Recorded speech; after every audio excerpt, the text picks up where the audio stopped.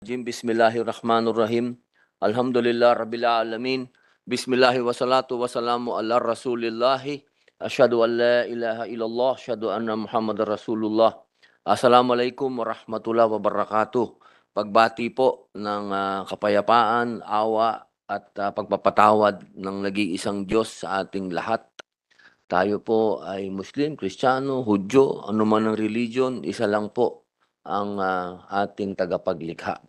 At ah, ako po ay maligayang maligaya at ah, sumasabog po ang ah, mga panauhin natin ngayon sa kwartong ito. Maraming salamat po sa inyong ah, pagdalo. At ah, opisyal na po nating binubuksan ang ating hybrid public hearing.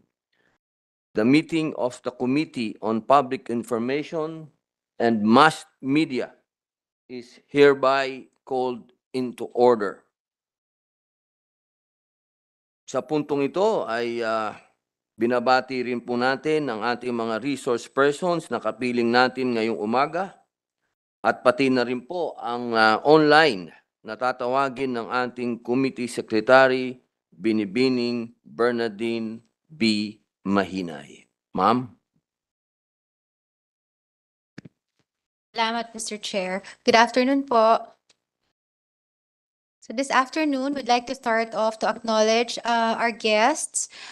Uh, We have no less than Honorable George Erwin Garcia, Chairman of the Commission on Elections. Good afternoon, sir. Together with him, our Attorney Teopisto El Nas, Executive Director, and Attorney Rafael Olano, Deputy Executive Director for Operations. From the Philippine Information Agency, we have its Deputy Director General, Ms. Catherine De Castro. From the Presidential Communications Office, or PCO, we have USEC Sherbet Karen Tala Maralit.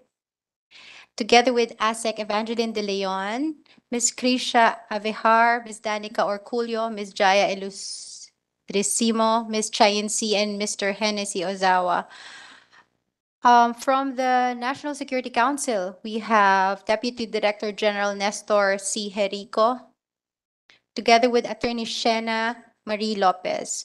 From the Department of National Defense, we have the Head of the Legislative Section of Legal and Legislative Affairs, Attorney R.J. Lim, and Mr. Jumel Estraniero. From the Philippine National Police, we have the Directorate for Plans, Chief Legislative Affairs, Police Brigadier General Nicolas S. Salvador, and the Chief Legislative Affair, from the Chief Legislative Affairs Center, Directorate for Police, Police Community Relations, Police Brigadier General Jonathan A. Cabal, together with Police Major William Aspilan of the Legal Service. And Ms. Marichu Lim of the Non-Uniformed Personnel for the Plans and Programs Division. From the Banco Central ng Pilipinas, we have the Director of the Department of Supervisory Analytics, Mr. Noel Ginto. From the Securities Exchange Commission, we have uh, Securities Council, Office of the General Counsel, Attorney Jillian May Cruz. From the UP Law Center, we have Attorney Florderisa C. Vargas, Director, Office of the National Administrative Register. And virtually, we have Attorney Marilyn Quezon Mercado, Institute of Government Law and Reform. From the Commission sa Commission sa Wikang Filipino or KWF, we have Dr. Arthur P. Casanova together with Mr. Wilbert Lamarca. From the National Disaster Risk Reduction and Management Council, Office of the Civil Defense Administrator, we have Mr. Diego Mariano, Deputy Spokesperson, Office of Civil Defense. From the DICT or Department of Information and Communications Technology, we have ASEC Renato Paraiso of the Legal Affairs. We have Director June Vincent Manuel Gaudan, uh, OIC of the Government Digital Transformation Bureau. We have Mr. John Paul Valeros, Planning Officer of the Legislative Liaison Division. We have from the Philippine Statistics Authority, Attorney Eliezer Ambatali, Director of the Legal Service. From the MTRCB or the Movie and Television Review and Classification Board, from the Chairperson's Office, we- have Attorney Mamarico Sansarano Jr., its Executive Director, together with Attorney Ana Farina Mindalano, Chief of the Legal Affairs Division. From the Council for the Welfare of Children, or CWC, we have Yusek Angelo M. Tapales, together with Miss Aubrey Susie Ponzalan. From the DSWD, virtually attending, is Assistant Secretary Irene Dumla of the Legislative Affairs and Miss Mary Ann Alcantara, Planning Officer, Office of the Assistant Secretary. From the National Tele- Commu- Telecommunications Commission, we have Attorney Kathleen J. Lu Egipto and Attorney Ana Liza Buenviaje, Officer in Charge for Broadcast Services Division. Uh, From online, from the Department of Labor and Employment, we have Ms. Jean Orsolino and Ms. Rhea Santiago. From the Department of Finance, we have the OIC Director, Ms. Brenda Miranda, Local Fiscal Policy Service of the Bureau of Local Government Finance, or BLGF.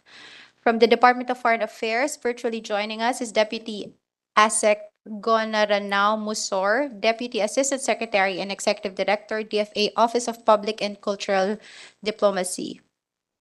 From the Department of Education, we have Ms. Maribel Cabasal, Chief Administrative Officer, Publications Division, Public Affairs Service. From the DBM, or Department of Budget and Management, we have Attorney Tricia Baraan, virtually joining us together with Ms. Mary Grace Datuin. Uh, from the Directors Guild of the Philippines, we have virtually present Mr. Mark Maley.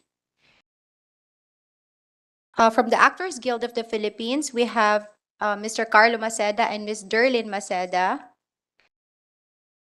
And from the Office of the Ombudsman, we have Assistant Ombudsman Asir Manrafanan. And Mr. Chair, we also have um, representatives from the Right to Know Right Now Coalition, Attorney Irene John Aguila, and from the Makati Business Club, Ms. Catch Ofilada, and from the FOI Youth Initiatives, Mr. Patrick Akupan. Sir? Ay, maraming salamat po, Ma'am ah, Comsec. Atin pong kikilalanin ang sandigan po ng ah, naaapi, ang aming idol, Senator Raffy Tulfo. Isang ah, magandang hapon po. Magandang hapon sa inyo, Mr. Chair, uh, Senator Robin Padilla, at sa lahat ng present dito ngayong araw na ito. Magandang hapon po sa inyo lahat. Ah, sa puntong ito ay opisyal na po nating idinideklara ang pagkakaroon ng quorum sa ating pagdinig. This is to officially declare the presence of a quorum. Ngayon po ay ah, hihingin po natin ang opening statement ng ating pong idol Senator Raffy Tulfo. Sir? Maraming salamat, Mr. Chair. Good afternoon po, Mr. Chair, Senator Robin Padilla, and other senators present and everybody. Before anything else, I commend all the authors of the bills to be taken up today for their advocacy in improving various aspects of public information and mass media. The matters in our agenda are close to my heart, being a longtime media practitioner and someone with substantial online presence. I believe that there is a need to be accountable for online and social media activities. As we all know, social media has become an integral part of our daily lives, providing us with countless opportunities for connection, information sharing, and collaboration. It has brought people together, transcending borders and facilitating the exchange of ideas like never before. However, with this great power comes great responsibility, ika nga. If I may, online media is now the primary source of information by everyone. Hindi na po itong pangmayaman lang. Ito po ay para sa lahat na because it is easily accessible at a person's convenient time and place. On demand for on social media. Unfortunately, the very same platform that have connected us have also become breeding grounds for cyberbullying, harassment, and other forms of online abuse. Instances of scam, libel, illicit drug trade, prostitution, and the dissemination of fake news that have plagued our digital space, eroding trust and undermining the fabric of our society. Therefore, I fully support SB 1289 or the Online and Social Media Membership Accountability Act of Senator Lito Lapid. as it stands as a measured response to these challenges. It proposes a simple yet significant safeguard, a requirement for the submission of a valid identification document as a precondition to gaining membership on social media websites. This simple step will enhance accountability and deter those who hide- in fake accounts or anonymous accounts afforded by these platforms. This is familiar to what we have done for the requirement of SIM registration or SIM registration. Let us be clear, this bill will not be an attempt to stifle freedom of speech or curtail the benefits that social media has brought us. It is a well-considered measure to strike a balance, fostering an environment where responsible and constructive discourse thrives while curbing the rampant abuse of the online tool. Ang keyword pa natin po dito ay balance. To go hand in hand with this measure, I want to consult with stakeholders in crafting a bill institutionalizing a code of ethics governing all forms of news outlets, including vlogs, TV, radio, and print, providing corresponding penalties for violators. The bill will establish regulatory agency that will monitor these covered persons and file cases against violators. This way, we can minimize fake and unreliable, unreliable news. Information is double-edged sword and it must be handled responsibly. Thank you, Mr. Chair. Maraming salamat po, Idol uh, Senator Raffy Tulfo. Sa akin naman pong opening statement, uh, magandang araw pong muli sa ating mga kasamahan sa industriya, asosasyon ng mga artista at mga creative workers, producers at syempre po sa ating pong mga kinatawan ng iba't ibang sektor ng pamahalaan. Mahaba po ang ating uh, agenda sa araw na ito. 29 na panukalang batas na pangunahing na isang guni sa Komite ng Public Information at Mass Media ang ating pag-uusapan. Malawak po ang ating saklaw, kaya naman para organisado ang ating talakayan, atin pong nilipon batay sa pitong paksa ang ating pagdinig. Una, ang tampok na usapin ng freedom of information. Pangalawa po, ang paglalathala ng mga batas sa pamamagitan ng electronic at online na version. Pangatlo, ang pagtiyak ng language accessibility ng public information ukol sa mga sakuna. Pang-apat, ating tatalakayin ang panukalang paggamit ng digital identification. Panglima, regulasyon ng media. Pang-anim, pagsisiguro ng tunay na identidad sa online at social media. Pangpito at pinakahuling paksa, ang mga panukala para sa industriya ng pelikula at telebisyon. Lulundag na po tayo sa diskusyon at para sa ating mga paunahin, kung maaari lamang po sa inyong lahat ay magsumiti po kayo ng inyong position paper sa amin para po mapag-aralan. Muli po, magandang hapon po sa inyong lahat. Atin na pong bubuksan ang talakayan sa ating unang paksa, ang Freedom of Information Bills. Ang FOI bill po ay naipasa na on third reading sa Senado noong 16th Congress. Higit sa tatlong dekada na rin po itong nakabinbin sa Kongreso. Kung maaalala natin, naglabas ang dating Pangulong Duterte Executive Order Number 2 Series of 2016 noong ika-23 ng Hulyo 2016 para gawing operasyonal ang FOI sa ehekutibo. Ang ating tanong, bakit pa po kailangan isabatas ang FOI? Ang pagsasabatas po ng FOI ay magpapatibay ng executive order sa pamamagitan ng pagpuno sa mga kakulangan, pagbibigay ng pondo sa mga mandato, at pagtukoy ng mga parusang kriminal, sakop ng panukala ng ehekutibo, judikatura at legislatura. Kasama na ang mga GOCCs. Balikan po natin ang mahalagang probisyon nito. Ano ang sakop ng FOI? Lahat ng sangay ng gobyerno, executive, legislative, at judiciary. Constitutional bodies, LGUs, GOCCs, government instrumentalities, government corporate entities, non-chartered GOCCs, at SUCs.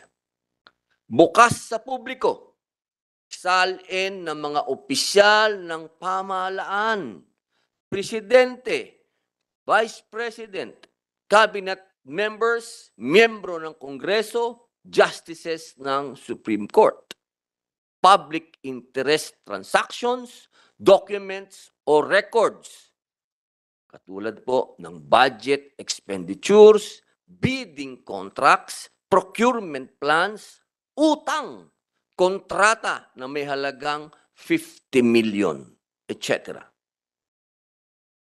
Ilan sa mga hindi sakop ng FOI? Confidential at limitado sa national security o defense, law enforcement, foreign affairs, presidential communications privilege, impormasyon sa executive session ng Kongreso at iba pa.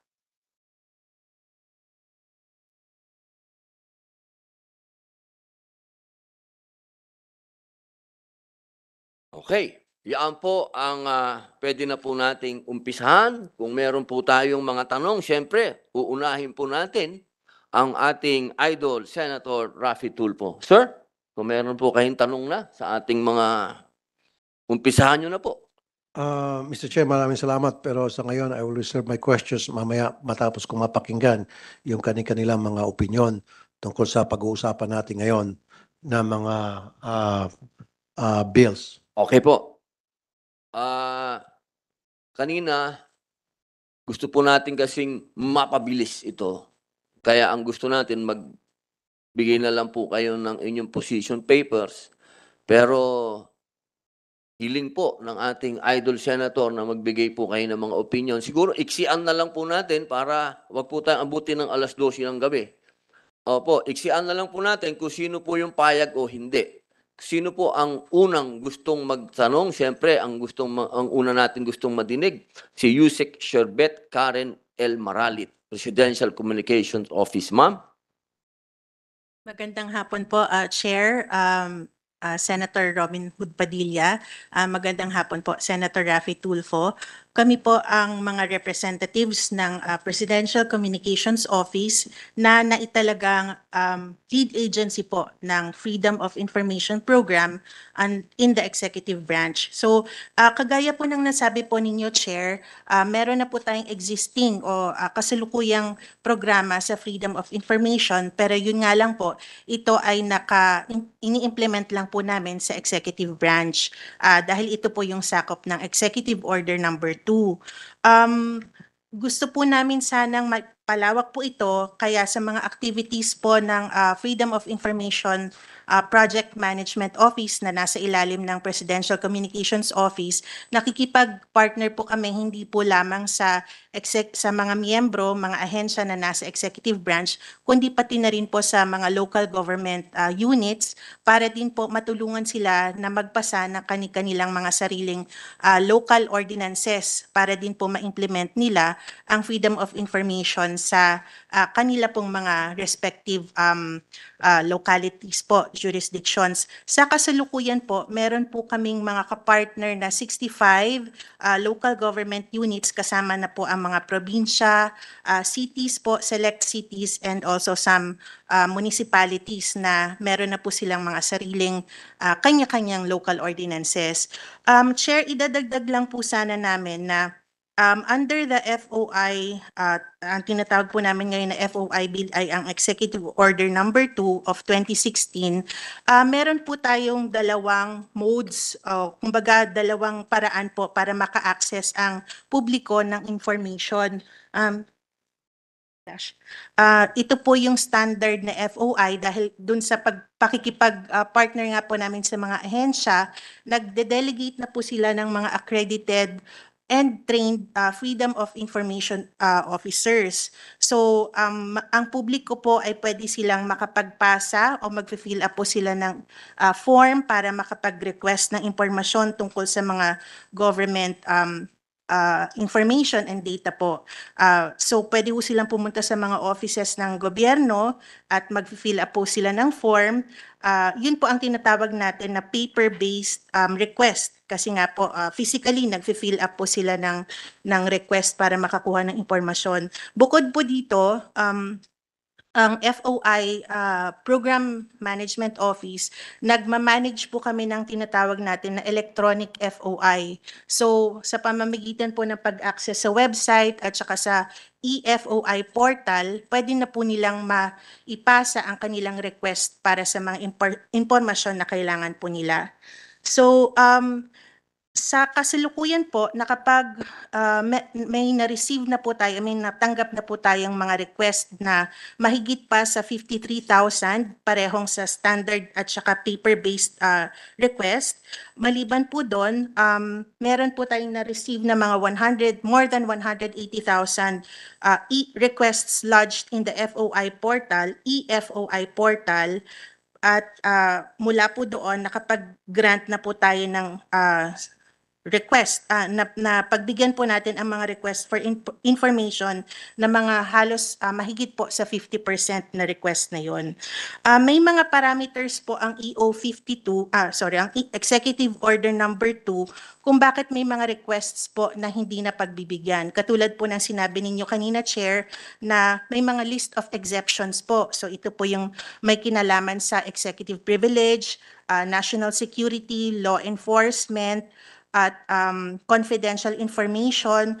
Ah, meron po tayong list ng nine exceptions under Executive Order Number 2. Ito po ay pinag-usapan ng FOI Exceptions Policy Committee na ah, binubuo ng Department of Justice, um, Office of the Solicitor General, at sinusumite po natin ito sa Office of the President para every now and then po na-update po kung ano yung mga list of exceptions o kaya kung hindi po naman ay tinatanggal po yung mga exceptions na yon sa listahan. Yes, sir. Singit, okay. Opo, sir. Uh, Mr. Chair, pwede Opo, mo singit? sige po, sige po, Senator. Napansin ko po sa mga sinabi niyo kanina pa ah, para mabigyan ng information na gusto na hingin ng sino mang Juan de la Cruz ah, mula sa ating pamalaan under dito sa Executive Order Number 2 of 2016 FOI. Bakit kinakailangan pa po mag-fill up ng form? Mukhang pinapahaba pa ating proseso. Ang follow-up tanong ko, kung gayon, gaano katagal from the time na mag-fill up ang form ng isang tao na gustong maka-access ng information tungkol sa isang government official sa kanyang kinikita, how long would it take? Pero para sa akin, sana po meron lang isang website at that push of a button, lalabas na agad yung mga information kailangan niya. Wala na maraming cheche bureche, magpipila pa ng form, mag-aantay pa, pabalik-balik, sasabihin pa sa kanya yung anong pwede, anong hindi pwede. So ang ilalagay lang sa website na yun, yung kasama sa yung hindi kasama sa exception. Yung ka- yung nasa exception hindi basta-basta ma-access. Doon po sana magagamit natin yung they have to fill up a form. Pero yung sa iba everything else dapat ma'am isang pindot lang. Lalabas na lahat ng information na kakailanganin para hindi na po mapatagal. Mapahirapan pa yung mga kababayan natin na yun naman talaga nagpapasweldo sa mga taong gobyerno. So may karapatan sila malaman lahat ng impormasyon na gusto nilang malaman. Di po ba Ah, yes, sir, we agree with that po. Ah, ito pong sinasabi po natin na proseso ng pag-fill up ng form, ito po ay nakasaad mismo sa executive number 2, sir. Nakalagay po doon kung ano yung procedure na kailangang ah, sundin para nga po maka-access sa Siguro. Mr. Chair, it's about time na gumawa tayo ng batas. Tama yung ginagawa mo. Na mabypass na natin itong procedure na ito. Na kapag anybody would like to access information tungkol sa sweldo, sa mga kontrata ng gobyerno, tungkol sa pera ng kabanang bayan, na at the push of a button doon sa isang website, lalabas na agad lahat ng information na kailanganin niya. Huwag na yung marami pang cheche bureche. Sorry ma'am for the word ha, na pipilap ka ng form. E tatamarin ka pa kuminsan. Saan ka pa kukuha ng form na yon? Mag-aantay ka pa. Baka minsan makakatanggap ka ng message na kung ano na sinasabi sa'yo wait or magka, magkahang pa yung s- ah, computer. So, i-bypass na natin yun siguro, Mr. Chair. Gawa tayo ng batas na kahit na sino Juan de la Cruz, meron siyang gustong malaman tungkol halimbawa sa salin ni secretary so and so, pipindutin lang siya, pupunta sa website na yun, lalabas na agad-agad. Siyempre, exception doon, tulad na babanggit, yung mga nasa national defense, law enforcement, pwede yun medyo itabi, yun yung pipilapan. Yun suggestion ko, Mr. Chair. sir. Tama po yun. Tama po yun. Ako po ay ah, kasama po nyo dyan sapagkat karapatan yan ng taong bayan. Opo, sila po ang nagpapasweldo sa atin. Ah, tama po kayo, Senator Rafi. So, so ang follow-up ko sa ngayon po, for the meantime, so kung ang isang tao, sabi nyo, kailangan mag-fill up ng form para maka-access ng information dun sa Freedom Information Act, how long bago ho siya mabalikan at makuha niya yung information na gusto niya? Under Executive Order Number 2, sir, ang mandato po ay within 20 days. Pero current, 20 days? sir, opo. Pero Bakit current- 20 days? Ang tagal. yun po yung nakalagay sa Executive Order Pwede ba Number natin 2. paiksiin? Actually, sir, mas maikli po natin. Anong ang nakalagay yan? At least 20 days. Hindi nakasabi must be. Walang must be. Ano man nakasabi? sir, at least at least uh, 20 days po. Pero sa ngayon, sir, um, as as early as 7 days po, naiibigay ang information na kailangan ng mga tao. Yun na po yung But that doesn't, yung sinasabi at least 20 days, but that doesn't stop you na gawin ito in 3 days kung Pwede. gusto niyo. Sir, actually average po yung 7 days. So may mga instances po na naiibigay agad. Meron po na dahil nga po meron po kaming tinatawag na no wrong door policy dahil pag minsan po, sir, explain ko lang po, may mga tao kung magre-request, for example, ng information about statistics tungkol sa agricultural uh, yield ng isang probinsya, pero hindi po nila na, na uh, re-request sa tamang ahensya. So, ire-refer po namin sila sa tamang ahensya, which is the Department of Agriculture, Regional Office, specific po yun. So, kung ganun po kadali yung mga request, naiibigay po agad ang kanilang information. Yung po sa mga information na ibinibigay nyo, ah, nandun ho ba yung ah, home address? Yung home address po kunyari, merong gustong malaman kung magkano ang nakalagay sa salin ni kunyari ni Secretary Juan de la Cruz. Dapat po wala doon yung address para maprotektahan naman natin yung ah, taong gobyerno.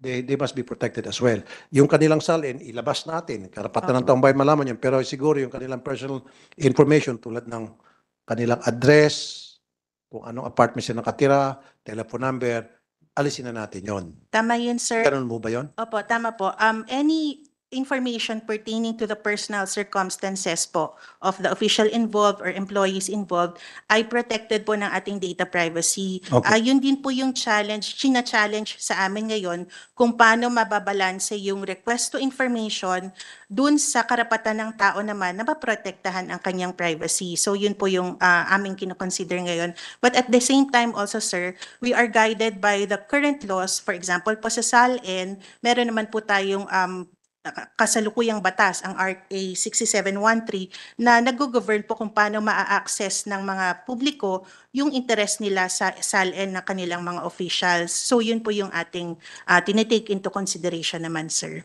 Okay. Thank you po, Mr. Chair. Thank you po, Ma'am Ma'am Yusek. Opo. Thank you very much, sir. Salamat po. Ako ma'am, magtatanong ako sa iyo. Mabilis lang to. Yes, sir. Naging effective po ba yung executive order na galing kay ah, Presidente Rodrigo Duterte? Yes, sir. Ah, katulad po ng nasa, nabanggit po namin kanina, ah, we have over 50% ah, success rate na tinatawag po namin dun sa mga request na na-lodge sa ating ah, FOI program.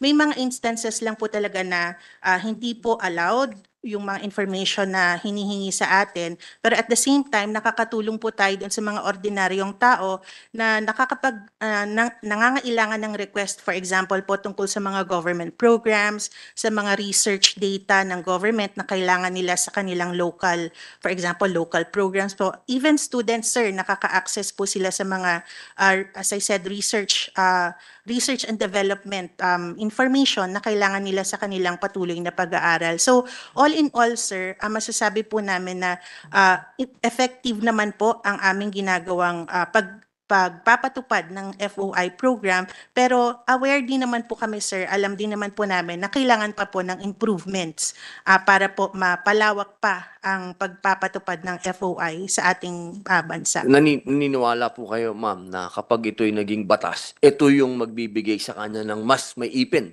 Yes sir. Opo. Opo, tama sir. Opo. Ba, ba, ba, meron lang, ano, ano lang naman po ito, no? Bakit po kaya siya laging nabibinbin sa Kongreso?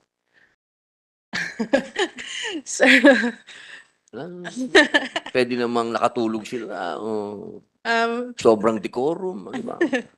Sir, mahirap pong sagutin yung tanong po ninyo pero ah, ako po kasi nagtrabaho din po sa Senado before at alam ko rin naman po na may mga interested legislators din po talaga na nagsusulong na maipasa ang FOI ah, program.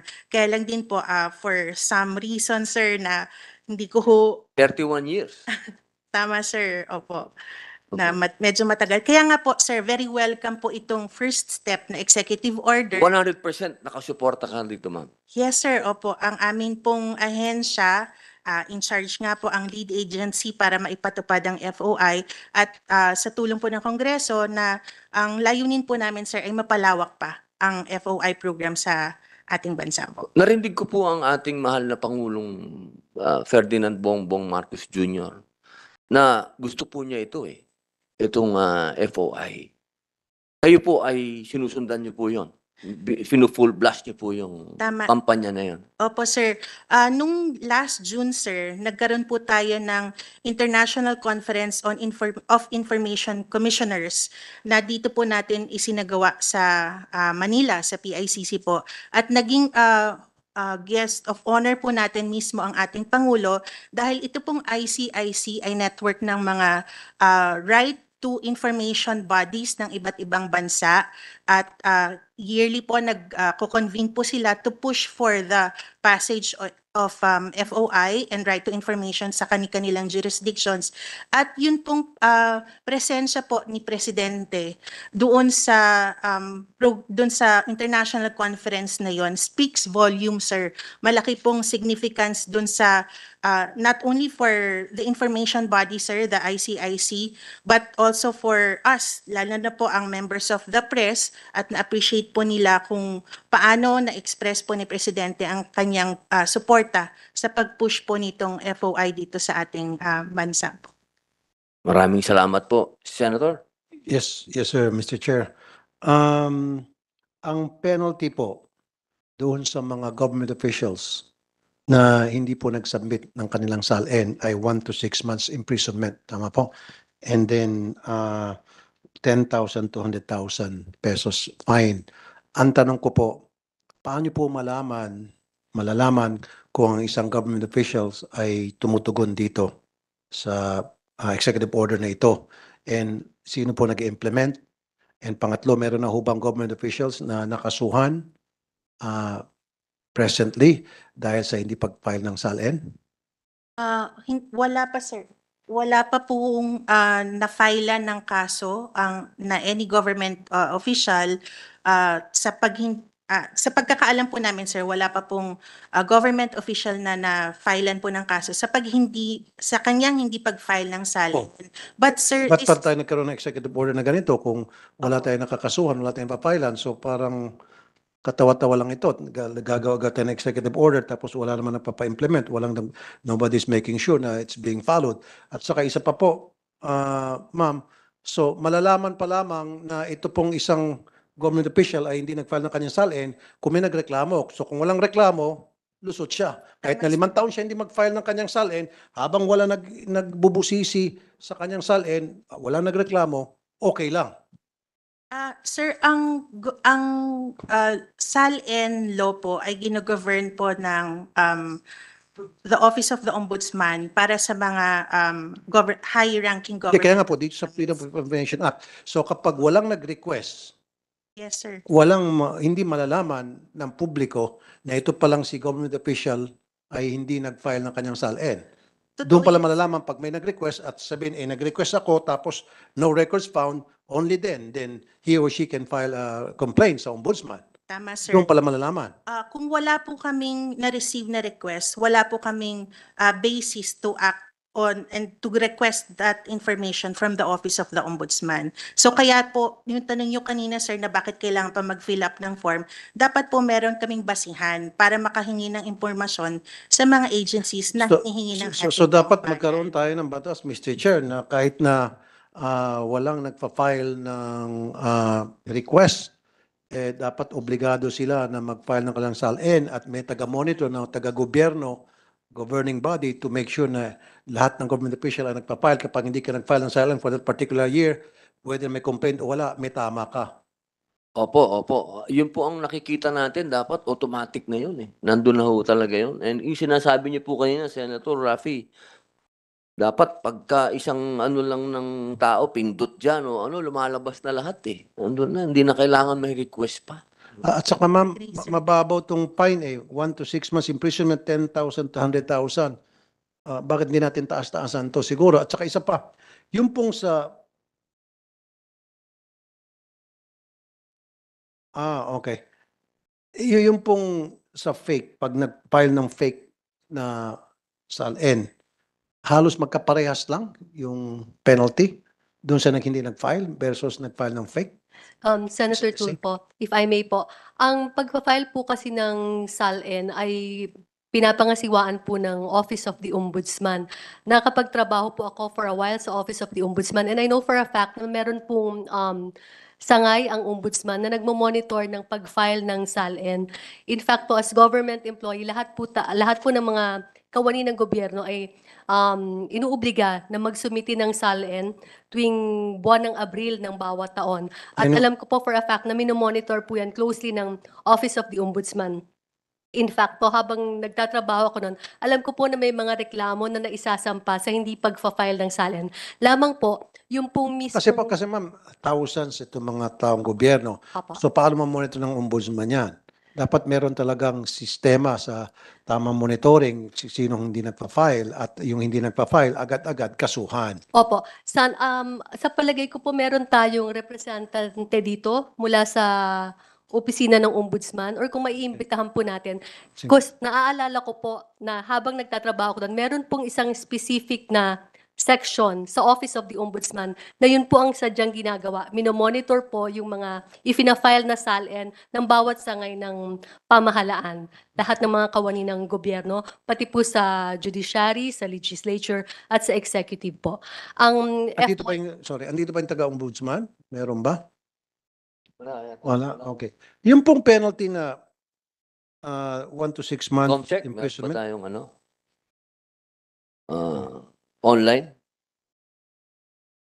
Ah, remind ko lang po yung ating mga Siguro sa DOJ, meron O ano po, lagi tayong sa chairman. Wag iwasan po natin yung direkta sa ibang ano, chairman lang po para Mr. Chair, kahit malamig na po yung usapan eh maging mas malamig. Yes, Senator Tulfo. Mr. Chair, uh, since wala rito ombudsman, walang DOJ, pero sa tingin niyo po ma'am, tama lang ba itong penalty na 1 to 6 months lang doon sa nagsasabit ng fake SALN? Ah, tapos 10,000 to 100,000 lang ang penalty so far? Ah, Ano po opinion niyo rito? Um, Mr. Chair, sa ganyan po kasi magkaiba pa po yung pananagutan para sa paglabag sa batas sa pagsasumiti ng SALN at maaring may iba pa pong pananagutan para sa pagsusumito po ng peking informasyon sa SALN na, nai- na isampa o na isumite sa tanggapan ng ombudsman. Ah, Senator Tulfo, Yes, sir. Sir Idol, andito po si Attorney Rafanan ng Ombudsman. Ayun. Attorney Rafanan, kayo po ay ah, tinatawagan ni Senator Rafi Tulfo. Sir Ombudsman Attorney Asirman Rafanan. Uh, good afternoon, Your Honors, and uh, good afternoon, uh, uh, sa Attorney. committee po. Medyo ma mababa po ang ah, dating ng inyong boses, Attorney. Pwede po bang pakilakasan? At hindi po namin nakikita ang video po ninyo. Pwede po bang, ayun po, Attorney, nakita na po namin kayo. Pwede pong wala pong mask para po makita po namin kayo, sir? Pwede pong matanggal po ba yung mask? Magandang hapon po, Mr. Chair, at uh, magandang hapon po sa members ng committee at ang mga uh, resource persons po. Ngayong hapon. Mr. Chair, Attorney Rafanan, ah, pinag-usapan namin dito ah, tungkol dito sa penalty ah, doon sa mga government officials na hindi po nag-file ng kanilang ah, SALN at doon sa mga nag-file ng mga dinoktor o pineking SALN. Ano ho ba sa ngayon ang nakasaad ah, doon sa ah, na, na penalty kapag ang isang government official ay dinoktor ang kanyang SALN o hindi nag-file ng kanyang SALN?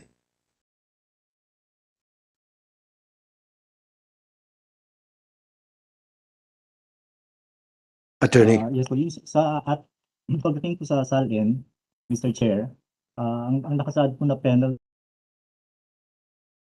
ay uh, nakasaad sa RA 6713 dun sa violation po dun sa profile ng uh, SALN. At ang uh, sabi po dun ay uh, maaari pong uh, imprisonment not exceeding 5 years.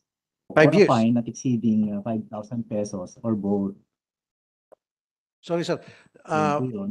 ang imprisonment of not more than five years.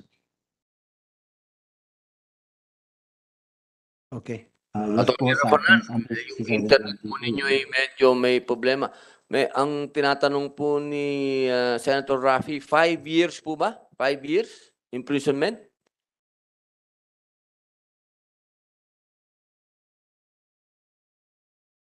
Ah, yes po, Your Honor. Sa Mr. Ch-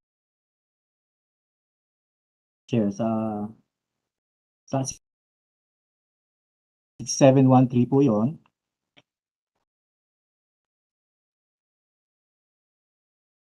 Oo nga eh. Ah, attorney, Attorney ah, Rafanan, medyo may problema po sa internet. yes, Mr. Chair. attorney, ah, may meron ako konting correction na gagawin. Ano po, Attorney Rafanan, if you can hear me now.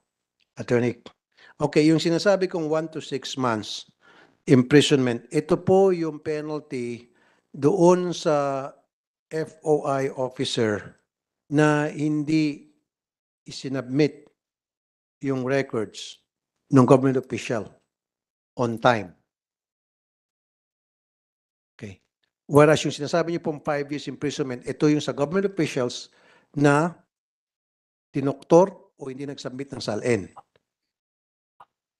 So, doon po sa one to six months penalty doon sa FOI officials na nag nagpo-process ng ah, SALN na pagsasumite ng SALN, dapat magkapareho po sila ng parusa nung may-ari ng SALN versus yung FOI official na nag-process ng SALN.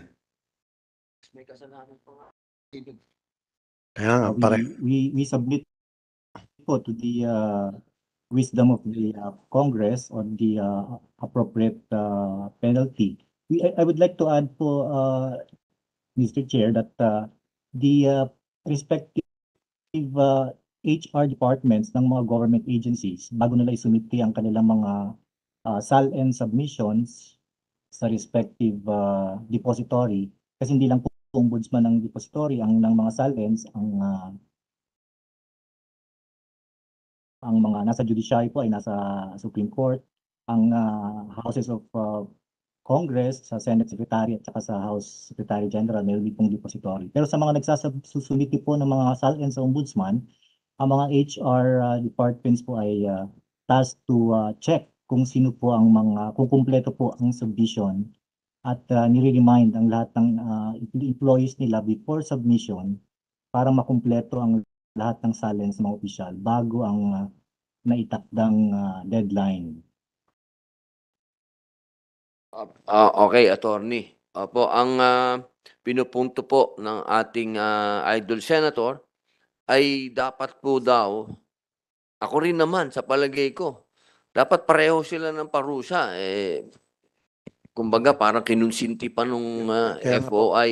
Mr. Ano, Chair. sige po, Sen- Senator. Yeah, alimbawa, yung sinasabi nga kanina-kanina ni Yusek na magpa-file ng request, di ho ba? And upon filing uh, that uh, appropriate uh, uh, request form, uh, merong up to 20 days uh, para doon sa ipoprocess po yung request.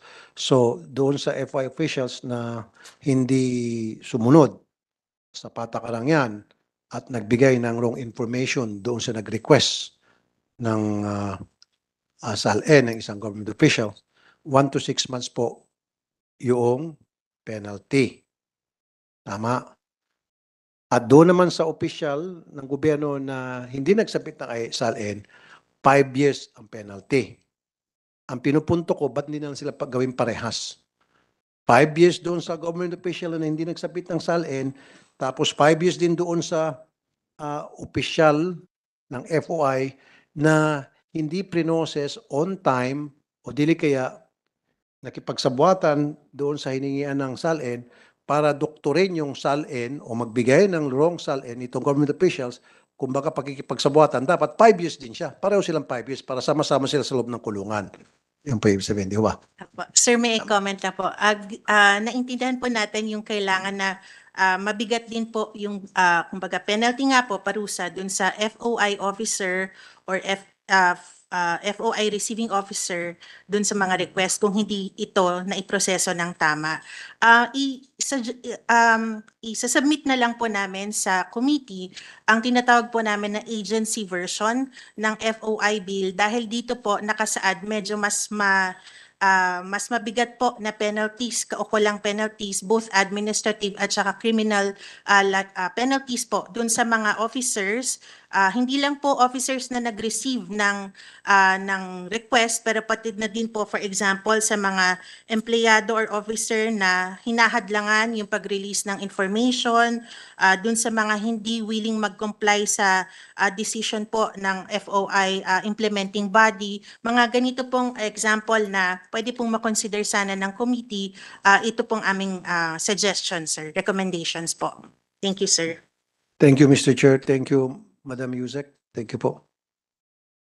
Ma'am, napakaganda po nung sinabi nyo na meron kayong version na. Opo. Meron lang po akong isang ah, request din. Halimbawa po, yung version po ninyo ay tinanggap namin ng committee at yan po ay napagkasunduan natin. Ito po ba ay pwede nating ma-endorso pareho sa ating mahal na Pangulo sa LIDAC? Yes, sir, pwede naman po. I'm sure uh, the the president may be willing to uh, ano naman po accept the endorsement of the of Congress for for this to be a priority, sir. Susuportahan nyo ako doon, ma'am. Uh, Kami po ang implementing agency, sir. So yes po, sir. Okay, maraming salamat, Yes, ma'am. sir. Thank you. Ah, Senator Idol, meron pa po kayong tanong kay ah, Yusek Sherbet? Okay na po ako, Mr. Chair. Pwede Again, na po tayong lumipat sa ating COMELEC ah, chairman. Yes, Mr. Chair. Ah, salamat po, Senator Idol Tu- Rafi Tulfo. Sir, meron po ako mga tanong sa COMELEC. Kasi alam naman po ninyo, sir, ano, maraming nagtatago sa likod ng impormasyon ng mga kandidato. Opo. Yun po ba ay ito po ba ano po ba ang polisiya ng COMELEC sa FOI? Magandang hapon po, ah, tagapangulo ng komite na ito, Senator Robin Padilla and Senator Raffy Tulfo. Mr. Chair, as far as the COMELEC is concerned, kinukonsider po natin ang lahat ng dokumento na meron sa commission ngayon as public documents.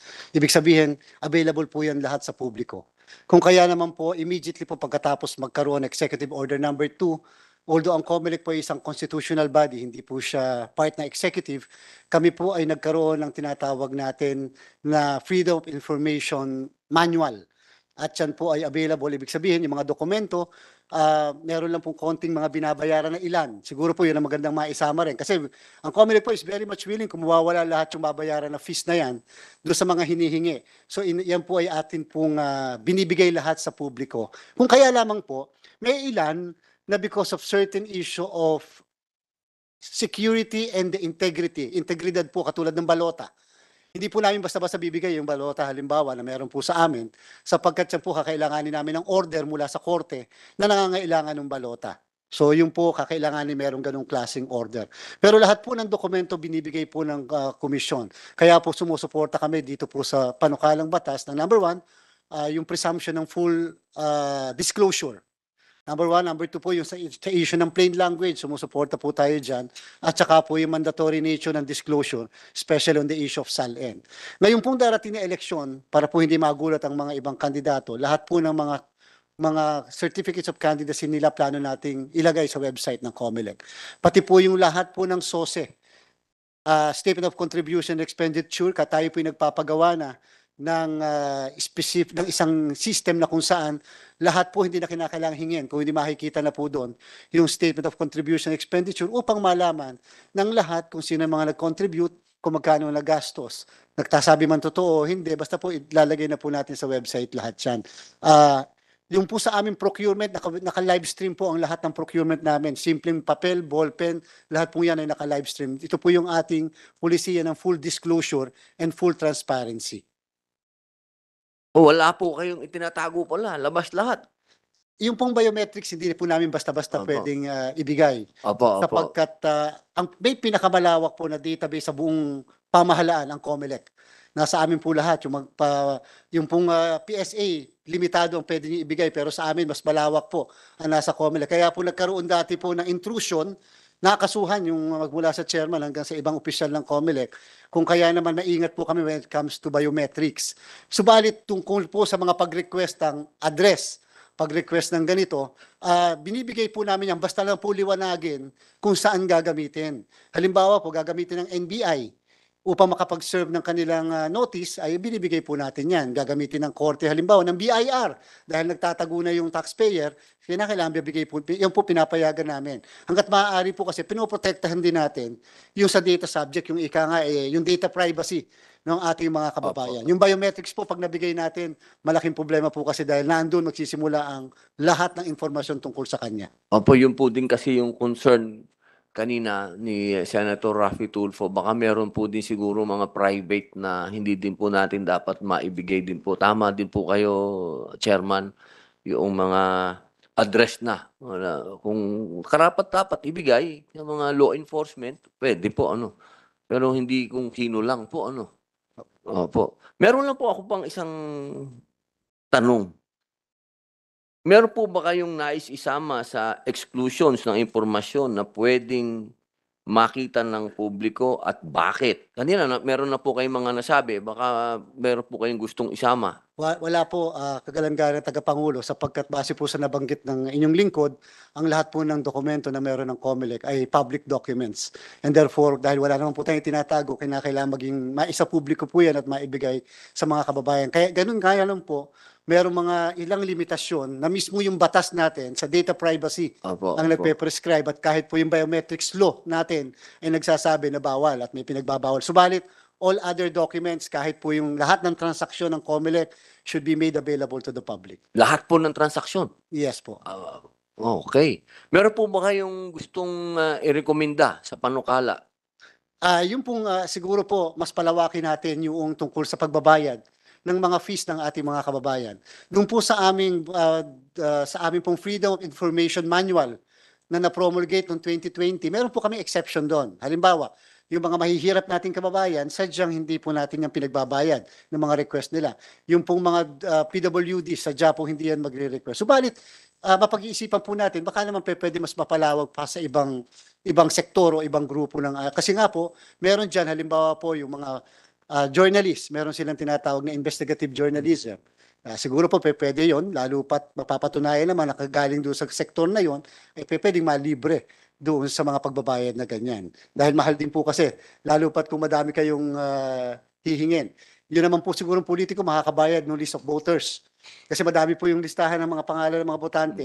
So sa bawat page po kasi noon, sini-xerox, gagastos ang pamahalaan ng papel at saka po kuryente. So, yun po talagang dapat nilang bayaran. Pero yung pong ah, pag-expand pa ng iba pang grupo, maganda po. Dahil ang freedom of information, yan yung sun- sunshine principle ng ating saligang batas, dapat lahat nakakaalam.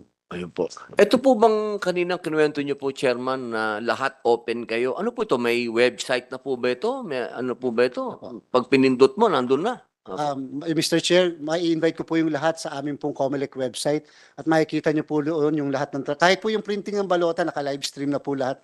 Ngayon kahit simpleng printing ng balota ng Bacoor kahapon, ah, kahit po yung simpleng pag-imprenta ng mga balota ng, eh, ng ating barangay NSK, lahat po yan ay naka-live stream. Yun nga po, meron kaming resolution pati ngayon na lahat po ng procurement namin naka-live stream din. And all other documents, in fact po, para sa kaalaman din lahat, ngayon pong darating na katapusan ng ah, Hulyo for the first time ang COMELEC ay magkakaroon ng procurement summit.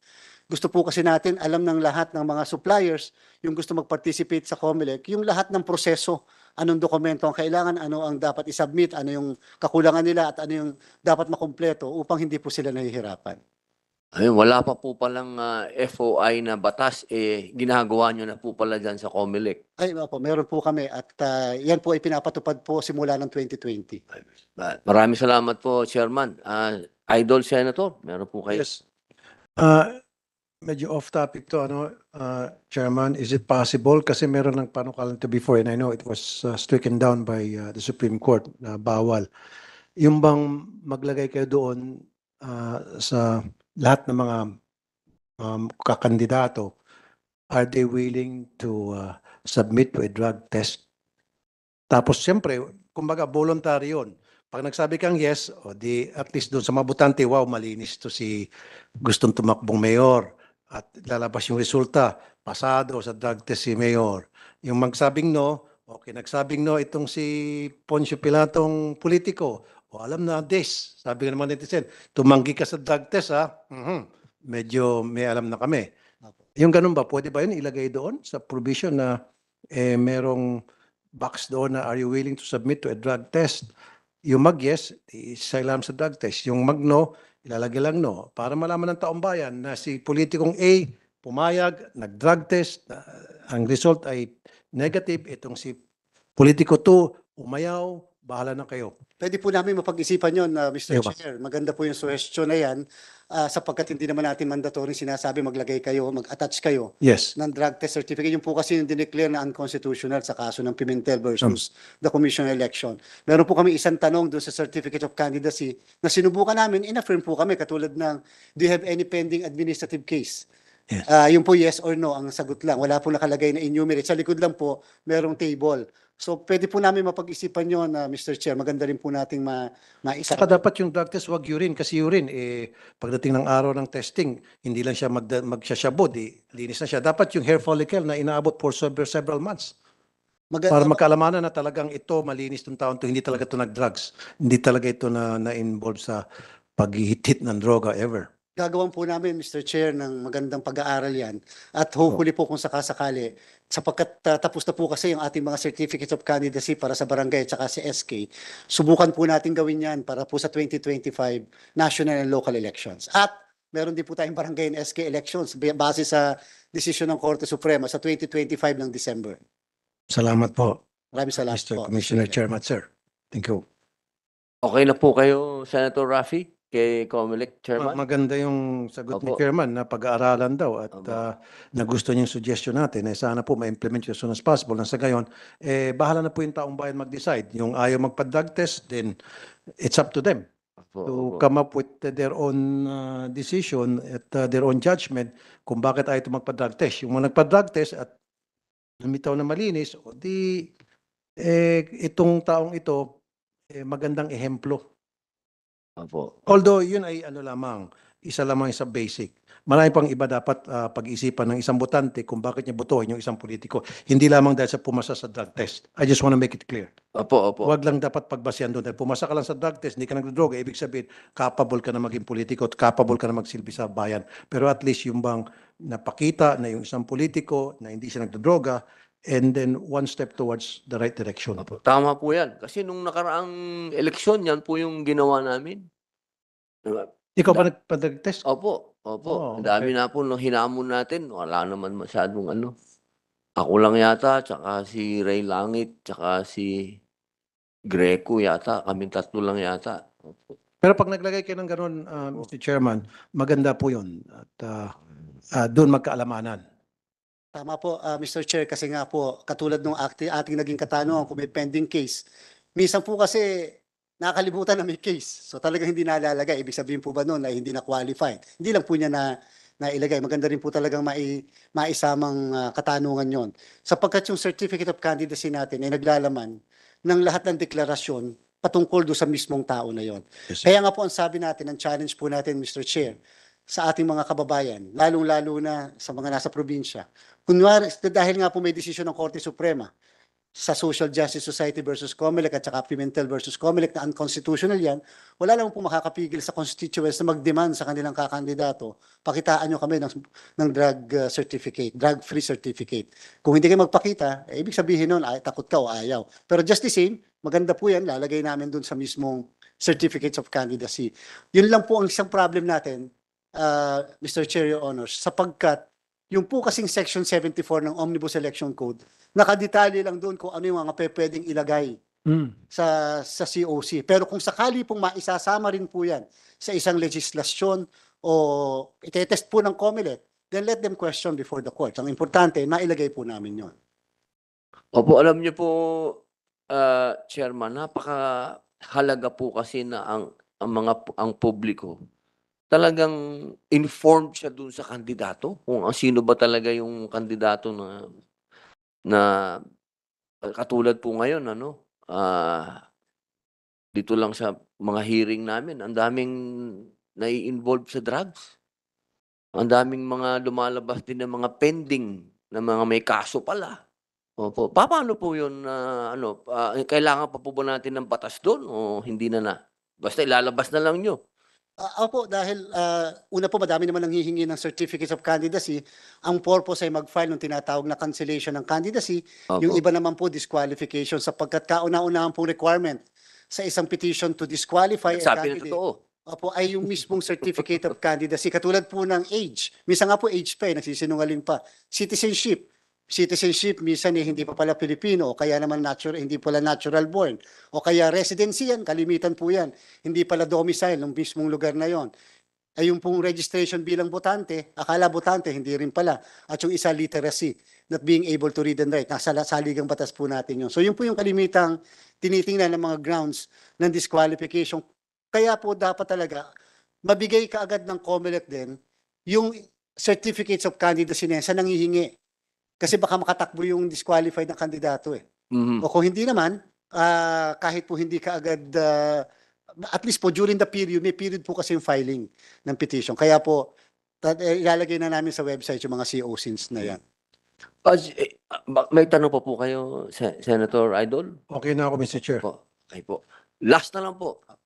Eh, yung po bang pag halimbawa, meron pong kandidato na nakita niyong nagsinungaling na kagad, pwede po bang bago dumating ang eleksyon, wag, ma, wag nang patakbuhin yon? Apo, ah, Mr. Chair, ah, meron po tayong tinatawag na Section 78 Mhm. in relation to Section 74 ng Omnibus Election Code. Ang tawag po doon, material misrepresentation. Ibig sabihin, sabi po ng Supreme Court sa Salcedo II versus Comelec and Salcedo, ang ibig sabihin nun, nagsinungaling ka doon sa mga basic na hinihingi ng saligang batas kung ito ay national candidates or local candidates. Halimbawa po, age, citizenship, residency, registration as a voter, literacy. Pag po nagsinungaling ka doon, kinakancel ang candidacy mo hindi dahil sa hindi ka residente o hindi dahil sa ikaw ay ay ah, ah, hindi Filipino citizen kung hindi dahil sa misrepresentation. Kung kaya po maliban sa cancellation ng candidacy Mr. Chair, yung mga yun po ay humaharap pa rin sa kasong kriminal. Dalawang kaso po yun. Election offense po yun, 261 ng Omnibus Election Pagkatapos po niya ma-disqualify, Matapos po ma-disqualify. kakasuhan pa siya. At the same time po, perjury po yun, uh, Mr. Apo. Chair, sapagkat under oath po ang certificates of candidacy. Okay. Maraming maraming salamat po. Wala na po kaming mga tanong sa inyo, ah, Chairman. At albatid po namin, pinaalam po sa amin kaagad na kayo po ay meron pang ah, mahalaga din na pupuntahan. Kaya mag-suspindi lang po kami ng one minute Senate suspension. Yan po. Kaya po. Para po dito. Sa dahil, Maraming salamat po, Apo. Mr. Chair. Your Honors. Sorry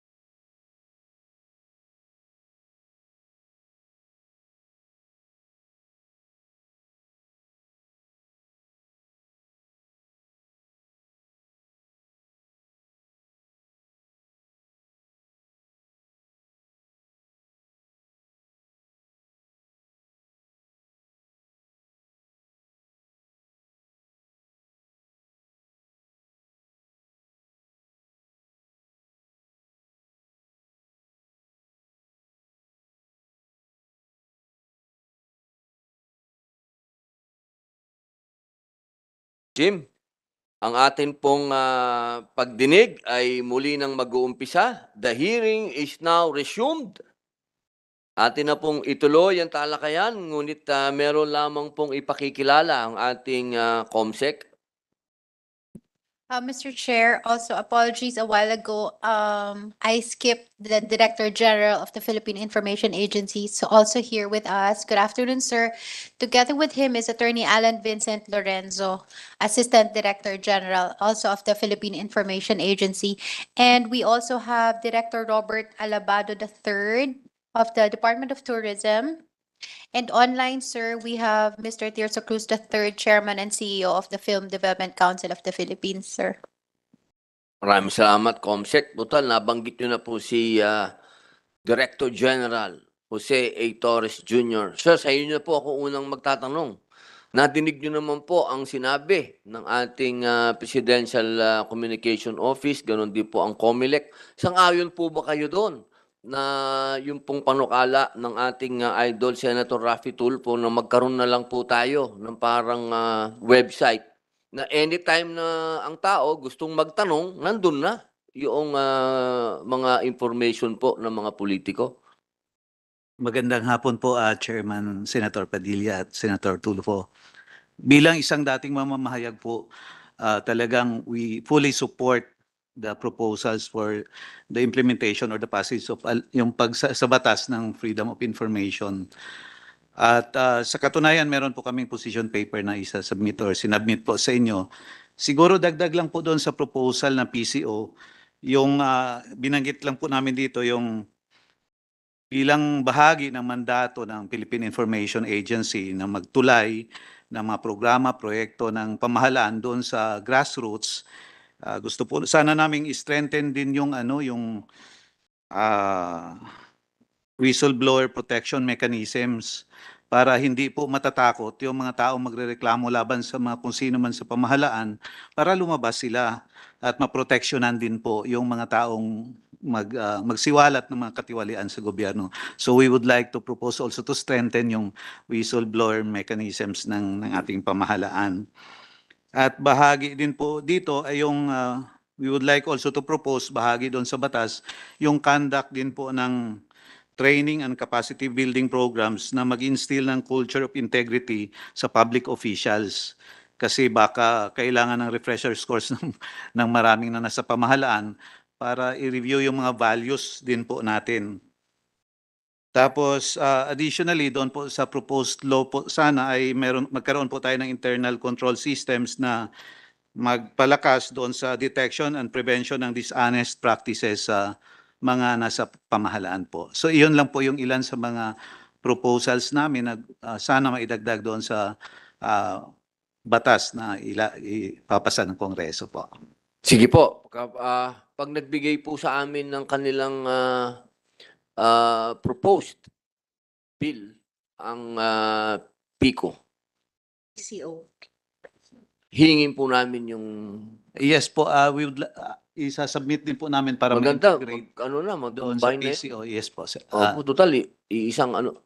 Da- Meron po kayong tanong, sir? Opo. Yeah, thank you, Mr. Chair. Nabanggit ni DG Jose Torres yung tungkol sa whistleblower ah, na pinapalawak niyo po na para mabigyan ng proteksyon, ah, tulong ang mga whistleblower. Sana po kung maisama doon sa proposed bill or sa batas na maproteksyonan, mas lalong Proteksyonan. maproteksyonan yung mga whistleblowers. Oh, sa kabilang banda, I like that. I'd like to hear that, uh, Mr. Chair. Sa kabilang banda, dapat meron din tayong batas doon sa mga whistleblower na binabawi later yung kanilang statement, umaatras, dapat maparusahan din yun, dapat makulong. Kasi may ganung mga insidente, magbibigay sila ng statement against somebody, nagwi-whistleblower sila, and then later on, last minute, binabawi yung kanilang statement. Dapat yun, gagawa tayo ng batas na mataas ang pagkakulong, mabi- matinding parusa para wala nang basta-basta mag-whistleblower lang dyan, magpapasikat o dili kayo nabayaran kayo umaatras. Di ba ba? Do you agree, Mr. Ah, yes Torres? po, ah, Mr. Speaker, ah, Mr. Chair. Agree po kami at ah, sinusuportahan po namin ang panukala na po na yan. Thank you, Mr. Chair Robin Padilla, sir. Salamat po, Senator Tulfo. Ma'am, Sige po. Apo, May, may dagdag lang po kami dun sa suggestion po or recommendation ah, na maglagay ng ah, angkop na protection para sa mga whistleblowers but at the same time mag-exact din po ng accountability dun sa mga ah, magiging whistleblower po natin. Dun po sa tinatawag naming agency version ng PCO, ah, ng FOI ah, bill, kasama na po ang provision na ito na minumungkahi po namin.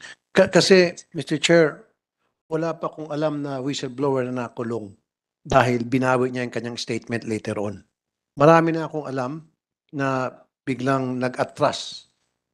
Okay, binawi niya yung kanyang statement. And then, wala lang. Nasira lang siya sa madlang people, sinungaling ka pala. Hanggang doon lang. Tapos pangising-ising na lang, pag-alagala dyan. Dapat makulong ka. Tatayo-tayo kang whistleblower, nag-akusa ka, nagtistigo ka laban sa isang tao, kaya yung taong yun nakulong, nadiin. Then last minute, bigla kang atras. Eh parang pinagluloko mong taong bayan. Dapat merong kaakibat na matinding parusa din doon sa mga whistleblower na later on umatras. Do do you agree, Mr. Torres? Yes po, sir. Thank you, sir. Thank you. Thank you, Mr. Chair. Salamat po. Ma, meron lang po akong tanong din kay Ma'am Catherine. Yan, Ma'am Catherine. Naririnig niyo po yung ah, pinag-uusapan ah, na, na sinabi po ng ating Senator Idol Rafi Tulfo. Sa experience po natin, marami din po talagang mga whistleblower talaga na sumulpot eh. Ma- Malamang yan, na-cover nyo pa nung araw pa. eh. Meron din pong isang kaso dati, di ba? Si Jun Lusada. Nakakulong yata ngayon si Jun eh. Alam ko parang oh, Opo, nakakulong siya. Alam ko nakakulong. O ah, ah, meron po lang ano po ba ang sa palagay niyo pong dapat na talagang precise na ilagay natin doon sa inyong ah, imumungkahi na panukala? Ano ba dapat? Kailangan ano ba 'yon? Kulong lang o may fine o kasi para sa akin, pag niloko mo ang taong bayan, mabigat 'yon. Ah, Mr. Mabigat 'yon. Mr. Chair, I think kalahatin na po para po talaga na kapag ikaw ay isisiwalat o ikaw ay magiging whistleblower, eh paninindigan niyo po yon at para rin hindi rin po mawala ang kredibilidad ng mga totoong whistleblowers naman.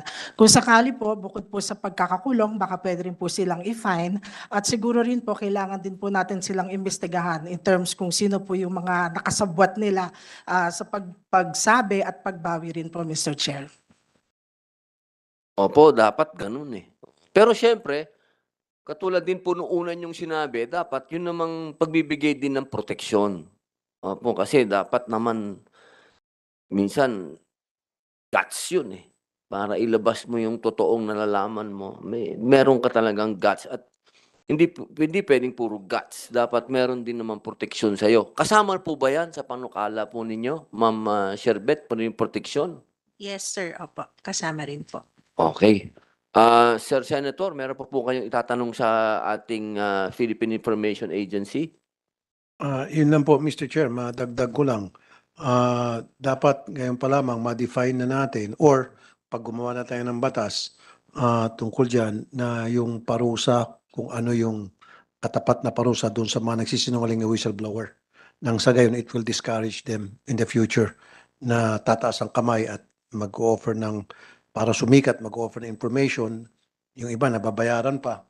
And then, only later mag 360 degrees turn around eh para naman tayong ginawang kengkoy. Meron ng ganung mga insidente at hindi sila paparusahan. This time, hindi na pwede dapat may parusa ng kaakibat. Thank you, Mr. Chair. Salamat po, Senator Idol. Ah, meron po akong ah, lipat na po ako dito. Opo, sa PNP. Yes, sir. Opo, kanina po malinaw yung ah, sinasabi po yung mga hindi kasama. Ang gusto ko lamang pong itanong dito sa ating PNP, ah, may mga sensitibong impormasyon pa po ba kayo na nalalaman na nais po ninyong ipasama sa exclusions ng FOI? Uh, good afternoon, uh, Your Honors and Mr. Chair. Uh, actually po, uh, ang sangay ng Philippine National Police tulad na banggit, uh, tulad ng ibang uh, sangay ng gobyerno, meron din kaming Freedom of Information Manual Balangkas na rin po, ayon na rin sa direktiba. But of course, uh, yung polisiya po natin is naka-anchor pa rin doon sa protecting yung sinasabi natin na state of national security at saka public safety. So normally naman po, uh, lagi nating uh, ini-enforce yun by way of uh, protecting it para naman na just as not to compromise at may embarrass yung uh, national government and the organization. Pagdating po doon sa mga dokumento na yon, laging pong nakasentro doon yung aming uh, pagpapahalaga at uh, pagmamanage ng information. Opo. Ah, i para mas maintindihan po sir, ah, Sir General ng mga taong bayan kung ano po yung mga ah, ini-exclude natin. Halimbawa, katulad po ng mga sikreta. Yun, hindi po natin ilabas yun, di ba? Hindi po natin pwede ilabas. Opo, actually, meron po tayong ano eh, ah, tinatawag na classified documents, no? Bawat ah, dokumento, ah, nakasaad doon kung hanggang saan lang ibabahagi yung ganong information. But of course, when we talk about uh, mga crime information naman, ah, open naman po yan, i- i- ah, kahit po sa website ng PNP. May mga updates po tayo doon, bawat ah, region at bawat units. Ah, lalo na rin po yun sa mga police blotter po. Halimbawa naman po, katulad po sa amin, ah, mer meron po kaming gustong malathala naman yung mga pusher po. Halimbawa na kilalang kilala na ng lahat, gusto na namin pangalanan po ninyo. Pwede po ba yon? Ah, yun po eh lalo na kung mga sa larangan na tinatawag po natin ng watch list ano. Of course, pag, pag sinabi nating ah, watch list po kasi yung mga pangalan doon, let's say sa drugs or any other ano, that is subject po sa continuing validation. So wala pa tayong konkretong ebidensya na nag-uugnay sa kanila sa ganung mga criminal activity. Kaya sa amin po, sa hanay ng pulisya, hanggat maaari, wala pa muna kaming disclosure sa mga pangalan or anumang association ng mga personalidad na to. Kung ah, sa mga terorista naman po, di ba naglalabas na po kayo ng mga information? Ah, yun po, lalo na kung ah, meron ng standing warrant of arrest, no? Nakasaad na po 'yon, lalo na't uh, nagpa-publicize na tayo na may karapatang reward sa mga impormasyon. So, ganun po ang ah, sistema at policy na ah, sinusundan natin sa pag-handle ng mga information at disclosure ng information po. Meron po ba kayong gustong rekomendasyon sa amin para pag ginawa po namin ng TWG ng panukala na ito, baka gusto niyo pong i-share sa amin, sir? Ah, yes po, ah, sasabit na lang po namin yung official position paper ng PNP. Ah, lalo na doon sa mga panukalang na provision. Maraming Sir, salamat. tu- tulungan niyo po kami dito sa Freedom of Information dahil sa totoo lang po, utang natin dito sa taong bayan. Kaya oras na rin po talaga para hindi po sila nanguhula kasi minsan kawawa din naman yung mga politiko dahil minsan fake news yung napapakinggan pa ng mga tao. Yung fake news, hindi yung totoo. Eh minsan, pag nilalabas mo na yung totoo, wala naman nang gustong maniwala doon sa totoo. Mas gusto nila yung fake news. Saka para po sa akin talaga, mas mahalaga na tong FOI. Sir, ah, baka meron po kayo. Thank you, thank you, Mr. Chair. Uh, General Salvador, I agree with you. Yung mga nasa watch list kasi continuous yung validation on, hindi mo na basta-basta pinamimigay kasi kawawa naman yung tao na later on, at the end of the investigation, you'll find out na inosente pala to. Nangyari na in the past, napapahiya yung tao, nasisira yung kanyang pamilya, sa kanyang pangalan, etc. However, meron lang po akong request sana, ah, kung pwede ho kayo eh, maglagay sa inyong database ah, information tungkol po dun sa mga tiwaling pulis na nakasuhan na anybody could access to that record para malaman sinong Poncio Pilatong pulis ang may kaso at anong kaso meron sa kanya at ano na yung kay, ah, nangyayari dun sa kasong yon. Can we have that kind of information from the PNP? Yes po. ah, yan po ay isa sa mga data na pwede naming i- i-share at ah, ibigay sa publiko, lalo na doon sa progress of the case. Oo, at saka yung pong may mga pending cases na rin kasi in so many cases, instances na yung mga pulis na may kaso na ah, pending sa Napolcom, eh, napopromote pa. Nakaka-pikon, especially sa mga ordinary mamamayan, na kinasuhan yung pulis na yon and then mabalitaan nila after several months, from tiniente, naging captain, naging major pa. Eh sabi kasi wala pang kaso kasi na-file. At least kung merong kaso na available yung record na kung sino mga pulis may kaso and then lulutang iba na, oh, may kaso din to sa akin dati ah. So lahat sila magsilutangan, full force na yung, yung pulis na yun na may pending case sa Napolcom, may reklamo against, may reklamo against that pers, that policeman hanggang sa maka-build up ng strong case sa Napolcom na mapabilis yung pagdesisyon sa kanyang kaso at hindi na siya ma-promote pa. Ah, tama po yun. In fact, yung mga record ng clearances is open naman as public document po. At saka doon po sir pala ah, General sa Blatter, although hindi naman po lahat ng stasyon, in my experience, meron po mga police station na hino-hold back po yung pagbigay ng blatter. Marami pa mga hinihingi, kung minsan naniningil pa. Nagtatanong pa kung para saan yung blatter. So dapat yung blatter po, public information yan. At saka po dapat, kung, kung pwede, eh, nandiyan rin po yan sa website. Actually po, meron tayong National Crime Information System at ah, doon po ah, 24 hours updated po yung ah, ating ah, ah, database doon. So meron pong website, kunyari, gusto kong pumunta sa ah, Mandaluyong PNP.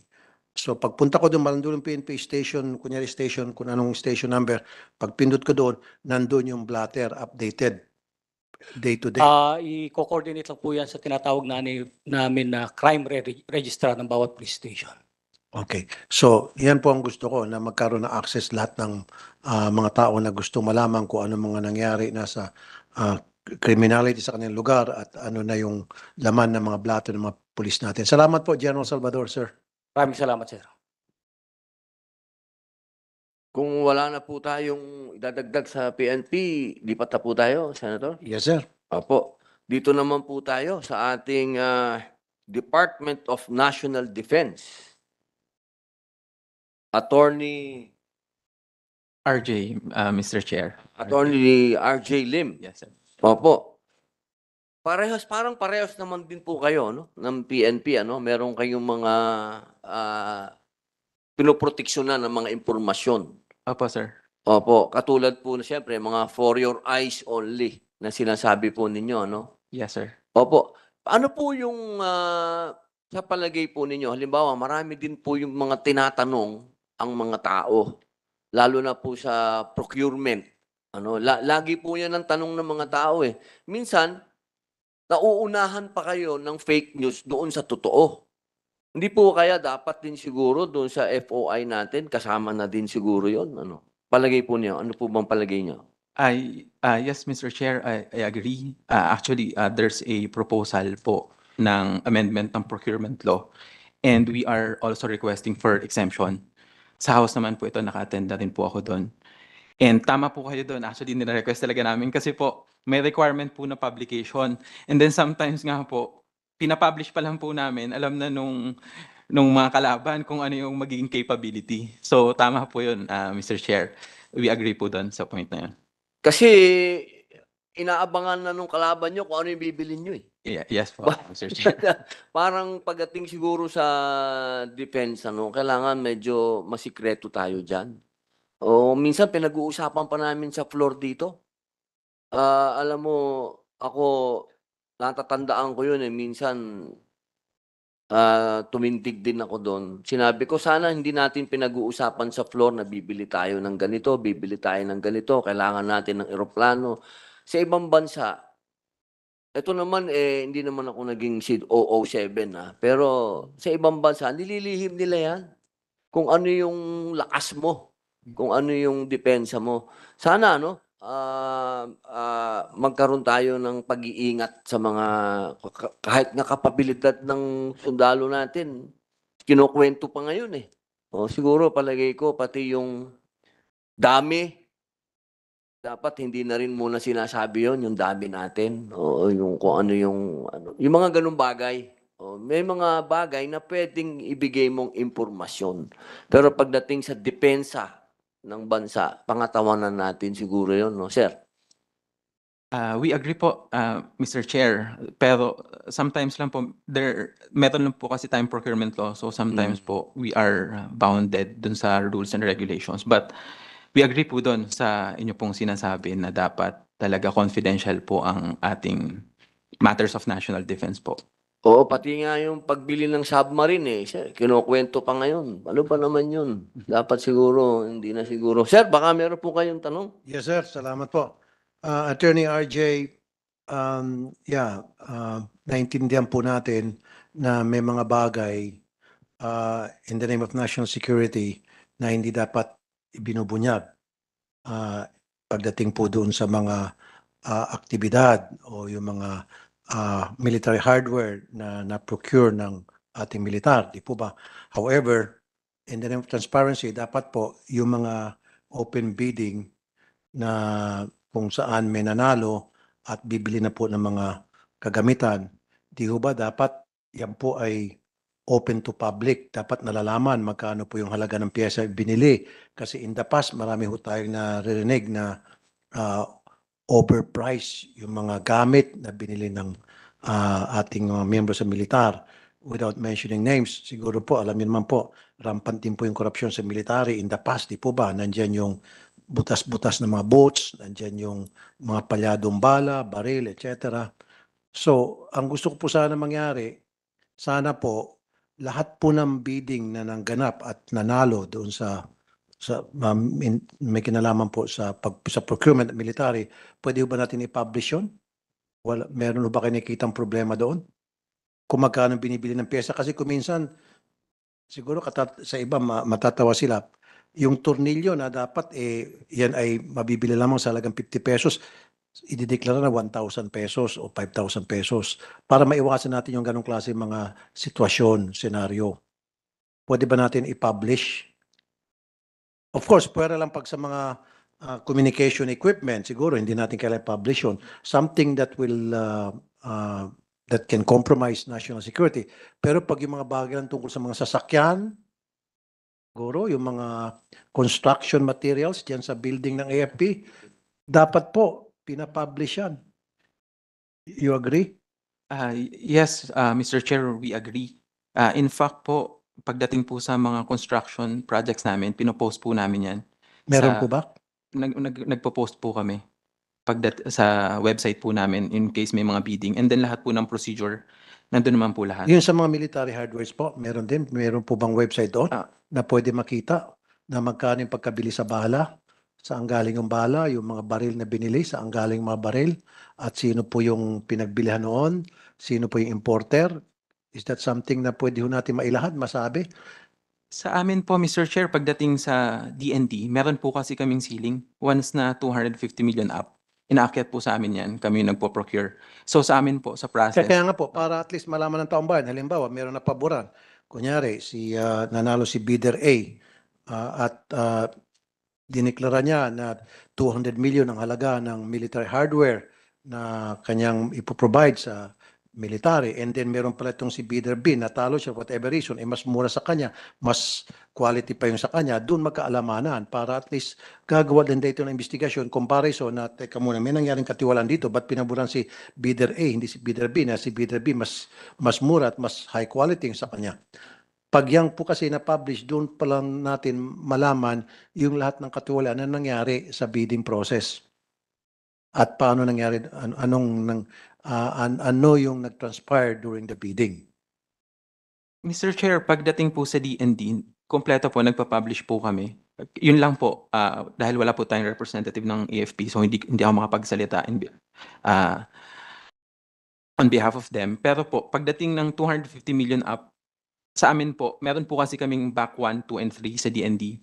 So, pinaprocess po yan ng back 1 and then, yun po, ah, publish po lahat yan, including yung lahat po na nagbibid, ano po yung first, second rank, yung pinapublish po namin yan, Mr. Chair. Okay, maganda po yan. Kasi in the past, alam niyo naman po siguro, no, meron na po napapabalita yung mga korupsyon sa military, sa pag-procure ng mga military equipments na overpriced. Alam niyo po yun, di ba? In the past. So siguro po yung mga nangyari in the past, huwag na natin maulit ngayon. Yung po ibig sabihin. In the name of transparency. Yes, Mr. Chair, I Oo. agree. And that was before your administration po, uh, ang i- ibig sabihin. Di ba?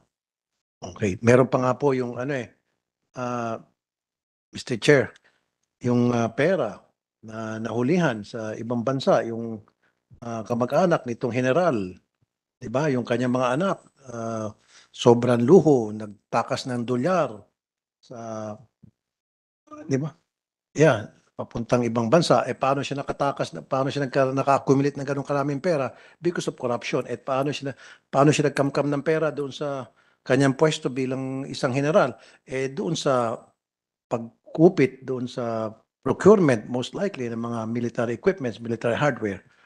Again, this was way, way before your time. So, Attorney RJ, wala kang problemahin dito. Hindi ka tatamaan dito, sir. Thank you, Mr. Chair. Amat po, Sir Idol Tulfo. Ibig sabihin lang po ni Senator Tulfo, anak, wag kang, ah, ano, ah, paanak ka na namin eh. Ano lang yon Ah, tu- pinag-uusapan natin kasi yung FOI. Ma- napakahalaga na matuto tayo dun sa mga nakalipas. Pero kami, nakasuporta kami 100% sa Department of National Defense. Kung nandito ka din, may meron kaming isang hearing dito ang pinoproteksyonan ni Senator Raffy yung intelligence, eh, yung ah, grid, national grid natin. Ibang ibang usapin to pero gusto lang namin malaman mo na nakasuporta kami sa DND. Ayaw lang namin na Siyempre, sayang naman kung pag-uusapan natin ng FOI nang hindi natin napag-uusapan lahat. Kaya relax ka lang dyan, Attorney RJ. Okay? Okay, at- ah, Senator? Thank you, Mr. Chair. Yun lang po, Mr. Chair. Opo, meron din po tayong, lipat na po tayo sa, Yes, sir. sa ating, ah, maiba naman, ito, kagrupo natin to, Senator Raffy. Kapisanan ng mga broadcaster ng Pilipinas. Gusto kong kausapin itong mga ere. Nasaan ba kayo? Online ba to? Online ba sila? Ah, hindi sila, ano, sayang, ano. Sayang. Tungkol pa naman sa kanila ito. Okay. Lagpasan muna natin. Ito munang Makati Business Club. Freedom of Infor- Information Youth Initiatives. Kasama ba natin sila online o kasama natin sila personal?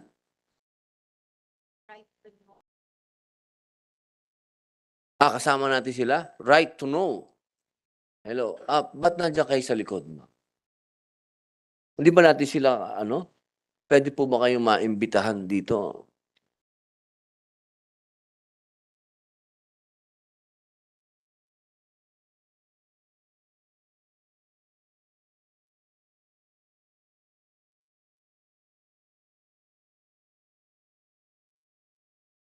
Pangalan.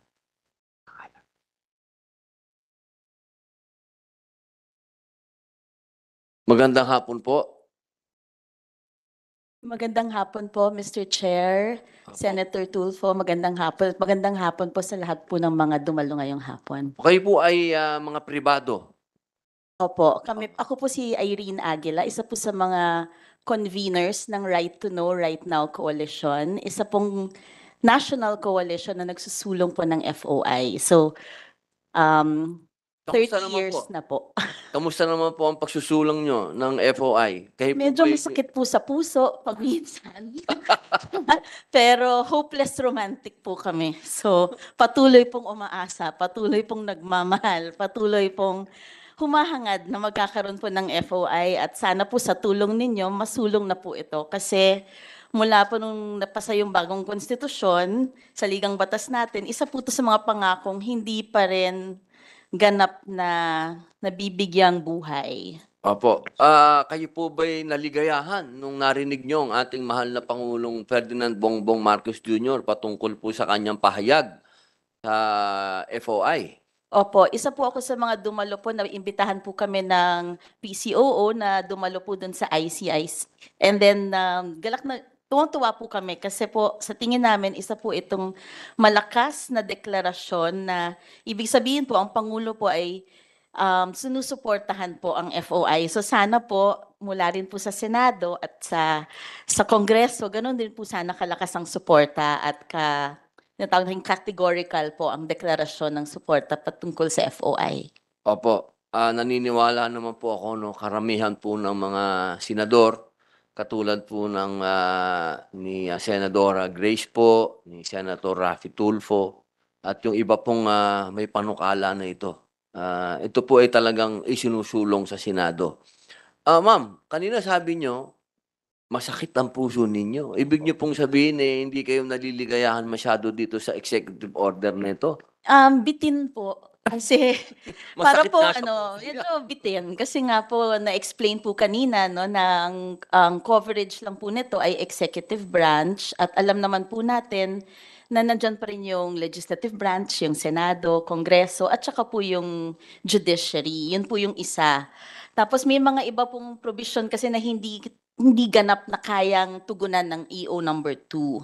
So kinakailangan po talaga ng panukalang batas na masugot itong mga ilang bagay na tinatawag nating gray areas or yung mga pinagtatalunan pa pagdating sa FOI. Isa po ba kayo doon sa mga nagsusulong na gusto nyo independent body ito? Hindi ito under ng gobyerno? Opo, isa po yun sa mga features na hinahanap po namin kasi naniniwala po ang Right to Know Right Now Coalition na para magkaroon po talaga ng ganap na karapatan sa sa pag, sa impormasyon kinakailangan ang nangangasiwang um, body dito ay hindi po nasa ilalim ng kahit anong ahensya. Kasi any it's not tied to a particular office that is controlled po by the head of that branch. Kasi po, kunyari, um, pag pinag-usapan po natin sa executive branch, meron po tayong tinatawag na exhaustion of administrative remedies. Aakyat po tayo hanggat sa um, sa pinaka-pinuno po ng branch natin, eh kung doon po yung informasyon na ayaw ilabas, mahihirapan po yung ahensya na i-overturn yung nangangasiwa, yung head of that agency. So maganda po sana ay independent commission or independent body po ito. Sa ibang bansa po, ito po ay may sariling commission o yung iba pong bansa nasa ilalim po ng ombudsman nila. Sa iba naman pong bansa, nakatali po ito sa Commission on Human Rights nila. Basta po medyo independent. Kasi nga po, in our case, um, kung sakaling mapasa yung batas, hindi po nasa ilalim ng PCOO ang legislative branch at saka ang judiciary. So, mahihirapan din po kapag sila yung mga ngasiwa across all branches. Although, isa po kami sa nagagalak sa trabaho na binigay ng PCOO over the past years. Um, madalas po namin katrabaho yung PCOO kasi bagamat walang batas, sinusulong pa rin talaga na na palawakin yung pagkilala sa FOI pero mas sa tingin namin para mas mapatindi ang karapatan ng tao kinakailangan independent po yung body. So yun po sana yung nire-request naming ilagay dun sa um, pending bills. Isa po to sa mga laman ng position paper na aming isusumite po sa komite. Maraming salamat po, attorney. Ma'am, Yusek, narinig mo yung sinabi ni ma'am, aalisin daw na. Sir, kasama po yun dun sa provisions ng ano agency version. Ah, okay. Nagpo-propose din po doon na independent body, isang ah, Freedom of Information Commission po ah, na pwede pong sanang makonsider ng committee po. Okay, maraming salamat. Wala pa lang, wala pa lang kumukontra sa'yo, ma'am. Opo, uh, nag, natutuwa po kami kasi magkapareho po kami ng paniniwala dito sa PCOO kasi gan, lubos po nilang naiintindihan kung gaano ka-critical po itong right to information. Kaya dapat yung nangangasiwa dito ay walang kinikil, kinikilingan, wala po siyang kinatatakutang um, tao sa gobyerno, kundi ang taong bayan. Kasi doon po ang kanyang accountability, doon po siya nananagot. Maraming salamat po, ah, ma'am attorney. And Sir Patrick, baka may gusto kang idagdag, ah, Sir Patrick.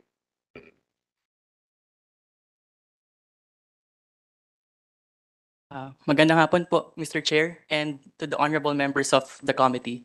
So, simple lang naman po yung amin pong panawagan. Ako po bilang kinatawan ng FOI Youth Initiative, gusto lang po naming i-express yung urgency po ng ating Freedom of Information Bill. Kung atin pong i-contextualize kung gaano, ka- kung gaano na po tayo katagal sa laban ng Freedom of Information, kung ito po isang tao, hindi na po siya kasama sa youth sector.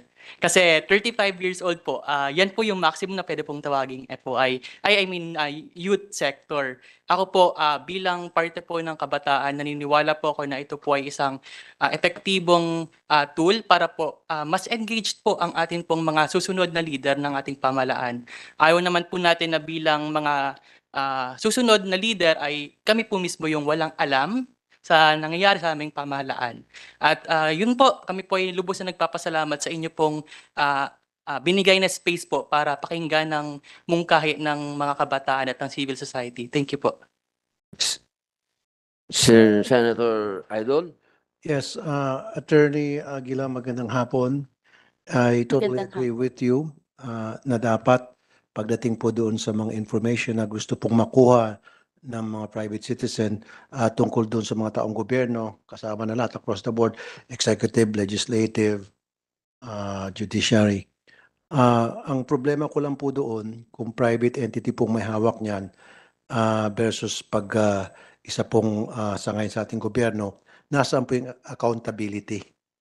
Um, pagpasensyahan niyo na po, sir. Um, Mr. Chair, ang ibig po naming sabihin ay independent commission. Pero bahagi po siya ng gobyerno, pero hindi po Okay. ito nakapaloob sa kahit anong branch. Para po siyang COMELEC, para Okay. po siyang So, CHR. kung okay sa inyong om- ombudsman, Isa pong maaring ahensya na modelong gamitin ay nasa ombudsman or gaya nga po sa ibang bansa, binibigyan po nila ng kapangyarihan yung kanilang CHR or Human Rights Commission para um, tutukan yung FOI o yung iba totally bago pong ahensya pero hindi po siya nakapaloob sa kahit anong sanga. So independent commission po yung so, tinatawag. so ako wala akong nakikitang problema kung ombudsman po ang mag-handle niyan or even COMELEC.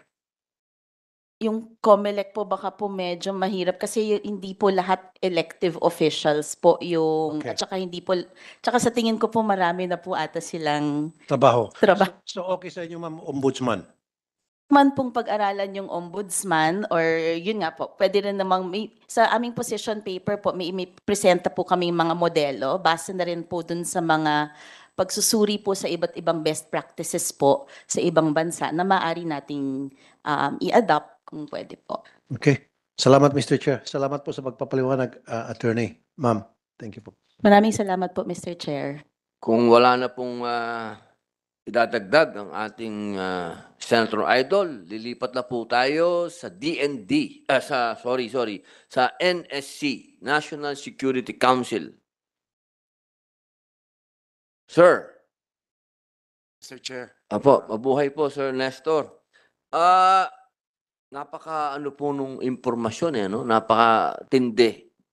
Eh, kayo po ang kumakalap ng impormasyon. Sa palagay niyo po ba, ito pong panukala na ito, eh, papabor sa inyo o hindi po? Kasi, siyempre, freedom of information. Ano po ba sa palagay ninyo? Ah, una sa lahat, Mr. Chair, nagpapasalamat ang National Security Council na sa inyong liderato sa committee nito sa pag-invite sa amin. Ah, sa pananaw po ng National Security Council, ito po ay importante para sa atin lahat, para sa ating mga mamamayan. At saka nagpapasalamat kami dahil sa mga authors na nag-champion dito po, Mr. Chair, na na-mention naman po dito ang mga exclusion. Sa dahil sa pag-mention ng exclusion, ang stand po ng National Security Council ay sumusuporta po kami sa inyong initiative sa pag-advocate ng freedom of information alang-alang po sa ating national interest at sa ating mamamayan. So ganun po, Mr. Chair, dahil na-include na naman dito sa ating mga articles or sa section, wala na po kaming other comments and inputs kung hindi magsusuporta po kami sa inyong liderato at sa itong panukala na ito. Mr. Chair, maraming salamat po. Maraming salamat po, Sir Senator. Uh, DDG or Director General Nestor Jerico, magandang hapon po, sir. Nasa pangangasiwa niyo ba o nasa ilalim niyo ang National Intelligence Coordinating Agency o NICA? Opo, sa Mr. Chair, ah ka- kami po ay nag-provide ng supervisory ah, and ah, authority po sa National Intelligence Coordinating Agency, Mr. Good. Chair. Kasi po, kaya ko natanong yan, uh, I know for a fact na yung NICA ay every now and then nagsasagawa ng investigasyon ah, tungkol sa mga smuggling activities sa Bureau of Customs. Ngayon, ang nakapagtaka, gagawa sila ng investigasyon and then later on, hindi na sinasabi kung ano naging resulta ng kanilang investigasyon. Yung po ba'y pinala ng case, pinasa na ba sa ombudsman? What happened?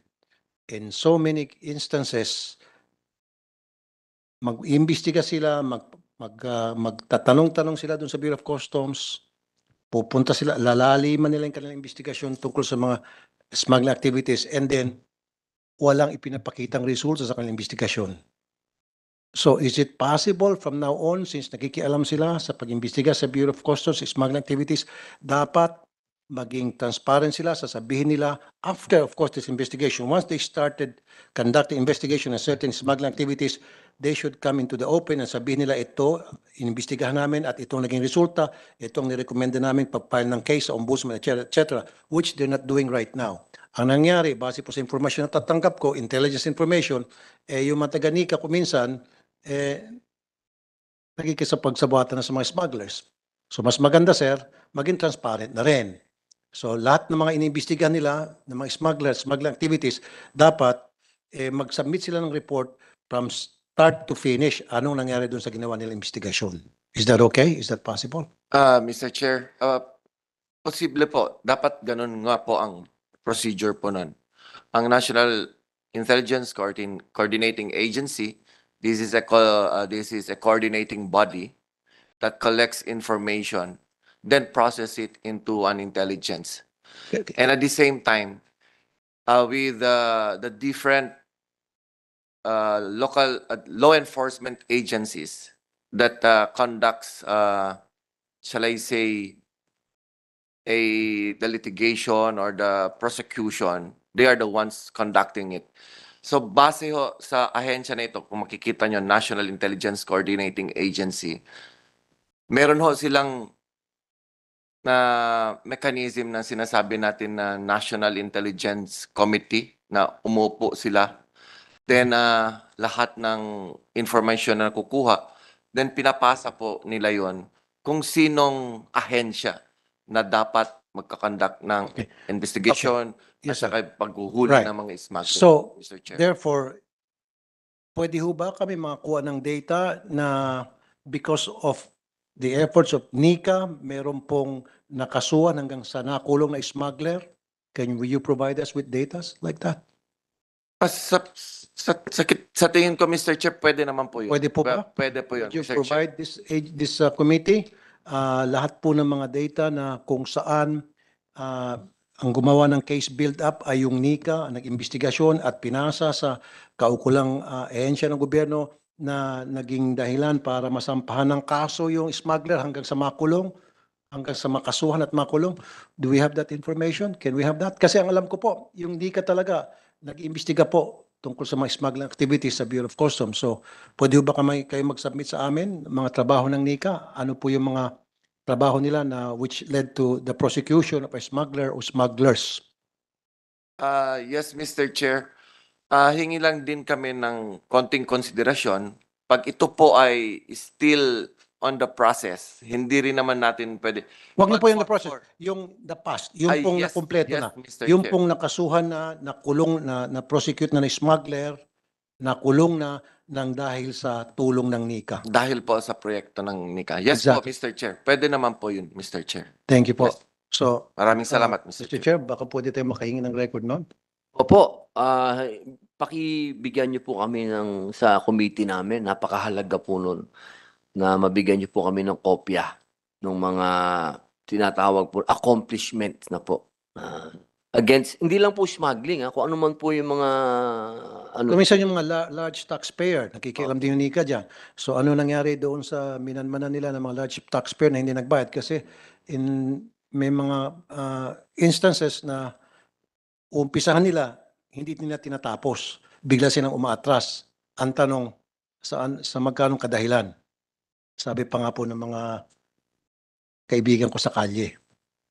Usually yung pantanong eh, kapag halimbawa meron isang otoridad natin, nag-start ng investigation, at uh, nasa hot, maganda na yung trail niya, hot na yung trail niya, and then all of a sudden, biglang tumigil, umatras. Tinatanong yon ng mga kakilala ko sa kalye sa magkanong kadahilanan, ba't ka umatras ng pag-iimbestiga? Yun po yun.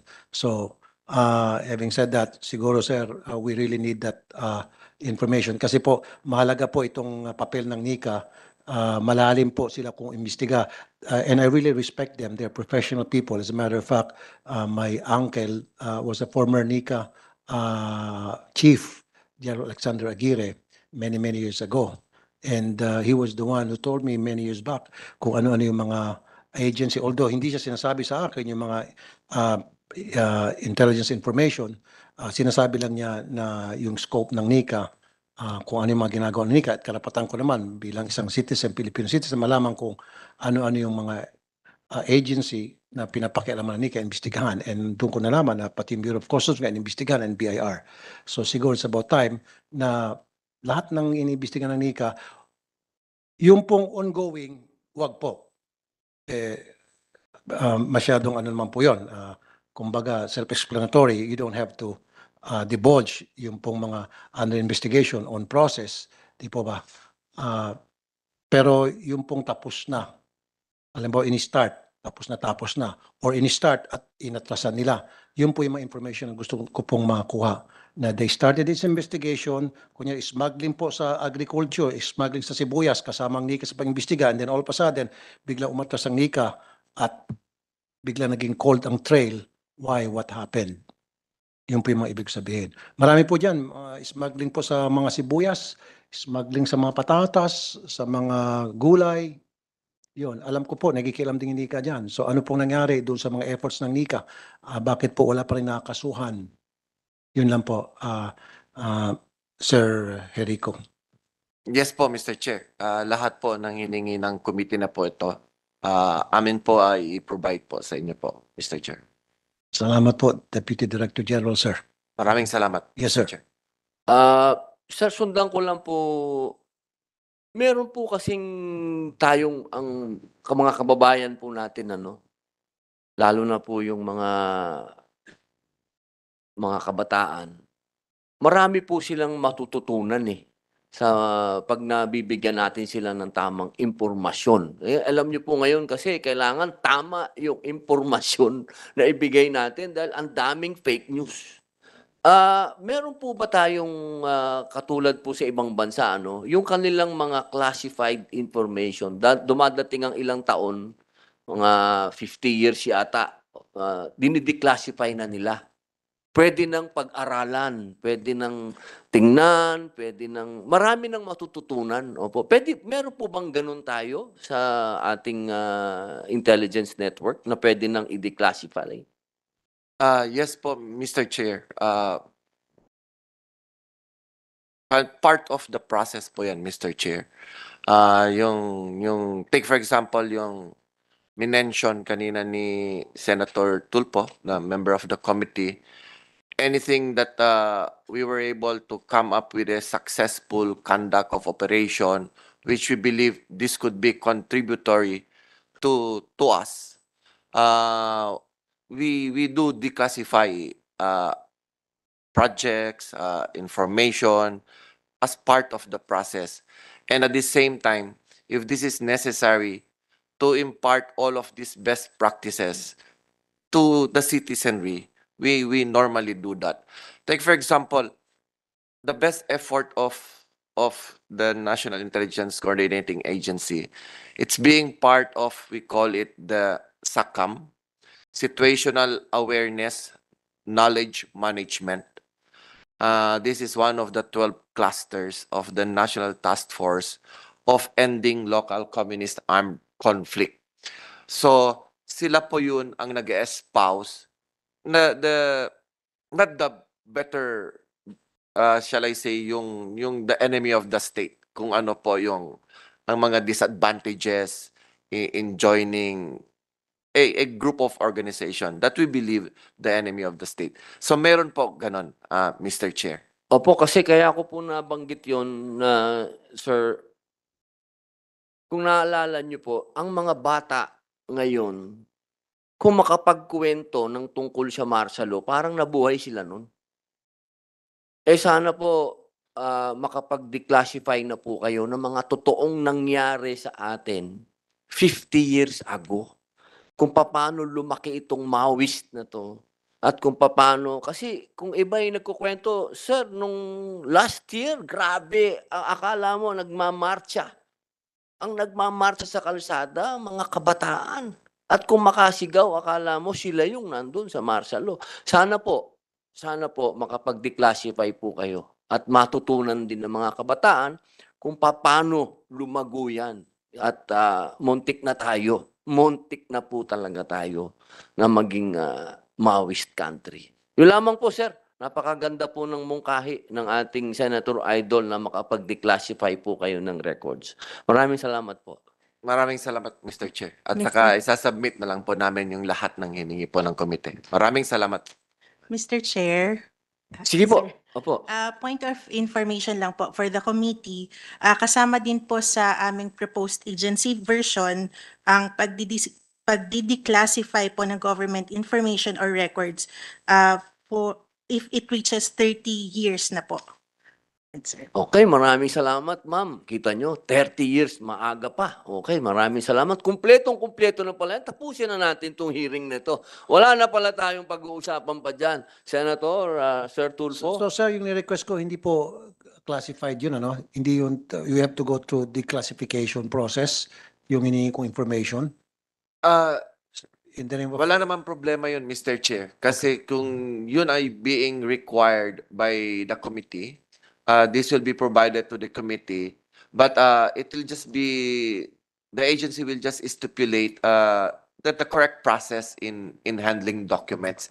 Yes, sir. Ay malakas naman po ang tiwala ng ng ahensya namin sa sa committee na ito. Tama po yun. Kasi So- we're doing it in aid of uh, O- opo. leg- legislation. So wa- walang problema ho sa amin yun. Thank you, sir. Thank you, Director General, sir. hinalal po tayo ng Yes, sir. dahil malakas po ang trust and confidence namin. Thank you, sir. Thank you po, sir. Maraming salamat, Mr. Chair. Okay na po, Sir Rafi? Yes, sir. Okay. Ah, daan po ay hihingin na lamang po namin uli yung inyong panukala Sir, dahil Yes, Pwede sir. ako maka, ano, nakita ko yung Bangko Sentral, last na lamang na hearing. Ah, sige po, sige po, sige po. Sir, ah, sir. Nakita ko kasi umiikot ako. Bangko Sentral, ah, kayo pong regulatory body ng mga sanlaan, tama po? Ah, good afternoon, Mr. Pawn shop? Chair. Okay. Sa pawn shops po. Opo, pwede ba kayo maglagay sa inyong website sino itong mga sanlaan na may mga reklamo, sino itong mga sanlaan mandaraya, yung mga nagtatapyas ng mga ginto na sinasanlaan ng mga kwintas. Marami pong ganun mga reklamo in the past na receive ko. Sino po itong mga sanlaan na nag-offer ng savings daw, kuno, tapos yung pala yung pera na hinuhulog doon ng mga kliyente nila, ah, kinukupitan yung savings na yun, things like that. Can you provide this committee para naman sa kaalaman din namin and then kung possible, hindi naman siguro to national security, if magkaroon po kayo ng website, ito yung pangalan ng mga sanlaan na inireklamo o meron nang naireklamo sa amin. Nang sa gayon, maiwasan po ng ating mga kababayan na magsanla na doon. Kasi alam niyo naman po, yung mga tao nagsasanla, ito po yung mga mahirap. Wala naman po mayaman, milyonaryo nagsasanla. Ano po, kadalasan, mahirap na may, nakapag-ipon at nakabili ng alahas, kaya sila nagsasanla doon. At sila pupunta doon para mag-open ng, bank, mag- mag-open ng savings account. So I need you guys to come up with a system na mag-post sa inyo pong website ng mga sanlaan na talamak na inireklamo and then let those people na gusto magsanla to decide whether saan sila magsasanla. Do you follow me, sir? Yes, sir. Ah, good afternoon, Mr. Chair. Ah, actually, Mr. Chair, ah, in case of ah, cases ng mga supervised institutions na mayroong mga kaso na katulad ng binanggit ninyo, they undergo due process and in, in most cases na ipapasara po namin yung mga ganun para hindi na sila makapagpatuloy sa kanilang ah, Kaya nga po, naipasa nyo, okay yun sir, salamat. Pero ang gusto ko po sir, magbigay ka ng listahan, website na pupuntahan po ng mga manananla, sino itong mga sanlaan na talamak na inareklamo para maiwasan nilang magsanla pa doon. Noted po, Mr. Chair. We'll consider po yung, yung request ninyo. Ah, and I would like to inform lang po at this point na si, ang BSP po ay meron din pong ah, ah, Consumer Protection Advocacy and ah, bukas po yung aming tanggapan para tanggapin po yung mga cases ng mga ah, Hindi lang, sorry sir, sorry sir. Gusto ko po maglagay kayo ng listahan sa inyong website, sino itong mga sanlaan na palagi nireklamo. Po, pwede pa po yung, yun sir? Nang sa gayon, malaman po ng mga manananla, sino itong mga talamak na mandaraya. Isa pa sir, suggestion ko sir ha, pagpupunta ng sanlaan, ang isang tao at manananla, wala pong hininging ID. And I've tried that. So, ibig sabihin, sino mang snatcher, mga snatch, na, meron akong ginawang video nito many years ago eh. Nag-testing ako eh. nagpain ako ng isang tao na nakatsinelas, uh, gusgusin, tapos may dala siyang alahas, alahas na misis ko pa ngayon ata eh. Maraming alahas na misis ko. Binuhos agad yan. Wala na maraming salita, wala nang hingi ng ID, tinanggap agad. Kuha ko sa camera yun. So dapat i-require lahat ng mga sanlaan na kapag ikaw ay nagsanla, magpakita ka ng ID. Kasi that will be a deterrent doon sa mga snatchers, sa mga magnanakaw na magsanla basta-basta dahil meron kang ID. Pwede kang agad matrace. Dapat hindi yung basta-basta ID. Dapat yung talagang ID na eh, matitrace back siya. Yun Yes, po, Mr. Chair. pag-aralan niyo po yun. Yes, sir. Although, ayoko naman pong pigilan yung mga mahirap kasi may mga mahirap naman, mga walang ID, eh, paano naman kung gusto na magsanda. So, siguro, any government document will suffice. Ah, yes, Mr. Chair. Actually, sa mga And transaction, then those, those sanlaan na hindi sumusunod sa ganung requirement, dapat mapa, maparusahan, masanction. Yes, Mr. Chair, pag-aralan po namin itong... Gusto mo mamaya, sir, yung relo mo, punta tayo sa sanlaan, utusan natin yung bata sa kalipalakad-lakad. Wala nang ID-ID, tatanggapin yung relo mo, promise. Sige, Mr. Chair, You know pag-aralan that, po right? namin, Mr. Chair. Salamat po sa... And then, so, is it possible by next month, meron po kayong listahan? Ilan na ba ba? Tanong ko, ilan na ho bang mga sanlaan ang inyo pong na-sanction, ang inyo pong namultahan? Meron na ho ba dahil sa reklamong pandaraya?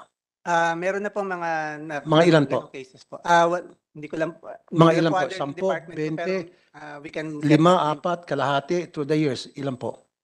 We can get back to you on that, Mr. Chair. Wala lang. Please, please, get back to me and then I need those names na nasa na parusahan ninyo, nakapaskil na po sa inyong website para pupuntahan po. I will help you disseminate information para puntahan po ng mga taong gusto magsanla na itong mga sanlaan na ito, mandaraya to, wag natin muna puntahan. Yun po yung isipin, isipin nila. Okay, sir? Mr. Chair. Can I count on you on that? Yes, sir. Thank you very much, Mr. Noel Ginto, Bangko Sentral ng Pilipinas. Sir, Thank thank you, you po, sir. sir. Yun na po, Mr. Chair. Salamat po, Sir Senator. Ah, ang ganda nung Go ahead, sir. Abo, ang ganda nung sakto po yung pangalan niya, Ginto. Oo, talaga. I didn't notice that. Oo nga, Mr. Noel May Ginto. sanlaan yung pinag-usapan, may ginto. Aba, Meron po ba kayong panukala na gustong idagdag doon sa panukala, Sir Ginto? Ah, actually, Mr. Chair, uh, we're supportive naman po nung, nung bill. And uh, actually, we would like to note that the UNESCO noted that the freedom of information contributes to enhance empowerment and equality of all social groups. Furthermore, uh, it is linked with well-functioning markets and uh, improvements in investment climates and effectiveness of development aid. Uh, meron po kaming pinaprepare ngayon na position paper. Uh, we are we're going to we're working on it and we will provide it to the committee as, as soon as possible. Maraming, maraming salamat po, Sir Noel Ginto. Ah, kung wala na pong itatanong ang ating idol, Sir Senator Rafi Tulfo, ah, pwede na po nating isuspend. Magkaroon po tayo ng ah, one Senate meeting suspension. Maraming salamat po. Minasaytano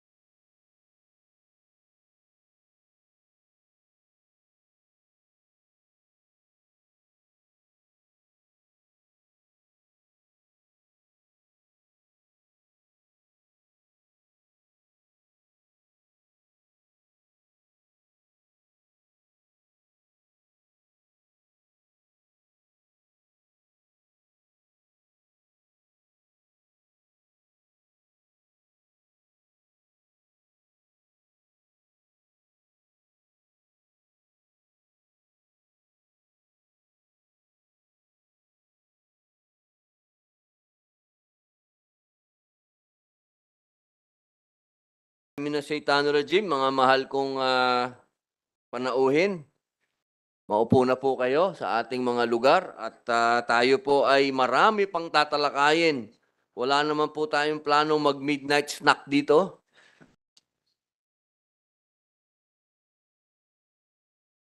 A'udhu billahi minash shaitanir rajim. Atin na pong muling ipagpapatuloy ang pagdinig. The hearing is hereby resumed. Bilang pasimula, ah, magbibigay lamang po ako ng maikling buod ng panukala. Ang ating pong tampok na panukalang batas na may parehong paksa ay ang Senate Bill number 1645, Senator Estrada, o ang publication of laws in print or online versions at ang Senate Bill number 881 ni Senator Grace po ang pinamagatang Electronic and Online Publication of Laws Act. Umiiral na panuntunan sa publikasyon ng mga batas batay sa Artikulo 2 ng Civil Code, ang mga batas ay dapat magkabisa labing limang araw matapos ang publikasyon sa Official Gazette o pahayagan na may pangkalhatang sirkulasyon liban lamang kung iba ang isinasaad ng batas. Sa ilalim po ng Senate Bill number 1645 ni Senator Estrada, ang isang batas ay dapat magkabisa labing limang araw matapos ang publikasyon sa print o So, bago po ito. Online version sa official gazette o print o online version ng pahayagan, liban na lamang kung merong ibang panahon na itinalaga para sa national emergency. Sa ilalim naman po ng Senate Bill number 881 ni Senator Po, ang batas ay maaaring magkabisa labing limang araw matapos mailathala sa electronic at print versions ng official gazette o pahayagan. Layunin, pagkilala sa pagpapakalat ng impormasyon sa pamamagitan ng internet bilang legal na format at channel ng paglalathala ng mga batas ng bansa.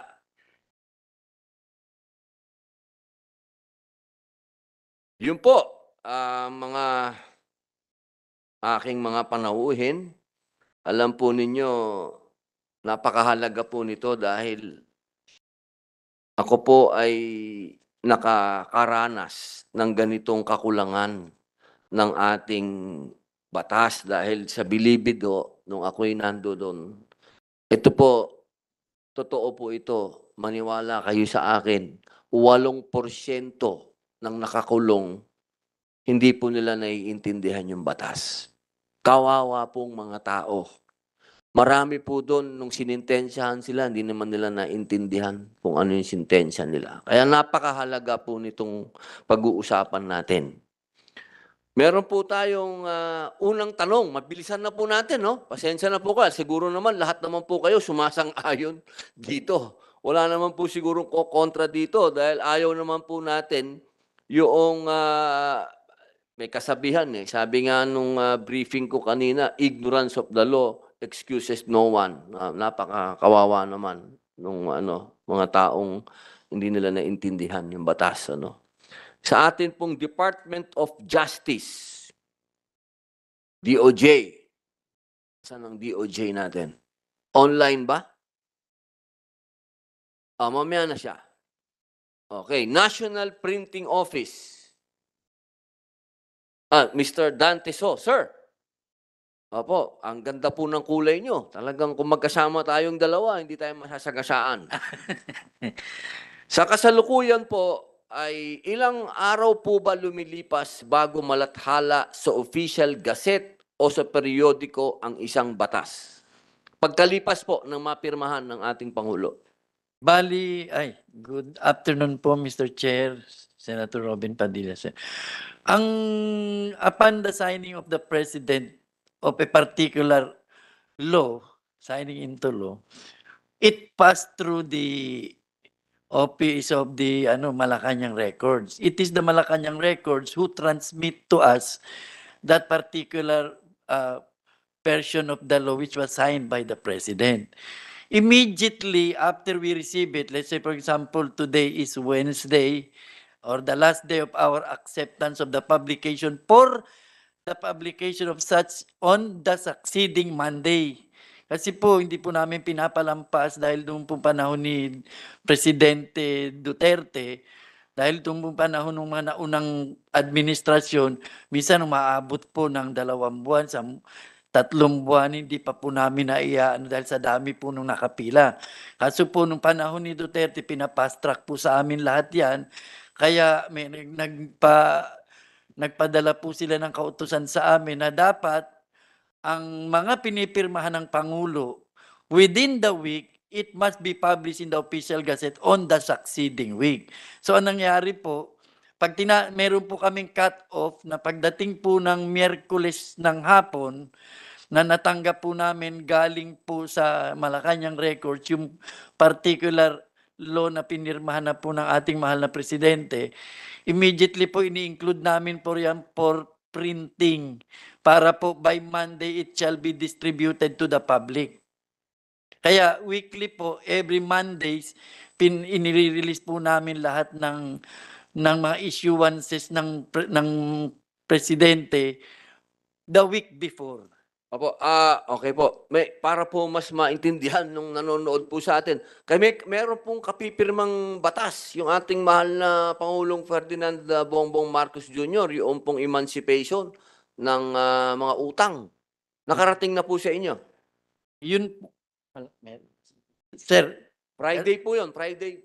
Friday last Ito pong Friday, Friday. napirma, nakarating na po sa... Ah, siguro po sir dahil Monday po ngayon, we have until Wednesday to receive it sir. Then Opo. then it will be published on ma- next Monday. Ah, ganun, hindi na po inantay yung ilang araw. Talagang kaagad na. Halimbawa, Yes, sir po. natanggap niyo po ng Wednesday, ng Miyerkules, Yes sir. It, it will be sa included. Lunes po, Yes sir.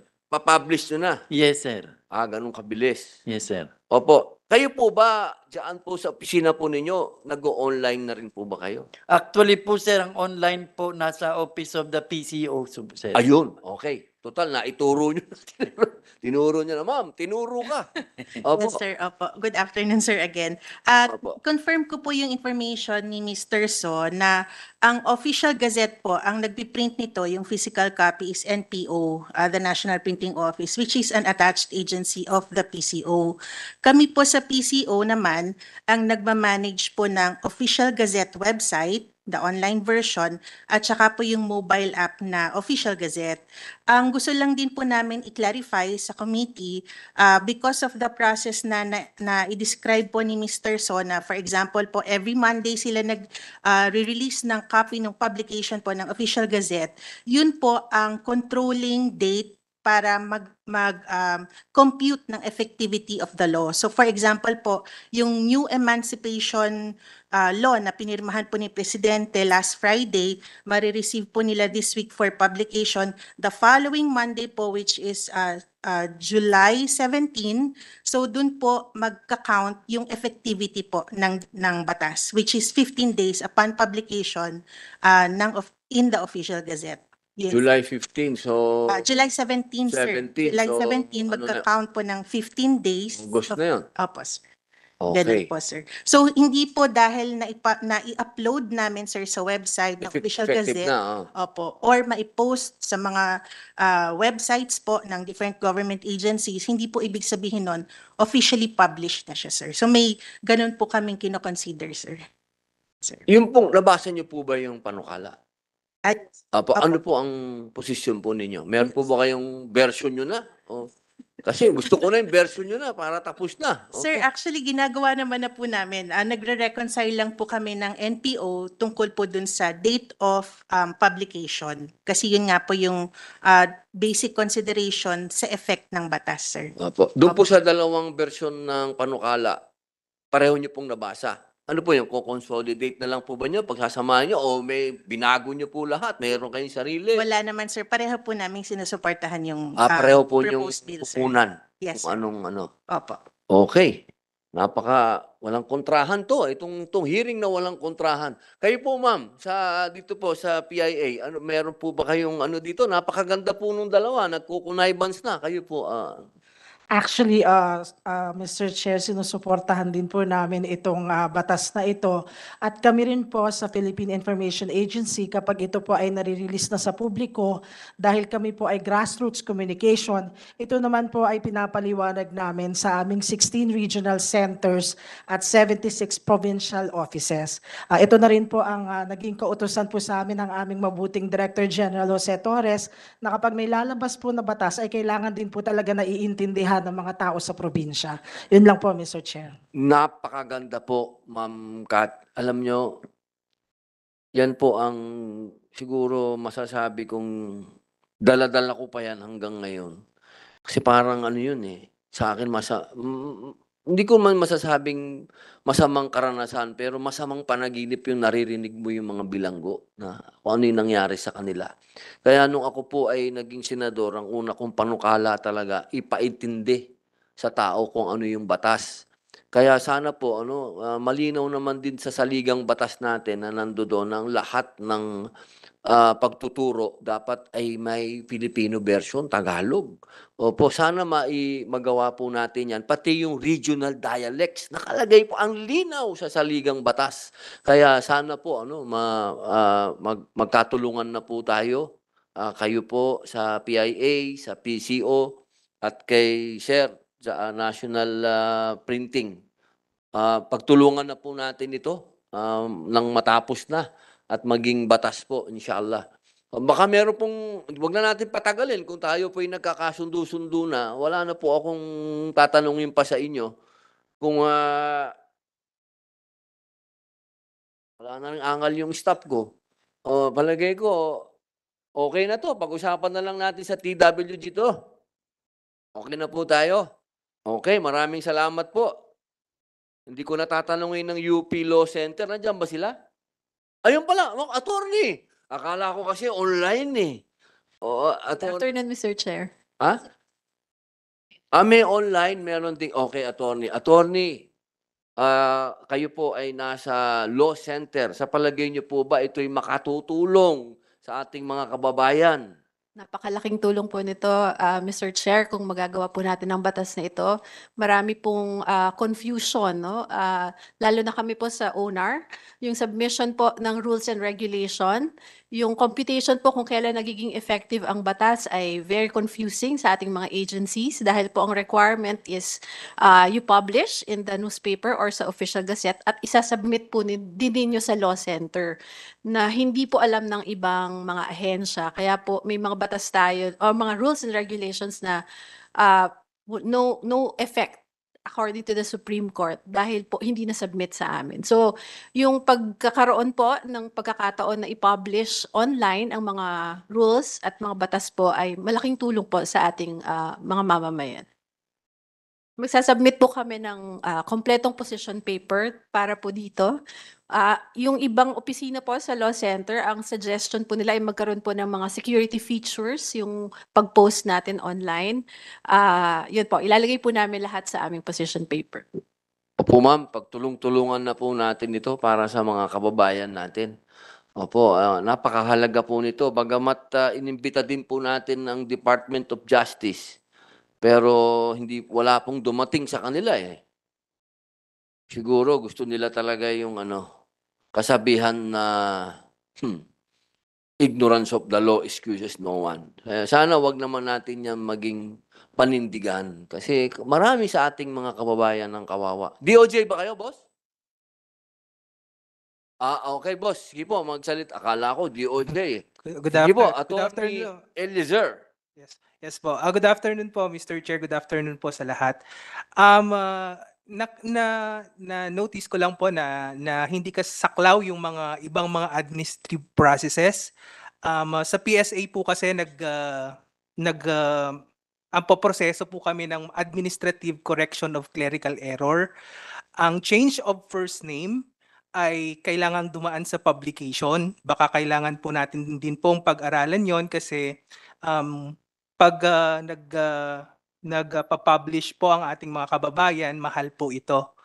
Um, it's, um, it's around um, 3,000 to 6,000 pesos sa isang sa isang publication that would be that covers um, uh, um, two um, uh, two times once um, every weeks for two consecutive weeks. So maaari din po nating um, pag-aralan kung ano kung pwede nating mai-include yung yung ating mga administrative processes like yung mga administrative correction of clerical errors. Po, attorney, ah kayo talaga mga attorney, nagkakaintindihan kayo. Yung dalawang attorney sa likod ko, gagawan daw nila ng bilyang sinasabi niyo attorney. At napakaganda daw po ng inyong sinabi. Maraming salamat po dahil po umaaray po yung mga ano yung mga kliyente po natin sa local civil registrars at saka yung ang PSA din po dahil po minsan may mga sumisingil ng mga 6,000 um, 6,000 pesos for the publication at hindi po kaya nung, nung mga ibang mga kababayan po natin. Salamat po, attorney. Baka meron pong gusto magdagdag?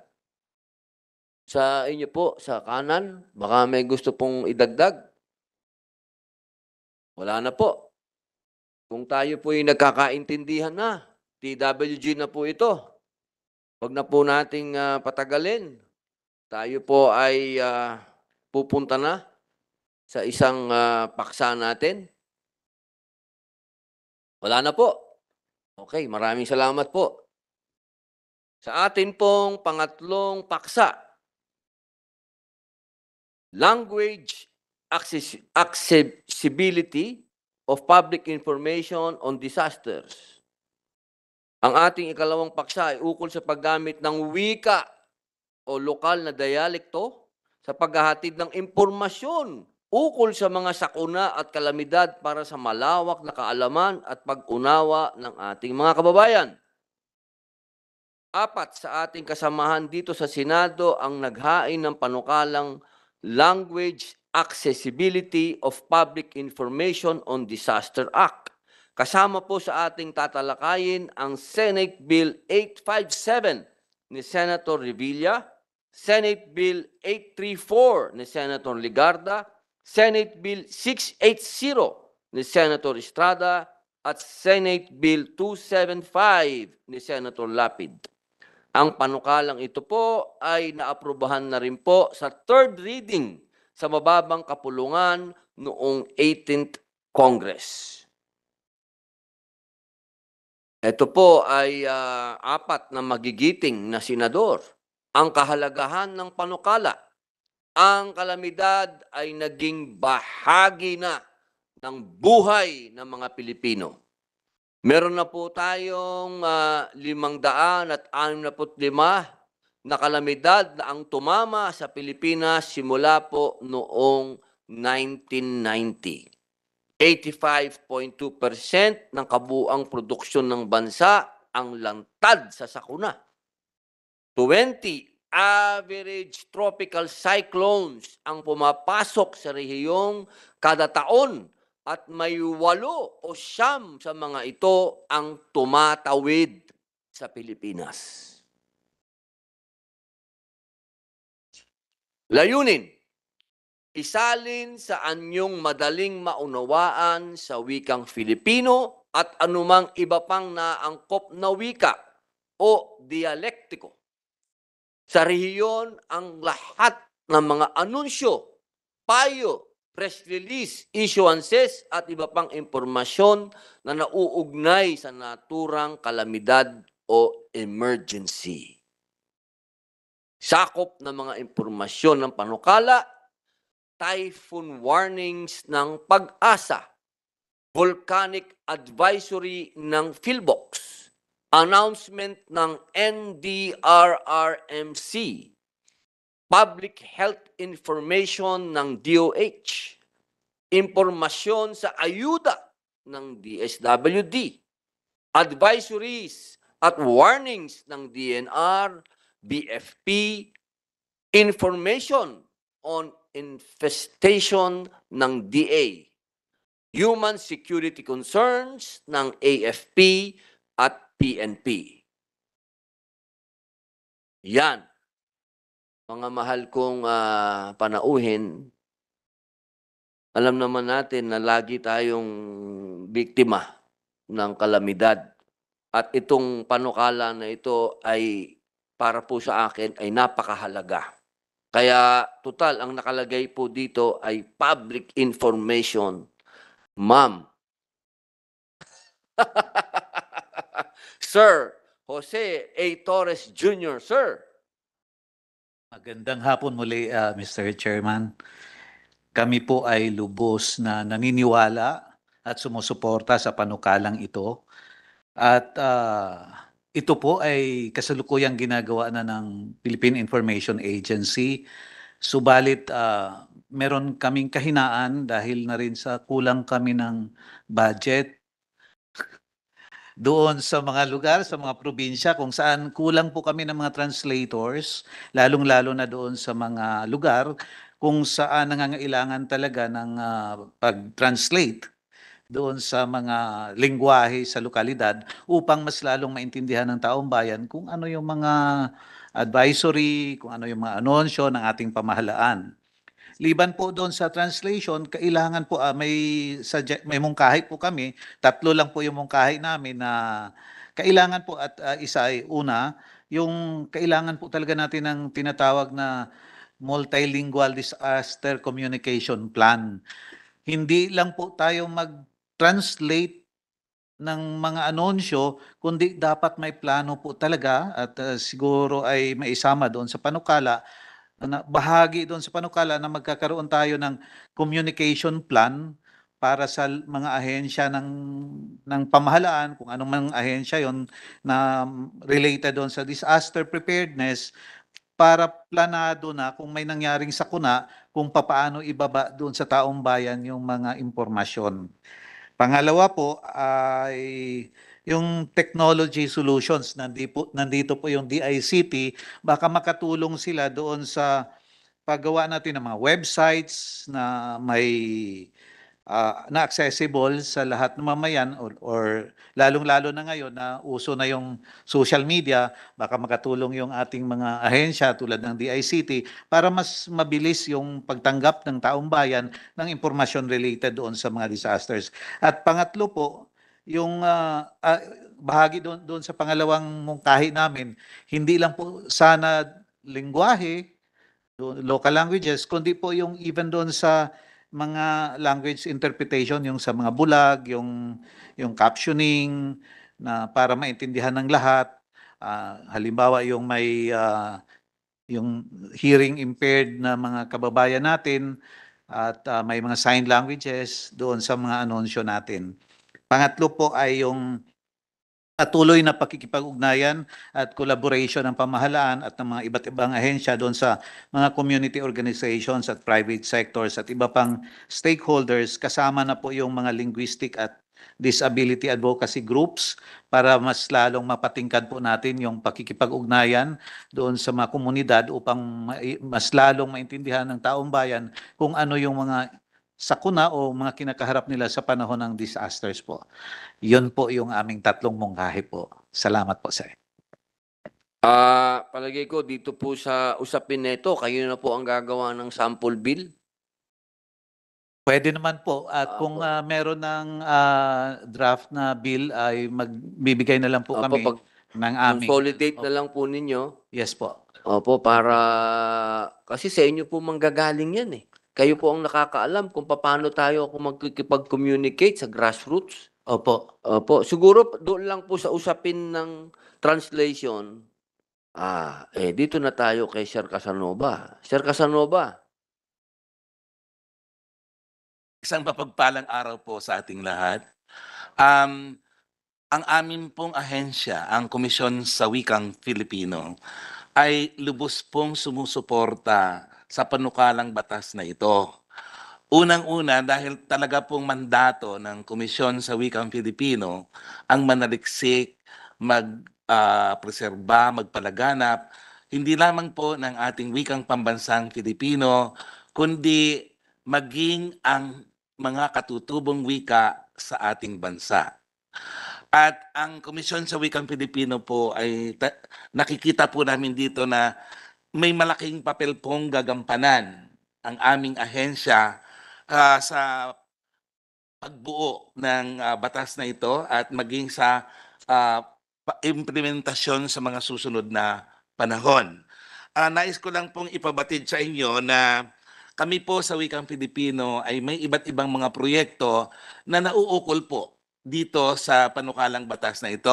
Unang-una po kasi meron po kaming sangay sa pagsasalin o translation division na nangangasiwa po ng mga ah, pagsasalin ng maraming mga dokumento na buhat po sa mga kahilingan ng iba't ibang ahensyang pampamahalaan at tinutugunan po ng Komisyon sa Wikang Filipino ang mga kahilingan ng pagsasalin ng mga dokumento na ang apin pong kapas kapasidad sa kasalukuyan ay ang pagsasalin ng mga dokumento sa wikang Ingles patungong wikang Filipino.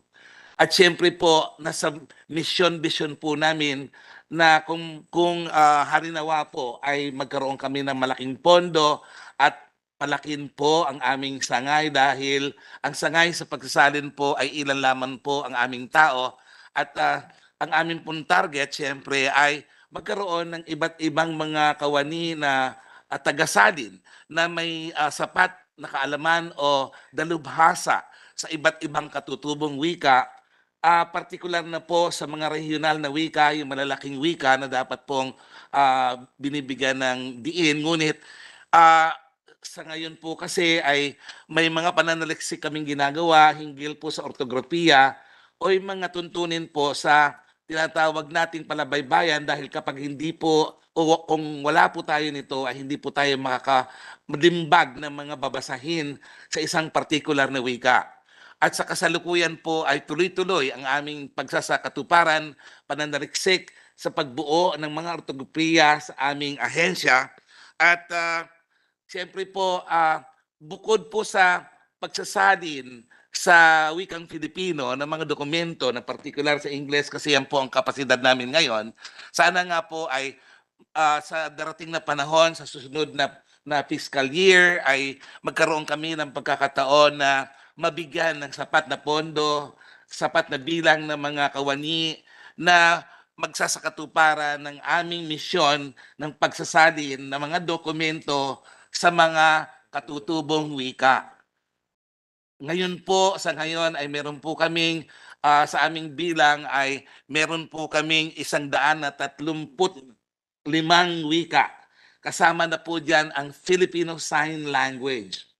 Kung kaya, kung kami po sana ay magkakaroon nga po ng, ng pondo na sa sapat po sa ganitong layunin, sa ganitong misyon at mandato, ay amin pong labis na ikatutuwa.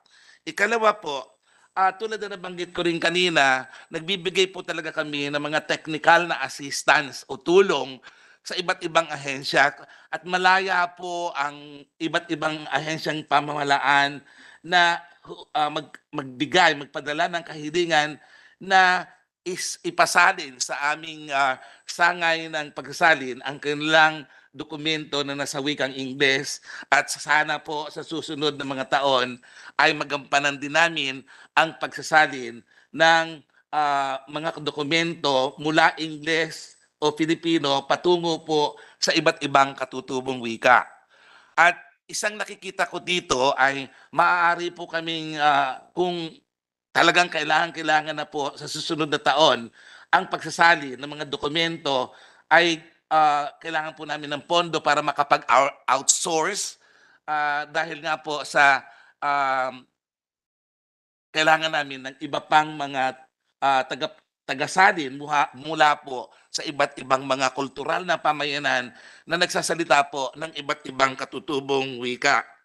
At ah, kami po kasi ay talagang may may may may trabaho po kami. Tungkulin din po namin na ah, mag-monitor ng ah, mga gawain namin ah, hinggil sa mga salin at kung maaari ay makatulong kami sa iba't ibang mga kultural na pamayanan na nagsasalita po ng iba't ibang katutubong wika.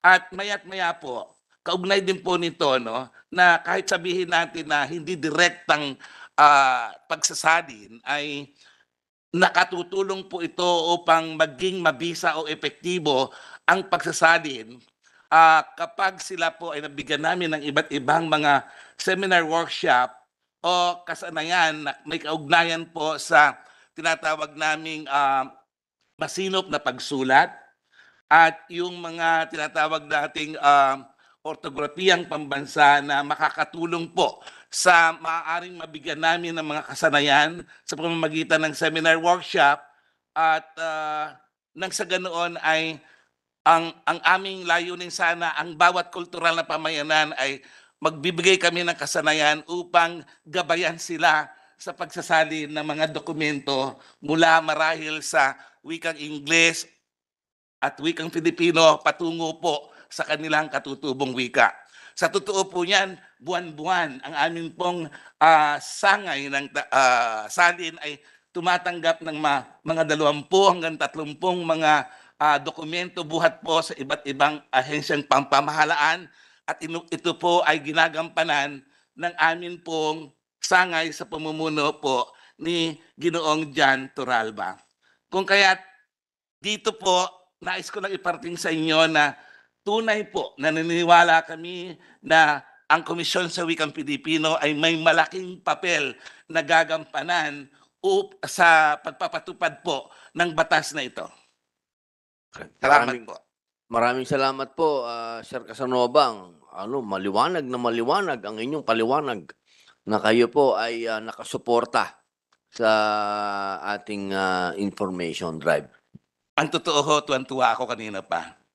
Kasi kayong, po- kayo po dalawa, kagalang-galang na tagapangulong ah, Robin Hood Padilla at ang ating senador na si Rapi Tulfo ay tunay po namang magagaling magsalita sa wikang Filipino at nakakaengganyo po sa lahat ng mga kalahok dito na dumadalo sa pulong na ito na magsalita ng wikang Filipino at napakaganda pong pakinggan dahil mas madaling maunawaan ng ating pong mga kababayan.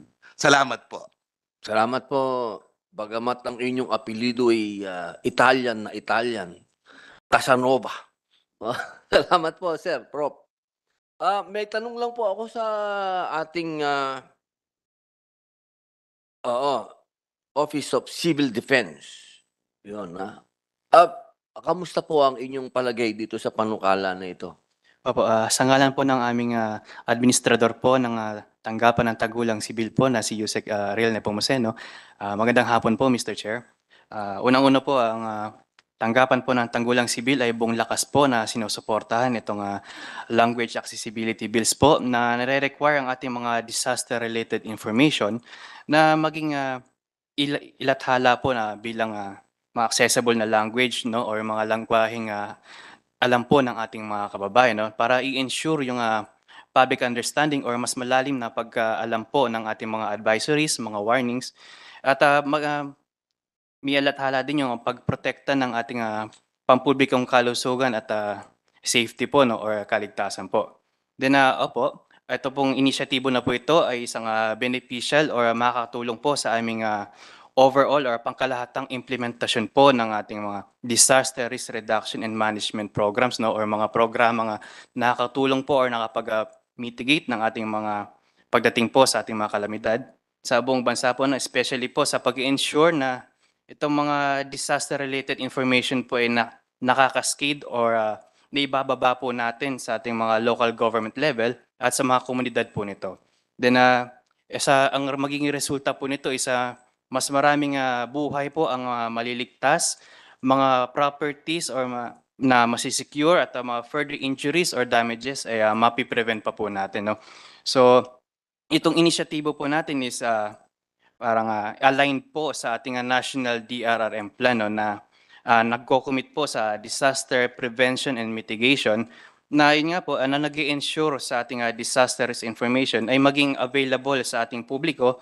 Kasama na po dito yung mga ah, impormasyon tungkol po sa hazard, exposure at ah, vulnerability na datos or mga impormasyon na relevant po or magiging uh, kapay-kapinabang po sa ating mga stakeholders po. Napakaliwanag po. Maraming salamat dahil totoo po yun eh. Ang impormasyon, nagiging tama yan kung naiintindihan. Kapag ang impormasyon binigay mo, hindi naman naintindihan, di wala rin. No? At saka tama yung sinabi nyo, boss, buhay ito. Buhay ang ang nakasalalay dito ng mga kababayan natin. Kaya payag na payag po kayo dito. Opo, ah, kami po eh, pag napayag po dito at ah, sa katunayan nga po, no, itong ah, pag ah, language accessibility is ah, halos ginagawa na po namin no, dahil itong mga warnings na or mga binibigay po namin na advisories ay ito po inata-translate po ng ating mga regional offices sa kanilang mga native languages dahil ah, ang ating mga regional offices naman po ay meron po mga empleyado na local na Ah, local po ginagawa nyo na po ito. Yes po, no, ginagawa na po ito ng ating mga regional offices. Uh, once na nagbato po kami ng uh, information or warnings, ito po ay uh, tinatranslate na po nila. So baga, kanya-kanyang uh, diskarte na po ito paano po ay may papahatid sa ating mga kababayan ng mas malinaw at mas naiintindihan po. Siguro po ang uh, pwede nating gawin dito sa panukala na to, yung coordination ng mga government agency. Oo, kumbaga kung paano po kayo magkakausap-usap kasi yun ang kailangan po natin. O yung yun doon po tayo mag-concentrate sa panukala na to kung paano natin pag-iisahin yung galaw. Oh, yun po. Maraming salamat. Meron po pong gustong magdagdag para maka-move na po tayo sa ating pong mga agency, sa ating pong online. Magtaas lang po kayo ng kamay. Ayun po, sir. Ah, saan ba ito? Sa komisyon. Commission. Ah, isa pong mungkahi namin sa panukalang batas ay ah, yung pagkitiyak na dahil maubo usapin nga ng buhay to at kailangan ng mabilisang tugon ay hindi lamang pagkasanay din sa hanggat sa barangay o district level para makapagsalin. Pero hindi lamang po pagkasalin, para paghihikayat agad na isulat na agad mismo sa wika ang Filipino o sa mga wika. Kasi kung magkasalin, another step pa po yun. So yung batas, sana may paghihikayat niya na isulat na agad sa, sa wikang naintindihan ng ano, at salit na isalin. At pangalawa, yung tungkol sa compliance, monitoring na compliance, ah, sa tingin ko, may kailangan na hindi lang KWF, kasi sa panukalang batas ay KWF lamang ang magmamonitor, eh napakaliit lamang po na ahensya ng KWF na pambansang saklaw, eh hindi ah, na sa, sa kasalukuyang estado namin at dami ng tao, ay hindi magagawa. So inisip ko, baka pwedeng interagency na katulad na ginagawa natin nung, nung lockdown na minomonitor yung compliance sa mga tuntunin sa COVID, sa ganyan so on. So isa pong mungkahi ko sa kung ano, ah yun po yung dalawang bagay na bagay na. Unless may dagdag sige nung kagalingan po. So yun lamang po. Meron po kang dagdag? So, uh, reiterate lang po namin, uulitin lang po namin yung panawagan na meron po kasi tayo ngayong existing na E EO335 para po sa paggamit ng Filipino sa serbisyo publiko, no? At ah, yung hamon sa atin nga talaga ay gamitin yung Filipino para po dun sa ating paglilingkod. Kasi nga po, iba pang hakbang yung pagsasalin. Pero muli, ah, narito po kami, meron po kami mga inihahandog ng mga programa para po mabuo yung capacity natin, kapasidad natin na gamitin yung Filipino nung magkaroon tayo ng kumpiyansa dun sa wika natin na katulad din sa mga ibang wika ng daigdig, kaya natin gamitin sa gobyerno. At pagtupad din sa mandato ng konstitusyon, yung paggamit ng Filipino. Salamat po. Mara- Sige po. May kaunting dagdag lang po ako. Ang may nang may pulong po kasi naganap sa aming tanggapan nung nakaraang linggo at ang mga dumalo po ay mga dalawang opisyal po ng BARM. At ang kanilang pakay po sa pulong na yon ay hingiin ang tulong ng Komisyon sa Wikang Filipino sa pagsasadin ng mga batas sa BARM. Kaya kami po ay natutuwa dahil ito pong pinag-uusapan dito ay kaugnay din po ng aming ah, pinag-usapan nung nakaraang linggo na magbigay daw po kami ng mga kasanayan sa mga kawani at mga opisyal ng BARM upang mabig, ah, ma- magkaroon sila ng malawak na kasanayan sa pagsasalin na maaaring wikang Ingles, patungong Filipino, wikang Ingles, patungong katutubong wika na sinasalita ng iba't ibang grupong Muslim sa Mindanao. Kaya maganda po ito dahil nauugnay po siya kasi halos parehas po ang layunin. Maraming salamat po. Salamat po. Okay, malinaw na malinaw na po tayo rito sa paksa na ito. Kayo po ang susundan namin. Kayo po ang sa, sa inyo po kami makikipag-usap pa Director General. Opo, yung amin ah, pong komite sa sigurado paksa po- na ito. Yes, Mr. Chairman, sigurado po na tutulungan din kami ng PCO doon sa pag-draft ng Apo. ng batas. Okay. Eh, tayo po ay aabante na. Iiwan na po natin ito. Dito na po tayo sa ikaapat na paksa. Digital identification. Sa puntong ito, atin na pong ah, ah, buksan ang talakayan. Government Identification Digitization Act of 2023 ng ating kaibigang Senador Mark Villar. Bilang panimula po, alamin muna natin ah, ng daglian ang laman ng mga panukalang ito. Epekto ng digitization ng identification cards.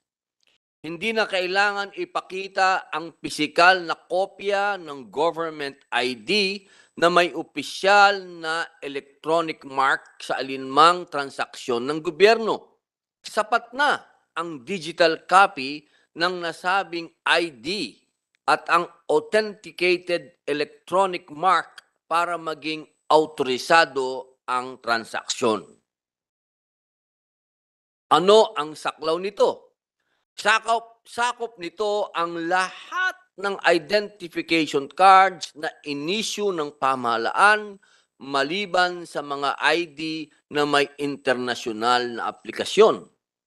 Ano ang mangyayari sa digitization ng IDs?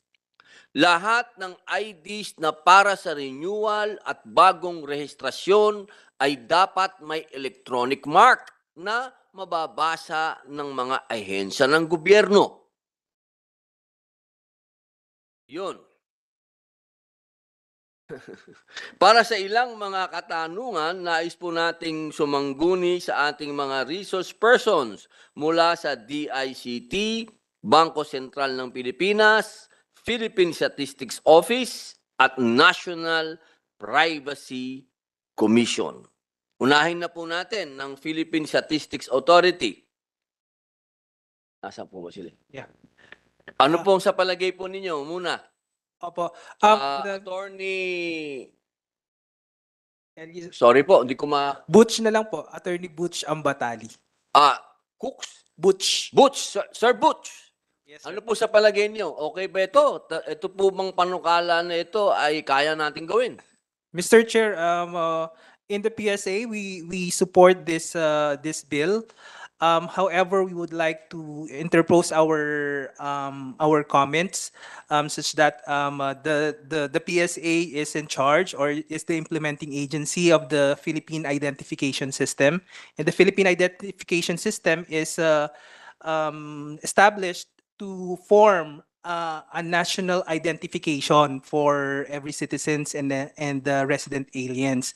Um, the PhilSys is a, a system that uses um, uh, biometric information. Ito po yung mga ano sir, um, uh, fingerprints. So lahat po ng lahat po ng ng fingerprint po natin sa ating mga daliri ay kin- kina-capture sa PhilSys, iris at saka yung yung face po natin. So um, uh, there will be um, uh, an authentication um, process that will happen when whenever that that um, person who presents him to be kapag nag-transact po siya sa sa gobyerno um kailangan niya pong magpa-authenticate. At ang ginagamit po um, uh, ang ang ang ini-encourage namin na gagamitin later on ay yung biometric information. Kasi ito po yung yung hindi na kokopya or na forge ito po yung hindi na pepeke So um, right now we are we are launching the the authentication services of the PhilSys, and uh, we are piloting with our with our civil registration services actually, sir.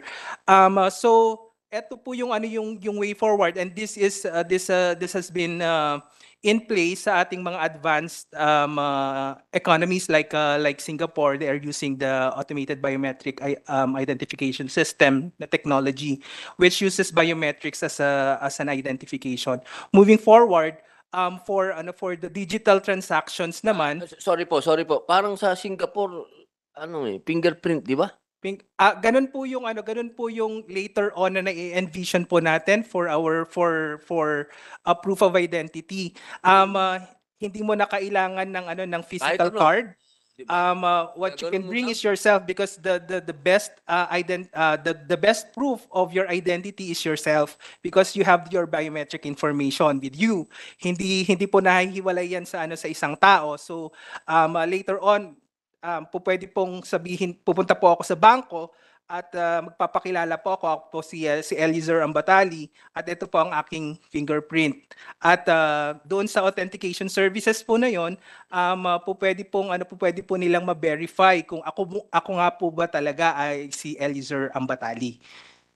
Um, using the biometric uh, my biometric and uh, also my my demographic information. Um, kung sa sa digital transaction naman po, po pwede naman pong ano po pwede naman pong isumite ng ah, na nagtatransact na public ang kanyang PCN. Ang PCN po ay alias na ano na, na PSN, magkaiba po to sa ano sa PhilSys number. Ang PCN po ay PhilSys card number which is a temporary or it's it's not um, a permanent number. Ang PhilSys number po kasi ay isang permanent na ano na number at uh, ito po ay um, itinatalaga or ina-assign sa isang individual um, uh, kahit ano kahit mamatay na siya. So yun na yung PhilSys number niya. Um, so meron po tayong PCN na na pwede pong ano eh, pwede po kasing ma-compromise. So kung ano kung kung nawala yung ano yung yung yung PhilSys card or Phil ID ng isang tao, po pwedeng magamit ito ng ng ng isang tao para maka- para makapag-transact. Um, ah, ang sinasabi natin kapag nawala, i-report lang yung ano yung yung pagkawala ng Phil ID and then magi-issue po tayo ng ano ng another Phil ID bearing an, as, an another um, PhilSys card number. Ah, Sir Butch, yung mga sinasabi mo, nangyayari na ngayon yan? Opo, um, ah, Meron, parang so- social security number, meron na tayo nun? Parang ganun? Yung sinabi mo kanina, bawat isang tao, number ka na lang. Opo, um, lahat po ng mga nakapagrehistro na sa PhilSys ay um, ah, meron pong ano, meron pong itatalaga na na PhilSys number. Actually po, um, ah, later on kapag ah, kapag um, nag-start na na na-populate na po natin Ang tawag ating mo ulit doon, PhilSys? PhilSys number. Okay, PSN. ano yung, ano yung PhilSys na ano ibig sabihin nun? Philippine, ano? Ano yan? Um, ah, Ano, bakit PhilSys? Sige nga. ah, Philippine Identification System. Yun, okay. Ah, oh. Philippine Identification System number.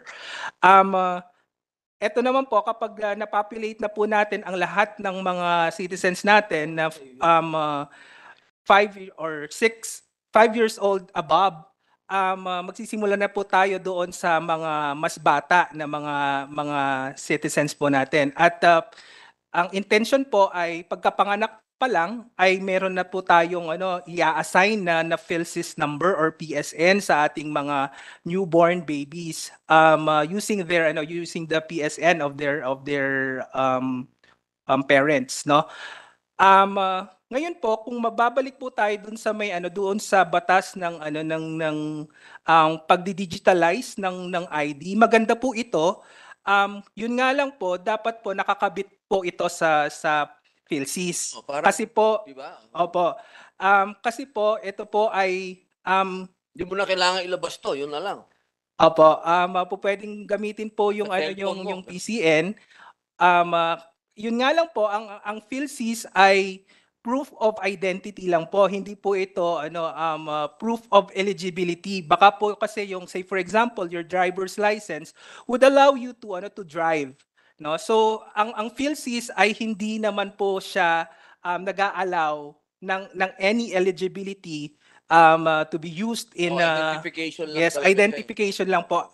Ang ang Pero ito ba magagamit to sa transaction? sa transactions po, yes po.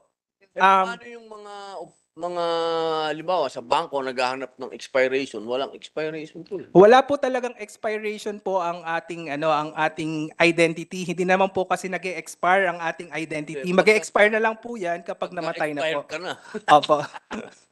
Oo. Yun po yung Paano kaya yun? Hindi, hindi mo magagamit to doon sa mga bangko-bangko. No? magagamit po at at actually po sa ala- sa ilalim ng RA 11055 o ito yung PhilSys yeah, opo ito po yung ano yung Philippine Identification System Act ang ang hindi pag-recognize o pagtanggap ng ng PhilID o yung tinatawag nating e-PhilID ay may kaungkulang um, kaparusahan. Um, ito po ay criminal offense. Um, ah, at ito po ay ano, um, inire-report po sa sa tanggapan po ng PhilSys Registry Office. Kayo, kayo mismo dyan, payag ka doon. Opo, um, ah, kailangan po kasi ano eh, ah, meron pong yun. Yes po. Um, ah, yun po kasi Kaya yung na ba yung kakahiyan na yun? Meron tayong kakahiyan na yun. ang ang PhilSys Registry Office po ay nag ay dinesign po talaga ang PhilSys to be interoperable. Um ito po ay nakikipag-usap po kami sa ano sa sa Department of Information and Communication Technology to provide us um also um technical assistance um uh, when it comes to ano to the integration of uh, the government processes um uh, that will allow the interoperability of government system um that uh, has the core uh, ha- that, that has the PhilSys as the core um, and uh, to have the um, uh, a tool to to identify the, ano, the the person who is transacting with the government transaction. And actually, sir, um, uh, with this law, um, it's good. Um, uh, I would just like also to point It- out it- it's that- good kung kaya nating gawin. Yes, Oo, yes. oo, Yes, sir.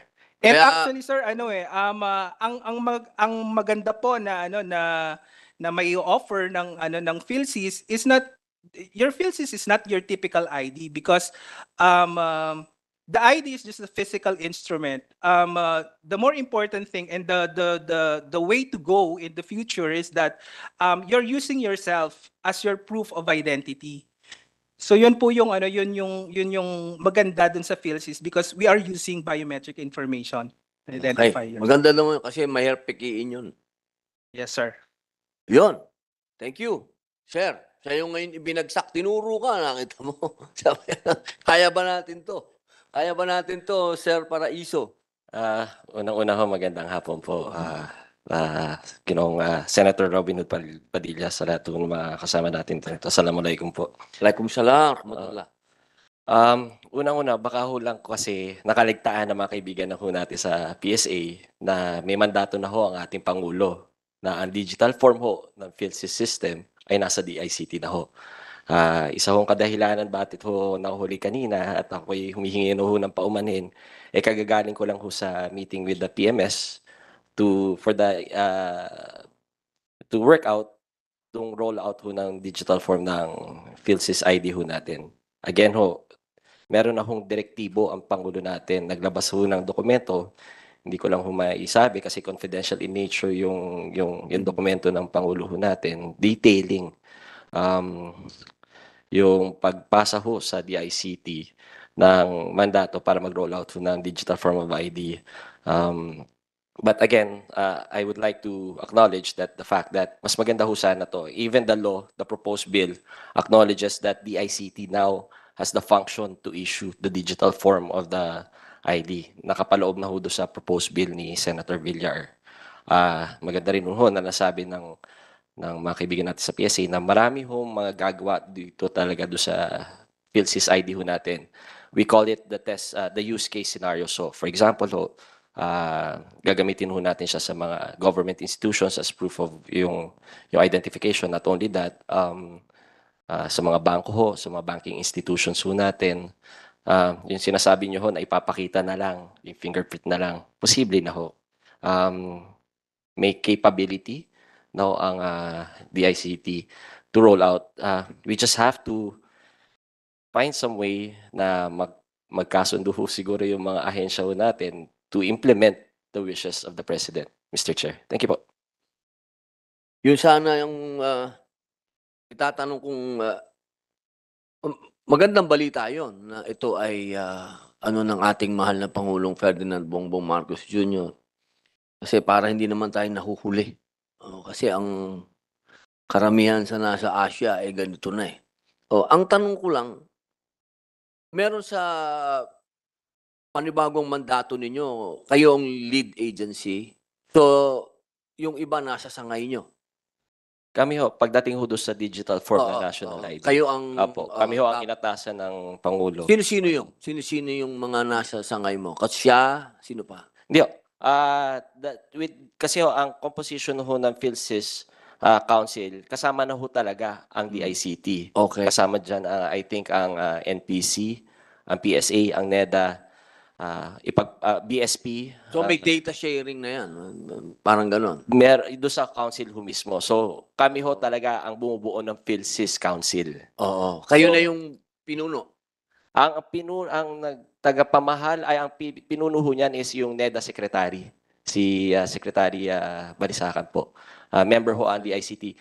Actually, if you read the law of ah, 11055, ah ang DICT ho ang technical consultant ng PhilSys system. So whatever pagdating ho sa technical, ah, kami ho ang namamahala. Dapat sana no ano. So Ba't may dapat sana? Parang hindi ka rin sigurado, tol. mahaba-habang ubusan. ah, ganon. Oh, okay, sige. Ah, boss, babalik ka kita. Ha? May gusto ko lang itanong sa National Privacy Commission. Nasaan ang National Privacy Commission? Ah, wala sila sana. Ano? Mr. Chair, dito po, pasensya na po. Ayun Na- pala, ma. Nahuli lang po ng pagsabit po ng attendance, kaya hindi na po na-recognize. Ah, parang walang pangalan Ah, yata. wala po po. Um, Attorney Vida Bocar po. From Attorney Vida, Vida, Vida Bocar, yes po. Bucales. Bocar po. Bukal. Ah, R po. Bocar. Bukar. Yes po. Bukar. Ma, Attorney Vida Bukar, ma'am. Ayan po. Magandang hapon po. Magandang hapon din po. Ah, pinag-uusapan na natin dito ang ah, mga data sharing ng mga tao. Opo. Sa palagay niyo po ba walang nalalabag kami dito na kahit anong ano? Siyempre, nagpapalitan naman kami ng data na. Opo. Yun po, Mr. Chair, um, nabasa na po namin yung um, so, panukalang batas. Ang concern lang po namin is kung meron po sanang pwedeng madagdag po na provision um, regarding data sharing. Kasi pinapayagan naman po, considered po na tinatawag naming lawful processing nga po. If may batas or may regulasyon po na nagsasabing pwede pong i-share or i- ibigay yung mga datos po sa iba't ibang ahensya um, provided lang po na may batas po or may regulasyon na magsusuporta na um, talagang minamandato po na dapat maibigay to or mai, um, kumbaga mai-share po ito dun sa iba't ibang ahensya at yung legitimate purpose nga po kung bakit po um, binibigay ito sa iba't ibang ahensya. And um, yung isa pa po naming um, kumbaga agam-agam po is wala pong provision sa batas po um, regarding security measures or kung ano po ba yung mga um, sino po ba dapat lang talaga yung may access, kumbaga kada ahensya, sino po yung pwedeng magbigay ng access sa ibang ahensya kung magre-request po sila or hihingi po sila ng datos at ano po yung datos or hanggang ano po yung datos na pwedeng ibigay um, for the legitimate um, legitimacy po ng pag-data sharing nila. And yung electronic mark po kasi is um, I think kung tama po yung interpretation po namin is dapat kaya siyang mabasa ng lahat or halos lahat po ng ahensya naman nag issue po ng government IDs. Um, ah, request po. ah, Dapat, dapat nababasa siya ng mga government agency. oh. Yes po, uh, Mr. Sayang ang ah, kung hindi naman. Nako. Opo. Kung may interoperability po, i-recommenda po din po namin yung security measures Oh. dun sa interoperability. And kung ano po yung datos, kung tatawid nga po siya ng iba't ibang ahensya, kung ano lang po yung kailangan na datos ng isang ahensya, um, Yun lang. dapat hanggang dun lang po. Hindi po pwedeng lumampas or hindi po pwedeng um, lahat ng datos makukuha po nila dahil lang po sa um, interoperable po yung sistema na yun. Kasi kung ano lang po yung kailangan na datos, yun lang Yun po lang. dapat yung lalabas po sa mark or pag nag-authenticate po. Yun, lang- yun yung concern mo, Atty. Yes po, Mr. Chair. Anong masasabi mo dun, Sir Paraiso? Uh, with regards to sa data privacy concern, so I, I do share the sentiment so na kailangan ho siguro nating ah, reviewin yung ibang mga batas, particularly ah, yung mga ambiguous provisions, yung mga malalabong provision ho ng batas. Ah, citing again, yung halimbawa na lang ho do sa PhilSys, with regards to yung data sharing in section 17 noong uh, 11055 uh, yung iba ding humbatas when it comes to data sharing with other uh, pertinent laws pagdating naman ho doon sa pag uh, tatransact ng isang uh, sangay ng pamahalaan with another ano uh, ibang sangay naman ho ng pamahalaan. So sangayan naman ho kami doon sa panukala ho ng mga kaibigan natin sa NPC. Salamat po. Okay. Palagay ko, wala na kang idadagdag, boss. Um, uh, Mr. Chair, um, uh, Meron.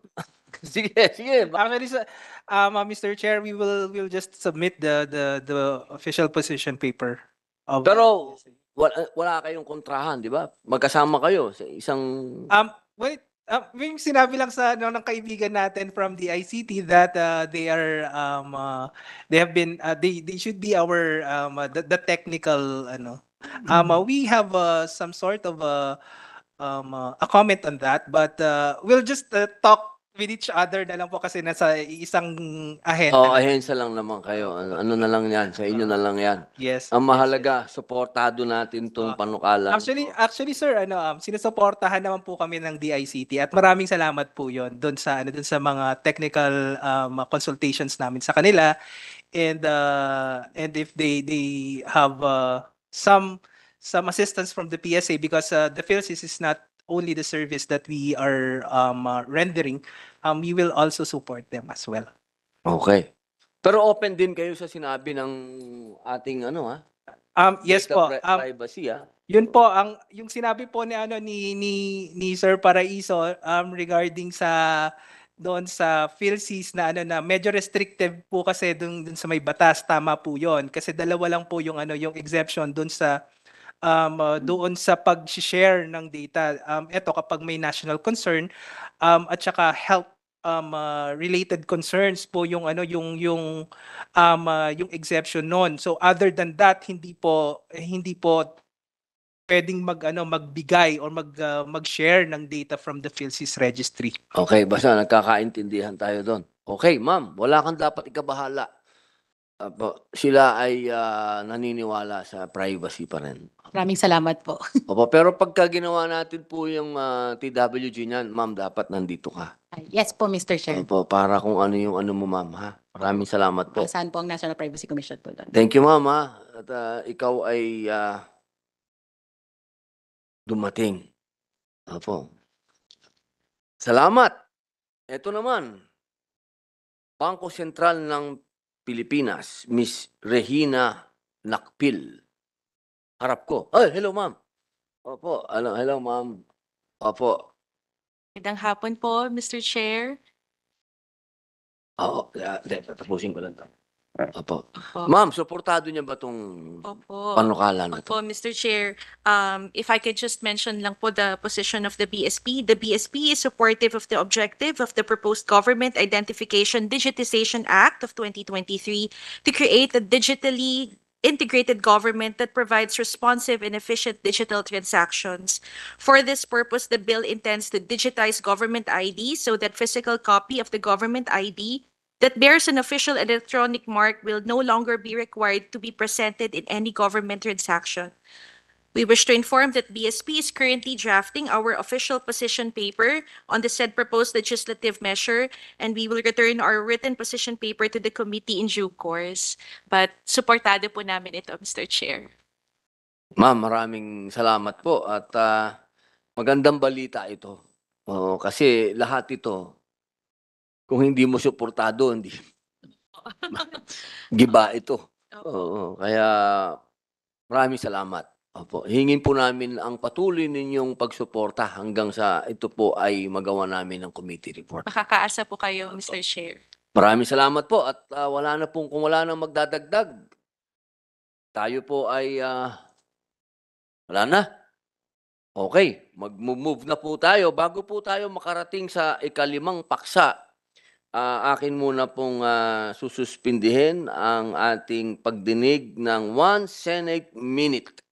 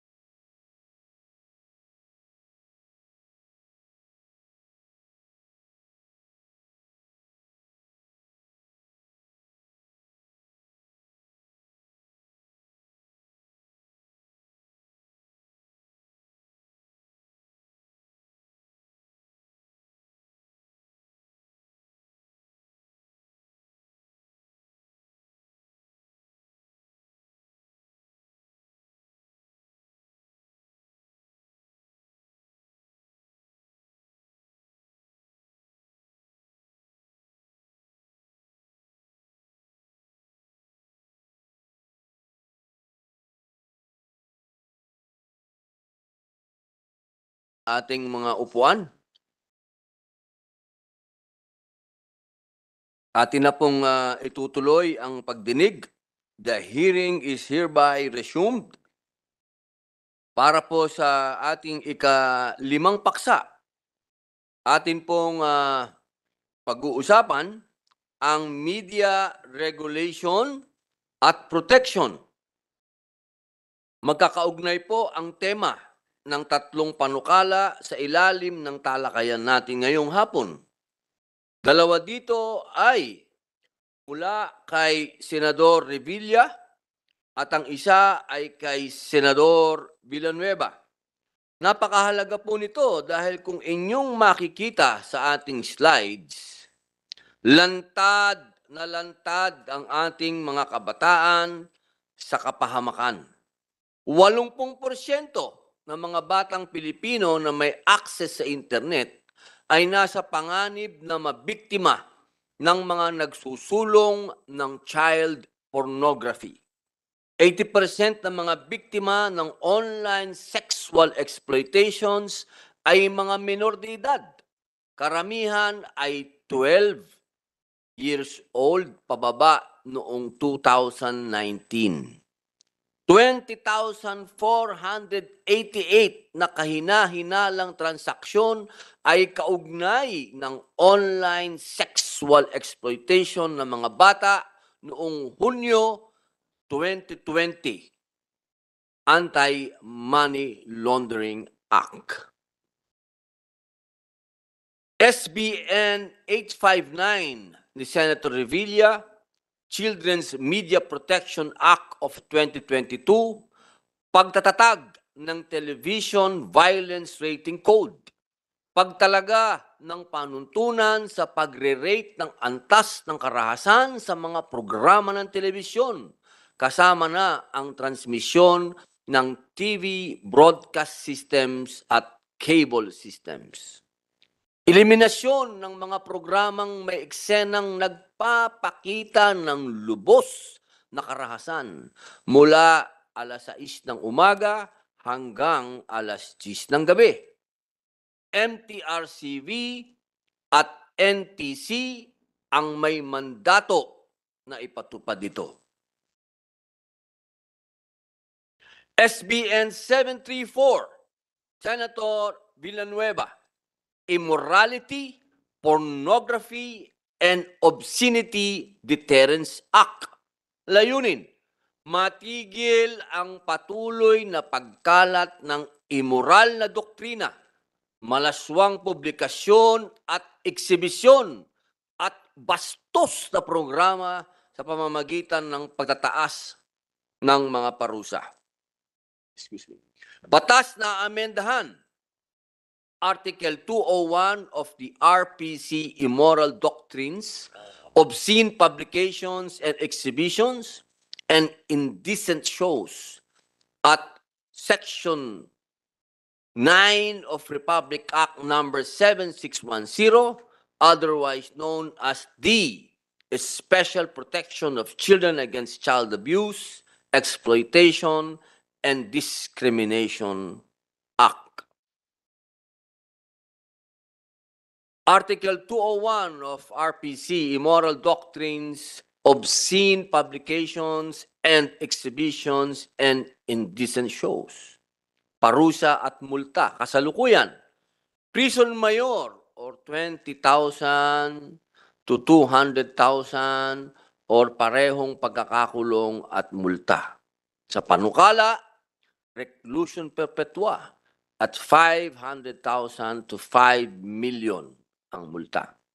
Section 9, Obscene Publications and Indecent Shows of Republic Act Number 7610, otherwise known as the Special Protection of Children Against Child Abuse, Exploitation and Discrimination Act. Sa kasalukuyan po, ang parusa nito ay prison mayor in its medium period. At ang multa sa panukala ay reclusion perpetua at 500,000 to 5 million. SBN 1502, Senator Revilla, prohibiting the use of words that would denote religious, reg- regional, or ethnic affiliation to describe any person suspected or convicted of a crime or unlawful act. Layunin, ipagbabawal ang mga salita na naglalarawan sa sinumang taong pinaghihinalaan o nahatulan ng isang krimen o anumang paglabag sa batas na nagsasaad ng relihiyon, regional o etnikong affiliation sa print, radio, telebisyon, kabilang ang cable television at anumang anyo ng broadcast media. Parusa at multa. Aresto mayor o multang 1,000 hanggang 10,000 o parehong multa at parusa. Yun po, medyo malapit po yung kalooban ko doon dahil madalas pagka binabalita yung mga ah, nakakagawa na krimen, laging kaduktong yung Muslim. Muslim nakapatay, Muslim ganito. Medyo ako'y pabor na pabor doon sa batas na yon. Meron po tayong tanong. Ah, una, syempre, sa lahat po ba ng nandito, sa ating children, ayun, Children's Media Protection. Ating MTRCB, nasaan po ang MTRCB? Ayun, oh. hello ma'am, hello sir. Meron po tayong tanong. Paano po natin matutukoy na ang palabas ay may mga eksenang nagpapakita ng lubos na karahasan sa MTRCB? Ano po ba yon? Ano ba yung lubos na karahasan sa inyo? Kasi meron naman pambata naman, yung mga animation, pero kung makapag-fight scene din yun, eh, ano din, minsan natatanggal yung kamay, natatanggal yung paa. Sir, ah, una sa lahat, ah, i ah, kagalang-galang na tagapangulo Senator Robin Hood C. Padilla. Ah, kami po ay bumabati sa pagbati ng Islam. Assalamualaikum warahmatullahi taala wabarakatuh. Pati na po sa mga iba't ibang ahensya ng gobyerno na na- nandirito at sa, sa, sa Zoom at saka sa pribadong sektor po. Ah, sir, bago po kami umalis, ah, napatungo dito mula sa aming ahensya, sir. Ah, kinonsulta po namin ang aming tagapama. Yurilia Soto Antonio, sir, and ah, amin pong pinapahatid, sir, na sumusuporta po ang aming ahensya sa lahat ng usaping ah, o Ah, sa lahat po ng paksa na nandito, sir, sa mga panukalang batas na ito, sir, ay sinusuportahan po, sir, ng MTRCB, sir. Ah, so, bilang tugon po, sir, doon sa inyong katanungan, sir, ah, ang aming pong batayan sa pag-classify kung ang isang tema ng pelikula ay ah, Violente, sir. Ah, ang nakasaad po sa aming charter o ang PD 1986 which was enacted ah, in 1987, sir. Ang batayan po namin is ap- applying contemporary Filipino values, sir.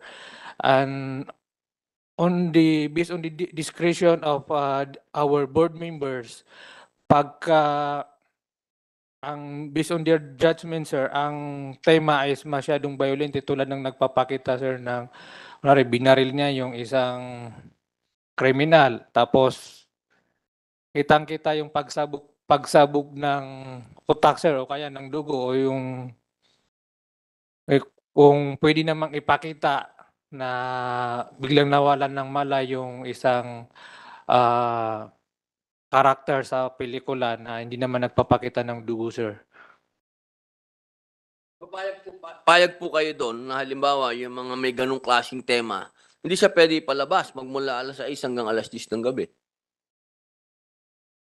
Yun po yung panukala na kailangan pagka merong lubos na karahasan ay hindi ito pa, pwede palabas magmula alas alas 6 ng umaga hanggang alas 10 ng gabi. Sir, I want to uh, answer with the disclaimer, sir, that I cannot uh, speak on behalf of the board because uh, the power to classify and give ratings as well as to uh, approve the schedule of uh, time, sir.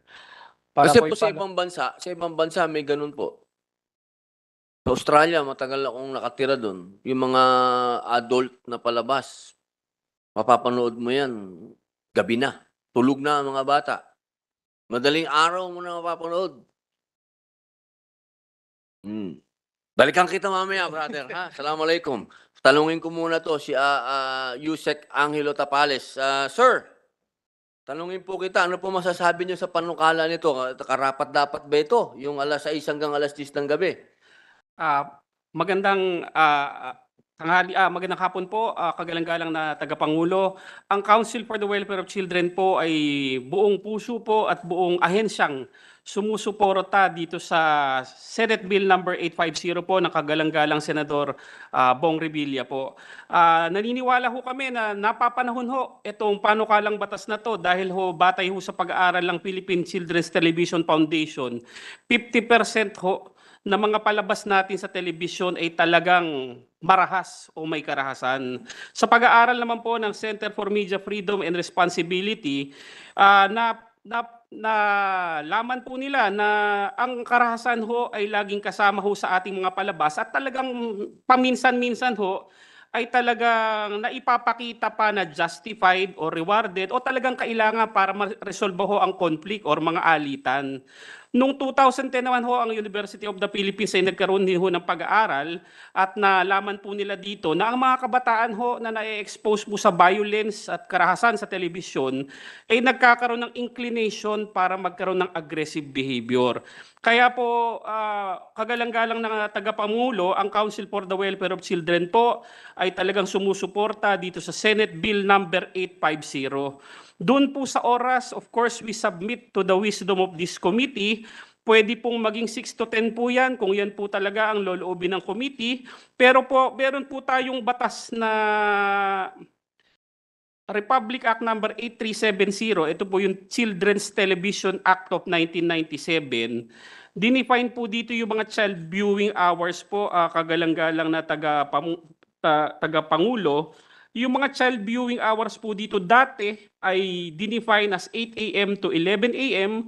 at 2 p.m. to 5 p.m. Kung loloobin ho ng kagalang-galang na komite na ito po ay mas lawakan pa katulad po nung nabanggit nyo po sa abroad po, meron pong mga bansa po, meron pong mga ibang bansa na yung mga child viewing time po or bawal yung karahasan ay inextend na po nila sa gabi. 6 p.m. to 8 p.m.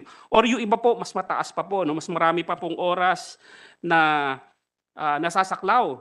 Ah, so we submit to the wisdom of the committee regarding the ARSO. No? Pero po dito sa panukalang batas pong ito, ang maidadagdag po siguro namin, kagalang-galang na tagapangulo, ay isali po yung National Council on Children's Television. Ito po ay isang konseho na itinatag po ng Republic Act 8370 na aking nabanggit, yung Children's Television Act. Sila po ay may mandato na gumawa kasama po ng broadcast television broadcast industry ng mga standards at panuntuya, panuntunan para sa mga television program po na maaring mapanood po ah, during child viewing hours. Ah, magsasam- magsusumiti ho kami ng aming nasusulat na posisyon ukol po sa Senate Bill number 850 ho para po mas ah, makapa- maipakita po namin sa konseho kung ano po yung maari nating maging basihan at ah, pwede pong gayahin or pwede po pa nating palakasin o improve po. Maraming salamat po. Opo, kasi alam nyo, Sir ah, Tapales, ah, nahirapan pong sagutin si at, ni, ni Attorney Mamarico eh, ni brother, yung tanong ko kung ano ba ang sa palagay niya yung viol- violence na hindi dapat nakikita ng bata. Kayo po siguro talaga ang dapat makasig, makasagot nyon. Ano ba? Ano ba yung dapat hindi nila nakikita? Oh, sabi po kanina ni attorney, yung daw, halimbawa, ah ito, bawa, pulis, may hinabol. Kriminal, hinabol niya. Nagkaroon ng, ng ah, inkwentro. Eh madalas po sa mga teleserye, ganyan ang plot eh. Dati akong magawa ng teleserye, ang plot namin eh nag-umpisa sa love story, matatapos sa kidnapping eh. Hindi ko maintindihan paano napunta doon eh. Opo. Ah, kagalang-galang na taga-Pangulo, Pangulo, of course, we submit to the mandate of the NTRCB. ah, ah, tungkol po sa bagay na pagkaklasipika, yan po ay kanilang mandato. Pero po sa bata naman po, kung tatanungin niyo po kami kung ano po yung mga child-friendly programs, kasi po yan ay ah, talagang dinefine ho dito sa Republic Act 837. Yung mga child-friendly programs po, ito yung mga programa sa television na hindi naman pang bata, ngunit ito ay nagtutulak ng kanilang positive development at wala pong mga elemento na pwedeng magresulta ng physical, mental at emotional na panganib sa kanila. So in broad strokes po, yan po ang definition ng child-friendly programs. Ano? So siguro ho doon po malalaglag yung talagang masyadong madugo, very explicit po, ah, yung mga panggagahasa, pagpatay, pagpugot ng ulo pong mga ganyan po. Yan po ay nakakasaba po sa mental and emotional aspect po ng paglaki ng bata. So yan po, insofar as the Council for the Welfare of Children is concerned, sana po wala pong ganyan na napapanood ang ating mga kabataan. Nakikita ko po dito yung aking award-winning director, ah, Direct Mark Mayley. Direct, may gusto ko itanong. Pwede po magtanong, Direct?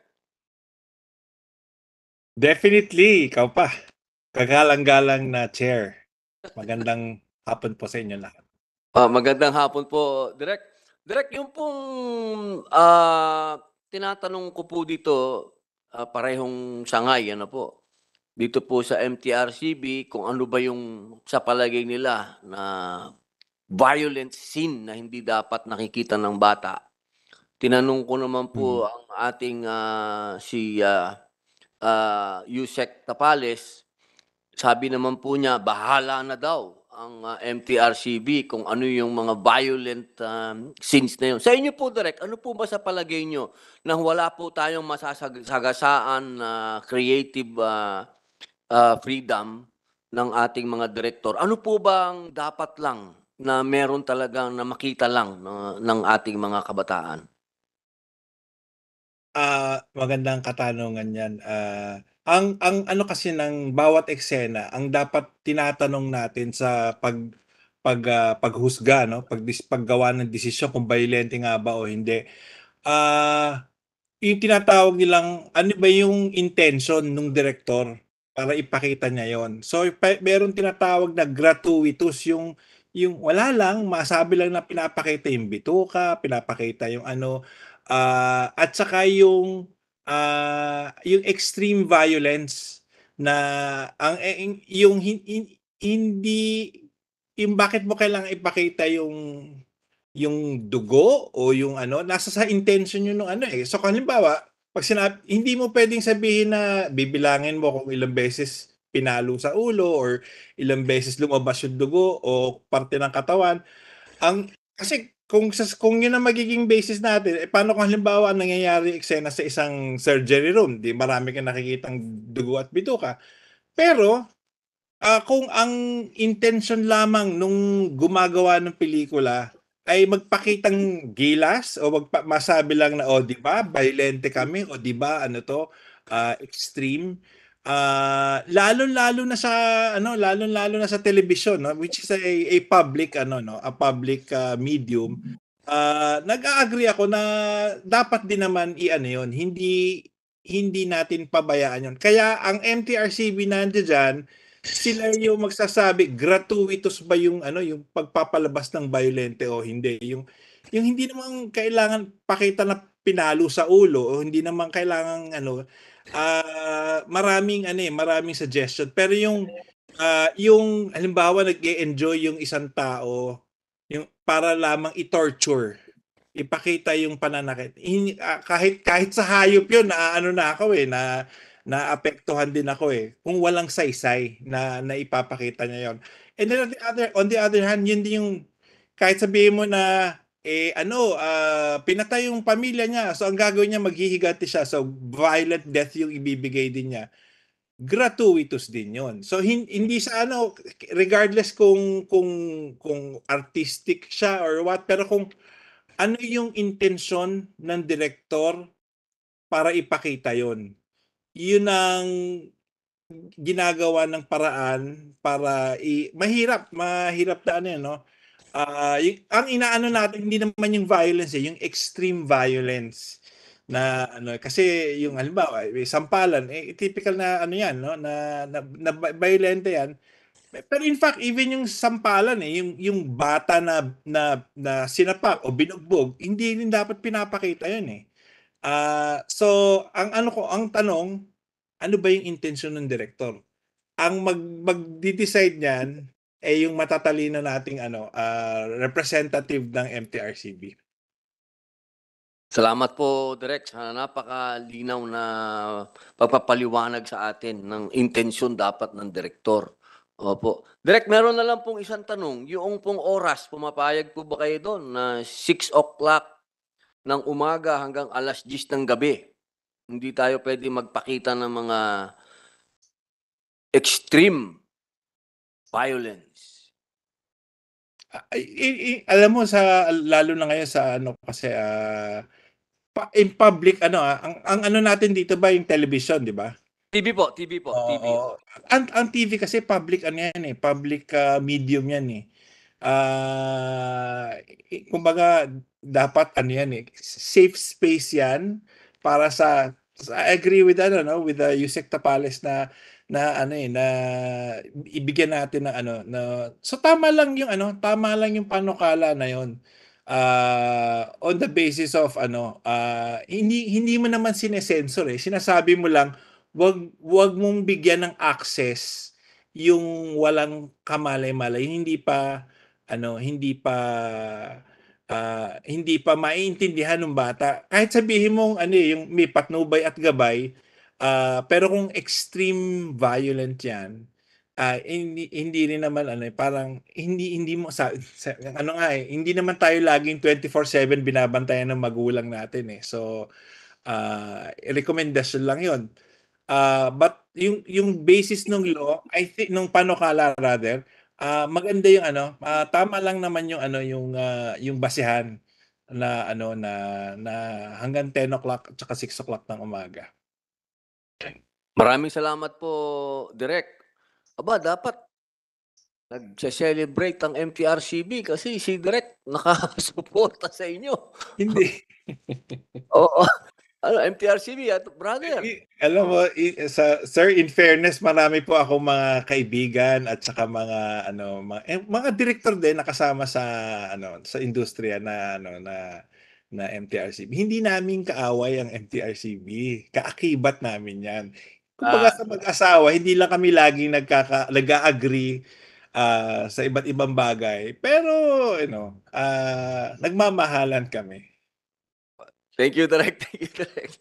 Oh, brother, malinaw ang posisyon ng ating mga kasama ah, galing kay Sir ah, Tapales, galing kay Direk. Pumupunta sa kamay ninyo ang ano, ang payag sila na may 6 6, 6 a.m. to 10 p.m. Payag din sila kung gusto nyong ano man ang gusto nyong gawin dun sa eksena. Oh, basta TV. Sir, since the guidance of our chair is to support this bill, uh, we also agree to the time slot, sir. Yes. And uh, also, uh, Mr. Chair, if I may add, uh, but first, good afternoon po, sir. Uh, I would like to uh, make an addition regarding the definition of violence also of the time slot. But first, sir, if uh, anyone could indulge me, sir, uh, I would like to read the position of our uh, agency for everyone's information, sir. So for Senate Bill uh, number 850, sir, we agree to the proposal of limiting the exposure of children to violent programs shown on television and cable systems, as various studies show that frequent and continuous exposure of children to televised violence resulted in child's more aggressive and violent behavior. Reluctantly, programs shown on television influences the interpretation of children to actions and language portrayed in said programs. This is also in line with uh, with one of our mandates of protecting children and the viewing public from adverse effects of television programming. However, we humbly submit that this proposed bill, if signed into law, may be better regulated by a different government entity such as the National Council for Children's Television or NCCT, uh, created by Republic Act Number 8370 or the Children's Television Act of 1997. NCCT is mandated to encourage and promote the production and broadcast of developmentally appropriate television programs for children. During the past years, the NCCT has been campaigning to ensure that children have access to high-quality and child-appropriate television programs. In addition, it is likewise indispensable to provide a clear definition and parameters of what should be considered as a violent programming that is prohibited during child viewing hours, as it is also a state's corollary duty to develop the television industry to make it viable as one source of fueling our national economy and to balance it with a broad protection of uh, free speech and expression clause. So, Mr. Chair, I agree with you and I also agree with the director regarding the um, uh, time for for the for for viewing of the children. However, Mr. Chair, we only have how many boards? 30 boards. 30 boards who are reviewing, actually, sir, post-reviewing all all those um, television series na lumalabas po sa ating television, sir. So, hindi po namin siya na pre-review. Bago pa po to lumabas, hindi po kami nabibigyan minsan ng kopya or late na namin nare-receive. So, nare-review na lang po namin yung mga pinapalabas sa TV after na po ito maipalabas sa television, sir. So, kulang din po kami sa manpower regarding their uh, review of those televisions or movies na nare-release po natin uh, through our national TV. As for violence, sir, uh, tama po yung director natin na sinasabi po niya na nasa intention po ito ng director kung anong gusto niyang ipalabas ang tinutukoy niya yung violence. Actually, we have uh, Presidential Decree 1989, sir, which provides guidelines regarding um, kung for general audience siya, for R, R13, SPG, sir. And um, yun nga po ang sinasabi ko, sir. Ah, ang board po namin ang nagde-decide kung ano po yung guideline or kung anong rate, rating siya, sir, na pwedeng ipalabas. Kaso po, sir, post-review na po ang nangyayari sa MTRCB. Kaya po, ah, hindi po, gaya po ng sinabi ni Direk, na hindi, hindi rin naman po 24 hours na babantayan ng mga magulang yung mga anak niya. Ang MTRCB po, para din pong magulang, na hindi po niya nababantayan 24 hours ang pinapalabas sa national TV. Thank you, sir. Ah, kailangan natin gawan ng paraan yan. Oo, hindi pwede yun. no? Oo. Sige po, pag-usapan natin yan pagka nag, ah, ano tayo, TWG, pero hindi po talaga pwedeng post. Kailangan pre kayo. Yes, sir. Opo. Nagtataas po ang kamay ang ating ah, mga bayani sa DSWD. Ma'am Irene Dumlao. Yes, ma'am. Maraming salamat po at magandang hapon, uh, Mr. Chair. Una po sa lahat, nagpapasalamat ang Department of Social Welfare and Development sa pag-imbita po sa aming kagawaran at pagbigay rin ng posisyon hinggil sa mga panukalang mga batas. Uh, Mr. Chair, nais po namin ipahayag na ang DSWD ay uh, sumusuporta sa mga hakbang na nagtataguyod po sa kapakanan ng mga bata at nagproprotekta sa kanila mula sa iba't ibang anyo ng pang-aabuso no, in various forms and platforms. Gayun din yung pagprotekta sa mga bata na mapanood ang mga palabas na may violent acts. Mr. Chair, there's uh, this Irish proverb that says, it takes a village to raise a child. Kaya nga po, responsibilidad nating lahat na isigu- masiguro yung kaligtasan, kagalingan, at pag-unlad ng mga bata sa pamamagitan po ng edukasyon, pakikilahok sa komunidad, pagkakaroon ng ah, mga epektibong mga patakaran at mga hakbang sa teknolohiya upang makalikha tayo ng isang mas ligtas na digital environment para sa mga bata. Ah, batay po doon sa mga napag-usapan kanina, naniniwala pa kami na na nangangailangan ng pakikipag-ugnayan sa iba't ibang mga stakeholders sa pagbuo ng mga patakaran, kamalayan at pag-iwas sa mga palabas that might be detrimental to the growth and development of a child. Ah, batay din po doon sa napag-usapan na oras ng pagpapalabas. Um, nararapat po, Mr. Chair, na may pag-aaral hinggil po dito upang um, mas ah, makabuo tayo ng mas maayos at epektibong ah, patakaran. Yung mga komento po at rekomendasyon ng DSWD ay ipapaloob po namin sa aming opisyal na position paper na isusumite. Mr. Chair, maraming salamat. Maraming salamat po, Ma'am Irene uh, Dumlao. Antayin po namin yung inyong uh, position paper. Salamat po. Ah, meron lang po akong tanong sa NTC. NTC. Ma'am, magandang ah, gabi na ba? Ano oras na ba? Hapon pa? O, magandang hapon po. Sa, sabi po kasi ng MTRCB, sa ngayon, medyo hirap po silang humabol dahil 13 lang daw po yung nagpipreview sa kanila. Halimbawa, meron pong lumabas na hindi hindi nila inabot na ma, ma-screen. At alam naman itong itong ah, programa na to na very malicious yung kanilang ginawa na sabi nga po ni Direk eh ah, gusto lang nung director na magpakita ng violence, ganun, extreme violence. Meron po kayong kakayahan na ito po'y putulin, hindi ba? Parusahan itong itong mga yung transmission nila, di ba po? Ah, magandang hapon po, Mr. Chair. Una po, ah, correction po, I'm not an I'm not a lawyer po. I'm an engineer. Ah, okay, sorry po, engineer. Opo. Ah, first, sir, wala po sa mandato ng NTC ang mag-review, ang Di po, mag-censorship. magputol. Halimbawa po, sinabi po ng MTRCB na lumabag itong programa na ito. Pwede niyo po ba yan? Na yung transmission nila, eh, putulin ninyo kaagad. Ano, sir, ah, una po, ah, ah, da- dahil may mga franchise po yan, they are required to broadcast according po dun sa franchise. Kahit po So, may violation na? Kung isang programa lang po, it's under po ng MTRCB yun eh. So, wala Mm. kaming mandato doon. And wala rin naman po kaming access to cut the No, transmission. ganun po. Halimbawa, umiere. Umiere. Tapos, sa sinabi po ng MTRCB, tumawag sa inyo, oh, hindi namin na-preview to. Naglabas sila ng, may, may pinugutan ng ulo doon, halimbawa po. Yes. Wala po kayong blackout yun? Hindi Wala nyo po, pwedeng sir. tawagan yung istasyon na putulin nyo yan, ganun. Wala po sir. Kasi ang mandato po ng NTC is about the installation, maintenance, and operation po ng broadcast station. We, we don't have the mandate po regarding sa content. Mm. Kahit sa cable po, halimbawa, sa cable event, halimbawa, cable naman yan. The same po sir. Sa, di ba sila, sinasabi nila, meron silang sariling classification. Sasabihin nila, o sila GP, General Patronage, sabi nung classification niya. Pero nung pinanood nyo, eh, grabe yung violence dun sa...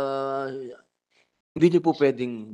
Wala po, sir. But, um, um, one of the requirements po, pag magre-renew ng ah, authority, like yung mga cable operators, we require them to submit the MTRCB registration. So, yung mga programs po nila, both ng TV and cable operators and other pay TV stations, naka-register po yun with MTRCB. Kasi sila po yung may mandate Alam- about the content po, program content.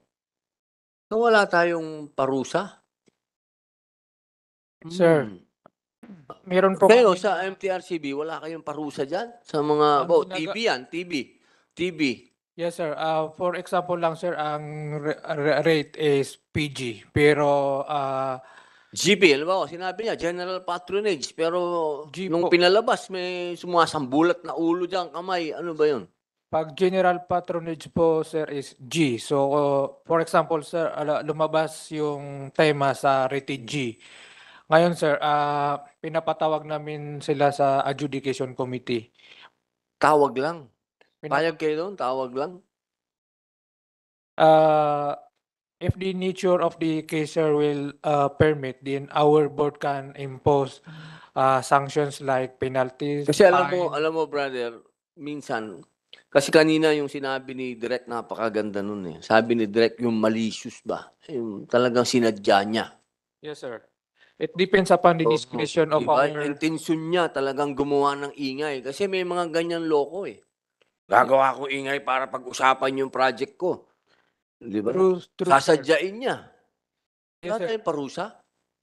Meron, sir, uh, we can impose fines, penalties, and even suspension, sir, or even banning the film, sir. That, that was uh, provided under our. TV to ah, charter. TV ah, TV ah. TV to pinag-uusapan natin, brother ah, TV ah. Yes, sir. Di ba sa TV kayo ay medyo mas makapangyarihan kayo dyan. Kasi free nga daw yan. Yes, sir. Oo. Ta- nasa inyo pala yung mandato ng, ano sir? Ng pambata, di ba? Kasi kanina sinabi, nasa inyo. Ah, yes po, ah, kagalang-galang na Pwede kayo mag-file ng kaso. Ah, kami po ay policy making body po kasi for children na- under DSWD sir. Hindi po kami usually nagfa-file ng kaso. Pero kung meron pong dudulog sa amin at magrereklamo po pag ito po yung nas- naisabatas na kunyari, Oo. pwede po naming i-assist ah, through our Makabata helpline kung ano pong reklamo. Kasi po ito ay sasaklaw na po or ah, ah, magiging tungkol sa po, sa bata na po yan. Yan po ay pwede na po naming tulungan para po dumulog sa tamang ah, ahensya po ng gobyerno. Okay. Nakataas ang kamay ni Direk Direk. Direk Mark. Salamat. Ah, thank you. I-ano ko lang, ah, sayang kasi kanina nabanggit nyo, Mr. Chair, yung ano, yung ah, ah, kapisanan ng mga broadcasters Pi- sa Pilipinas. Si- sila kasi para ang inaano nila, ang ah, one thing that they are are eh, trying to promulgate is self ano, self ah, self-regulation. So, ah pag nagkaroon ng offense ang isa, so it's among the members na, oh, teka, i ano ka, mali yung ginawa mo, hindi mo dapat pinalabas yan. Ah, ang problema, kumukonti na lang kasi ngayon ng mga television stations at saka dumadami yung cable. Pero nung nung yung intention talaga nun is ah, yung ano, yung yung ah, yung self-regulation pati sa advertising pag meron na offense, may meron tinatawag na Advertising Standards Council na pag mali may ano, marami na na ano diyan. Ah, ang nangyayari pinupull out 'yon pag ah, ano. So yung yung mga TV stations na miyembro nung ano nung ah, at ano yan ah, ah, broadcaster also includes yung mga ano mga radio stations na, na hindi naman sinasakop din ng MTRCB. Ah, pero yung pag-offensive or ano nga naman mahala yung ano yung yung ah, pinapakita or ah, kung sa radyo eh pinaparinig. Ah ano yun p- pwedeng i ano yun sa i, i kumbaga aksyonan within the ano the KBP ah, or sa advertising eh yung ano ASC Ah, kaya lang sa I cannot speak in in on their behalf eh. So hindi ko alam masyado yung ano sayang kung ah, sana nandito sila. Thank you po, Direk. Sir Tapales. Pagalang-galang na tagapangulo, siguro po ah, kukunin ko na rin po itong pagkakataon po na to kasi nabanggit po ni Direk yung self regulation ho sa mga sa mga sa TV industry naman po no. Sa amin naman po maari po siguro ito po siguro pwede nating kunin ng pagkakataon na isama na po dito sa Senate Bill number 850 na to yung edukasyon din po ng mga magulang kasi po dito po sa equation po na to napaka-importante po ng gaganapan din po ng magulang ano kasi pwede po nating limitahan ang mga palabas po sa TV, lagyan natin ng oras, lagyan natin ng rating. Pero kung hindi po ah, invested ang mga magulang po dito, maaring kalahati lang po ito ng, ng picture ho, ng larawan. Ano? Meron po tayong bagong batas ngayon, yung RA number 11908. Ito po yung PES Program Act, Parent Effectiveness Service ah, Act. Ngayon po sa pangunguna po ng DSWD po sa ilalim po ng ating butihing kalihim Rex Gatchalian po, gagawa po ang DSWD at ah, ilang mga ahensya po ng Parent Effectiveness Service Modules.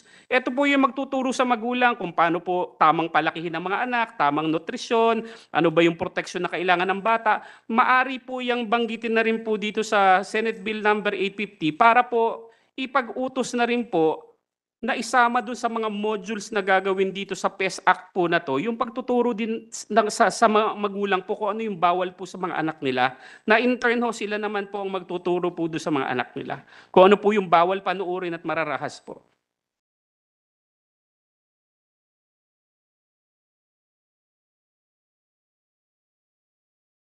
Gagawan po natin ng panibagong panukala yan, sir.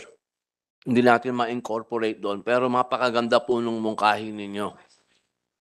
Nga po, napakaganda po. At ah, mas gaganda po yan kung may sample na kayong bill, bigay nyo sa amin. Para mapadali ang ano po natin. no? Kasi maganda po, maganda po yung sinabi po ninyo. Dahil kung ano nga daw yung ginagawa ng magulang, eh tama yun sa tingin ng anak. Kaya kung kalokohan yung ginagawa, ma- maliligaw talaga. Okay, lahat naman po tayo sa masang ayon dito eh, no? Sa Senate Bill 850. Wala naman pong kumukontra, pati nga po si Direk, na, ma- ano, ano po siya, sang-ayon sa atin. Okay.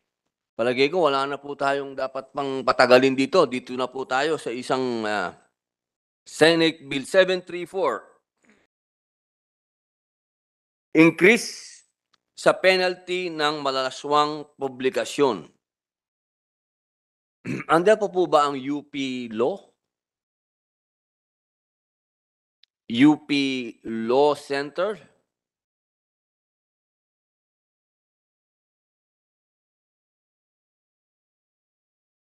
Ah, nakaalis na. Okay. Kasi nung binabasa ko kanina ito, do, dito eh parang sabi nung aking ano, nung aking uh, legis team, okay sana eh, maganda sana. Kaya lang, yung nag-publish ng malaswang publikasyon, ang taas nung mas mataas yung sentensya doon sa acts of lasciviousness. Parang ano yata, parang hindi nag ah, yun, hindi nagtutugma. Kaya sana meron tayong ah, tiga DOJ o ano. Pero dahil wala dyan, pagsasubmitin na lang natin sila ng kanilang ah, position paper dito. Pero kung akong tatanungin nyo, hindi naman po pwedeng ganun. Ano? Yung tiningnan mo lang, mas mataas ang sintensya mo kaysa doon sa humawak na. Malabo naman yon. Oo, malabo yon. Okay. Kasi dito, ang sinabi, oh, ah, reclusion perpetua na. Yung ah, malalaswang publikasyon, eh, 20 years yun. Sintensya ko na yun eh. Oo, sintensya ko yun. 20 years. See? Ah, UP Online, nandiyan pa daw po si Ma'am Marlene Quizon Mercado. Ma'am Marlene Quizon Mercado. Good afternoon, Mr. Chair. Yes, ma'am. May, ah, dito po kasi sa panukala po ni Senator Villanueva. Tataasan daw po ang parusa sa paglabag Article 201 ng Revised Penal Code at Section 9 ng Republic Act number 7610. Ano pong masasabi po ni dito? Reasonable po ba ito? Itong panukala na ito? Halimbawa po kasi, ang acts of lasciviousness po ay prison, prison correctional lang. 12 years lang po yan. To 20 years, ano?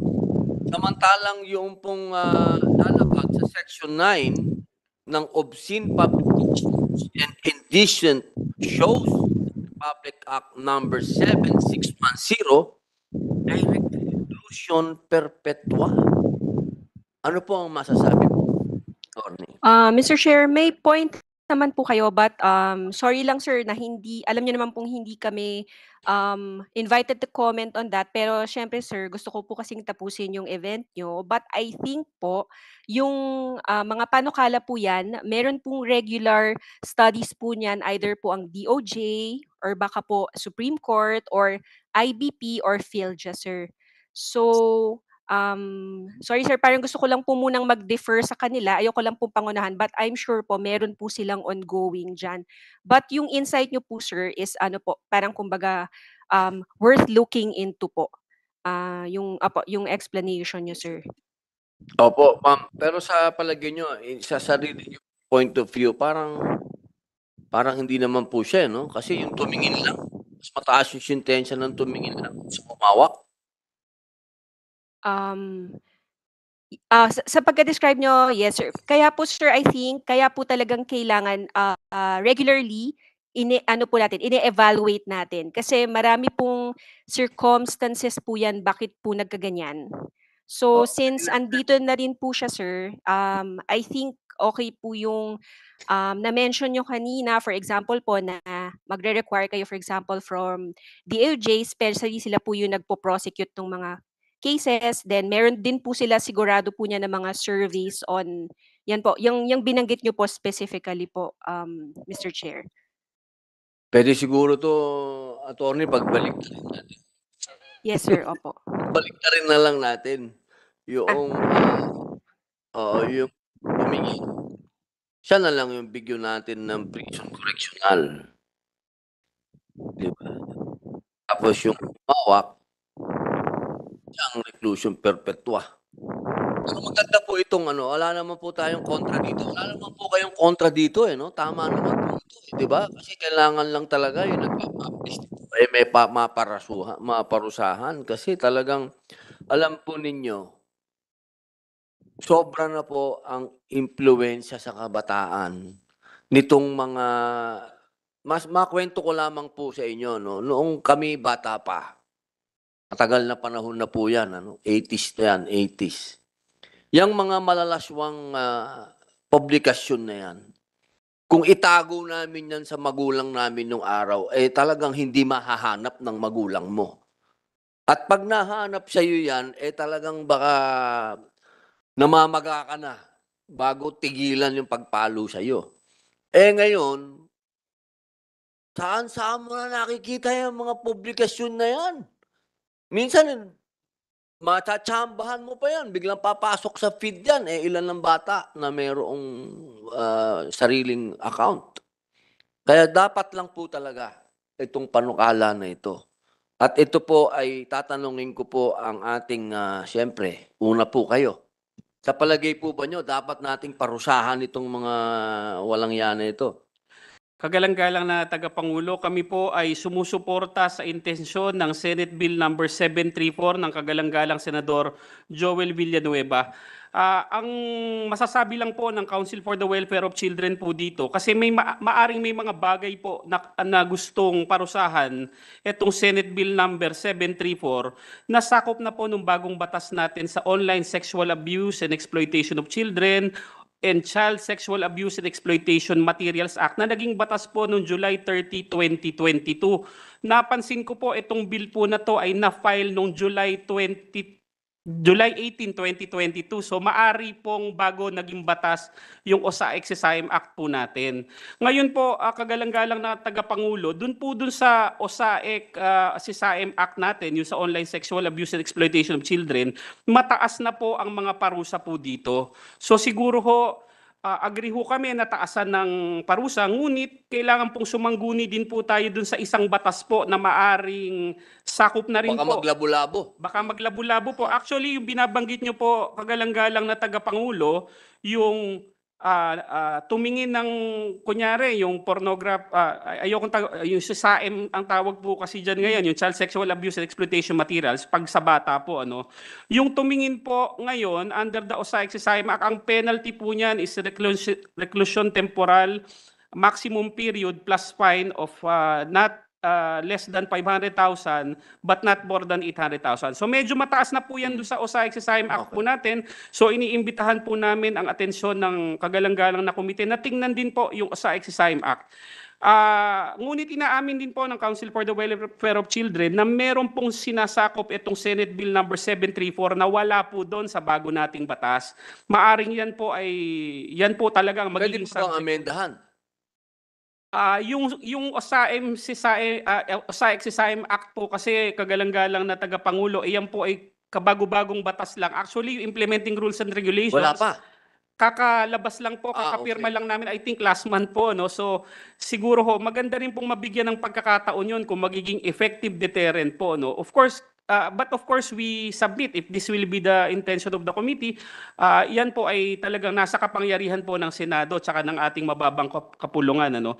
Ang magagawa lang po ng Council for the Welfare of Children is i-invite po natin ang atensyon ng committee po dun sa bagong batas. Baka naman po satisfied na ang committee para naman po dun sa hindi pa covered ng OSAM CSIM uh, OSAIC CSIM Act po natin, maaring yun po yung maituloy dito. Talagang dagdagan po natin ng penalty. Ah, ini-invite din po namin at ito po isusulat po namin dun sa position paper po na isasubmit namin. Meron po kasi ditong provision na ina-amend po yung Republic Act number 7610. Ah, actually nung ano po, ah, ang Republic Act 7610 po ay na-amend po recently nung Republic Act number 11648. Yung 12 years old ho dito sa provision ng batas na ito, ah, sandali, I think this is ah, section section 3 po ah, nakalagay po dito sandali hindi section of, of the bill. Section 4 ng bill po ano yung section 4 po ng bill ni Senator kagalang-galang na Senador Villanueva eh gusto pong i-amend yung section 9 ng RA 7610 Ah, ngunit siguro ho hindi lang ho siguro na na i-check po counter check do sa bago nating batas below 12 years pa po ang nakalagay dito dun sa Republic Act number 11648 po na nag-amend dun sa RA 7610 na gusto pong i-amend itong Senate bill, under 18 po. If a child is used as a performer, subject, seller, distributor is under 18 years of age, the penalty shall be maximum. So hindi na po kailangan below 12, below 18 pa lang po, mataas na ang penalty po niyan ngayon. So again, we will Sa bagong batas yun. Bagong batas po yon na maari pong i-harmonize po siguro dito kagalang-galang na tagapangulo para po talaga yung mga batas po natin eh, in harmony po. Sa inyo na po manggagaling ang panukala na yan. Dahil bag, sa inyo po ang ano eh, ang mandato niyan. Opo, maganda po. At ako naman po yung nakakasigurado na ang aking kaibigan na si Senator Villanueva ay makikinig po sa inyo. Sigurado po ako. Maaasahan niyo po kami diyan kagalang-galang ta- ta- tagapangulo. Maraming salamat po. Okay, palagay ko wala na pong magdadagdag doon. Ah, dahil sa inyong mandato naman yan. Opo. Okay. Ito pong ah, Senate Bill, ito po yung discrimination, yung pinasabi ko kanina na madalas nadadama yung Muslim. Ah, gusto ko po itong ah, itanong, Nandiyan na ba yung... Wala na yun, no? Kapisahan ng broadcaster, wala. Sir, wala. Sila na Oh, dito na lang po sa Directors Guild of the Philippines. Kay Direk. Direk ah, Mark. Yes, sir. Meron po akong ah, Chair. tanong po sa inyo. Sa atin pong mga kasamahan naman sa industriya, ano po ang posisyon ninyo dito sa Senate Bill 1502? Ano po ba ang inyong masasabi sa restriksyon ng paggamit ng mga salitang maituturing na may biases at diskriminasyon sa malikhaing sining? Yun po yung madalas pong nagagamit. Oo. Oh, ah, yung sa Muslim po, Oo. Al- al- alam mo kasi yung mga gumagawa nung yung ganyan yung halimbawa yung may may judgment na no about religion, may judgment na yung alam mo yung discriminate nagdi-discriminate na sila sa ano ah, sa sa mga relihiyon no. Ah ipinapakita lamang kung gaano ka hindi nag-research yung yung manunulat at saka yung ano yung director para gawin nila yon no? So they are playing on stereotypes. Ah, ang stand I mean personally ah ako ah hindi ano yun eh ah, hindi dapat ah, hindi dapat ano eh ah, hindi dapat ginagawa yon na ano na na yung ini, ini-stereotype mo or dinidiscriminate mo ang isang grupo ng tao o, re- o relihiyon it just pinapakita lamang yung yung ano yung yung katamaran nung nung manunulat o tsaka yung researcher na alam mo hindi nag-research you know, may sinasabi mo nga yung yung eksena na may may pag ano pag ah, ang ang gumawa ng krimen eh, eh Muslim kailangan i-identify di ba? Para wala namang magsasabi oh Kristiyano magnanakaw or something. Wala hindi ginagamit. Ah so in in principle ah, nag-a-agree ako na hindi dapat ginagawa yon. Pero ah, maganda rin kasi na k- kung gagawa natin ng ng pelikula na lesson na hindi mo dapat ginagawa yon. So halimbawa may may nag halimbawa merong nagpakita na ano isang isang journalist na sinabi niya oh isang isang itong taong ito ah, gumawa ng krimen isa siyang Muslim. Ang maganda nun kahit yun ang pinakita mo sa pelikula pero ang objective ng pelikula ay ituro na mali yung ginawa niya at ituro na ano at ipakita na hindi mo dapat ginagawa yan. Dapat kang parusahan o dap then that would be more constructive. Then that would be parang tinuturuan natin yung mga manonood na hindi mo dapat ginagawa yon. So hindi lang sa hindi sa pinagbabawal siya, pero kung ipakita mo man siya, ipakita mo na mali yun. 'Di ba? Na hindi nagtatagumpay yung taong gumagawa ng ng ng ng, ng nagdi-discriminate, 'di ba? Yun lamang. Salamat po, Direk. Salamat po. Tanungin naman natin ang Actors Guild of the Philippines, Mr.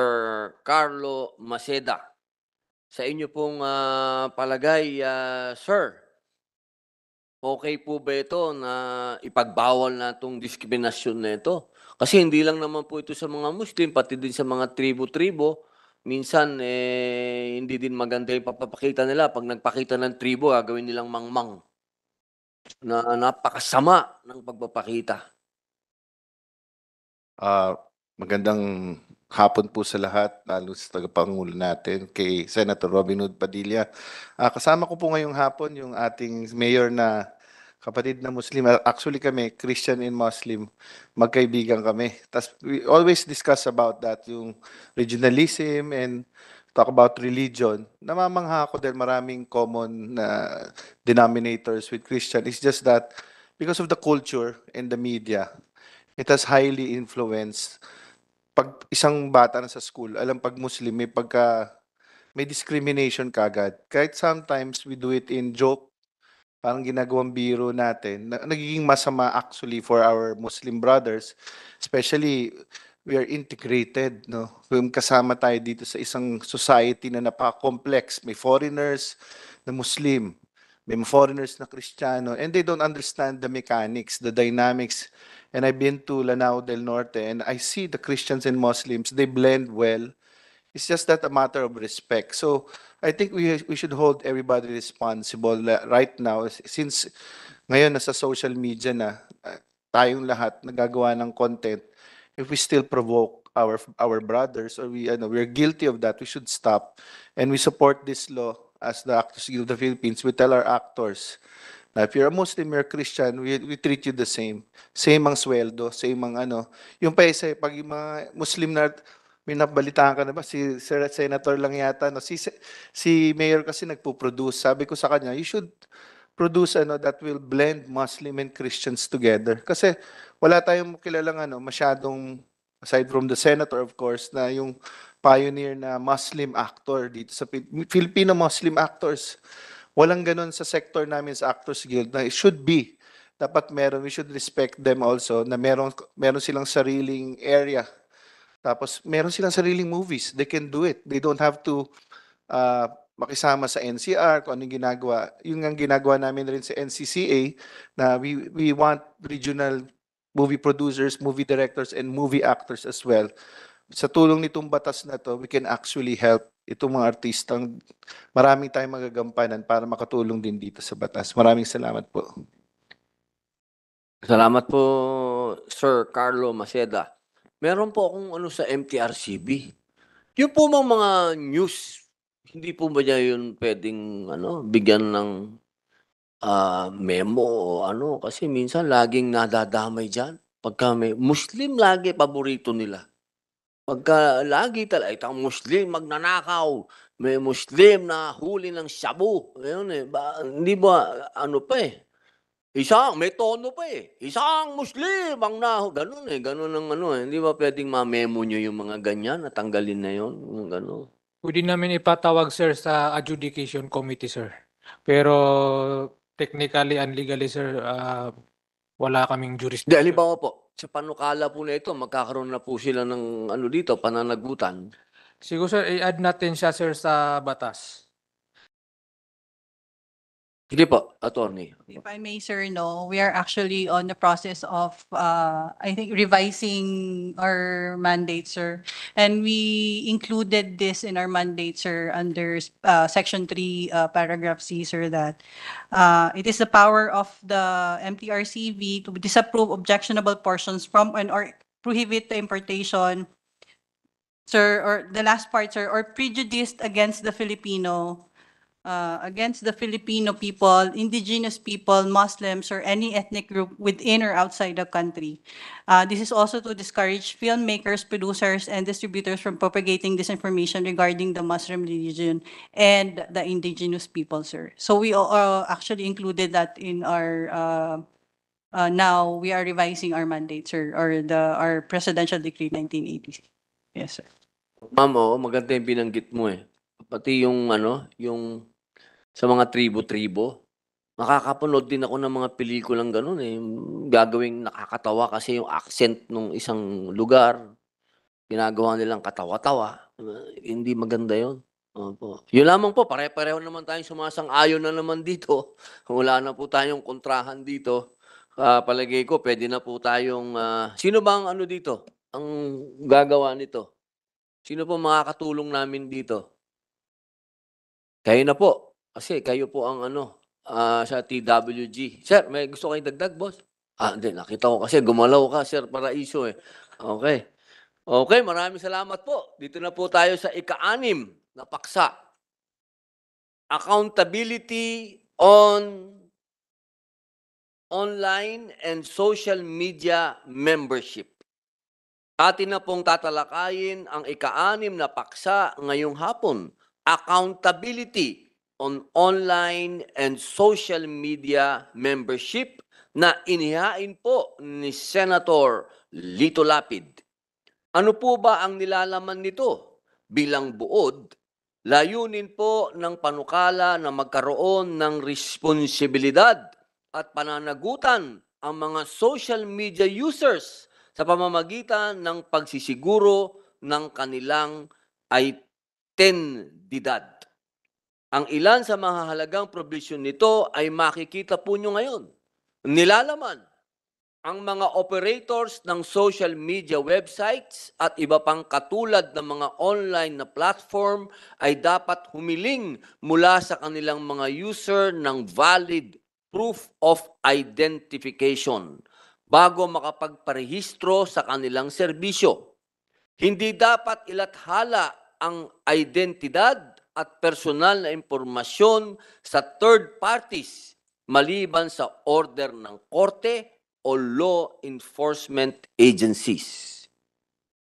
Parusa, kung ang isang individual ay nagsampa ng kaso na may kaugnayan sa social media account at hindi makapagbigay ng identidad at authentication na nagmamayari ng account ang social media provider, ay 50,000 o 15 araw sa bilangguan para sa paglikha at paggamit ng isang social media account na hindi nakalink sa valid identification card number.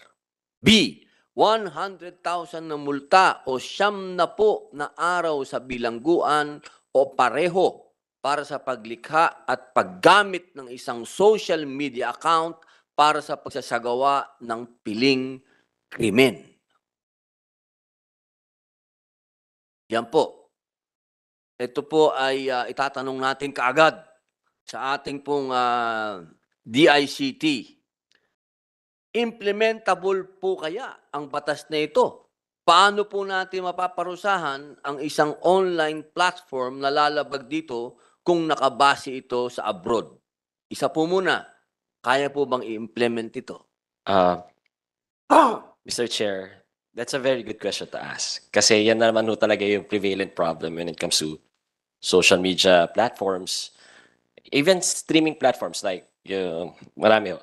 At naintindihan din ho namin yung ah, gustong ma-achieve ng batas. It really solves a lot of problems like trolls, deepfakes, fake news, um, bullying, um, exploitation. It solves a lot of problems. Ang, ang problema lang ho kasi, gaya ho ng tanong nung, ng ating tagapangulo, is kung implementable ho ba? Uh, the, the, the real, the, the answer to that is currently no. Kasi, eto, magagalit na naman sa akin. Galit na ho nga sa akin eh. Pero magagalit na naman ho sa atin yung mga kaibigan ho natin sa mga social media platforms natin. But in order for us to implement this, they have to have they have to have surrender to have to surrender jurisdiction over them. How do they do that? They set up yung mga agency offices nila dito, yung mga offices nila dito. So we can acquire jurisdiction over them.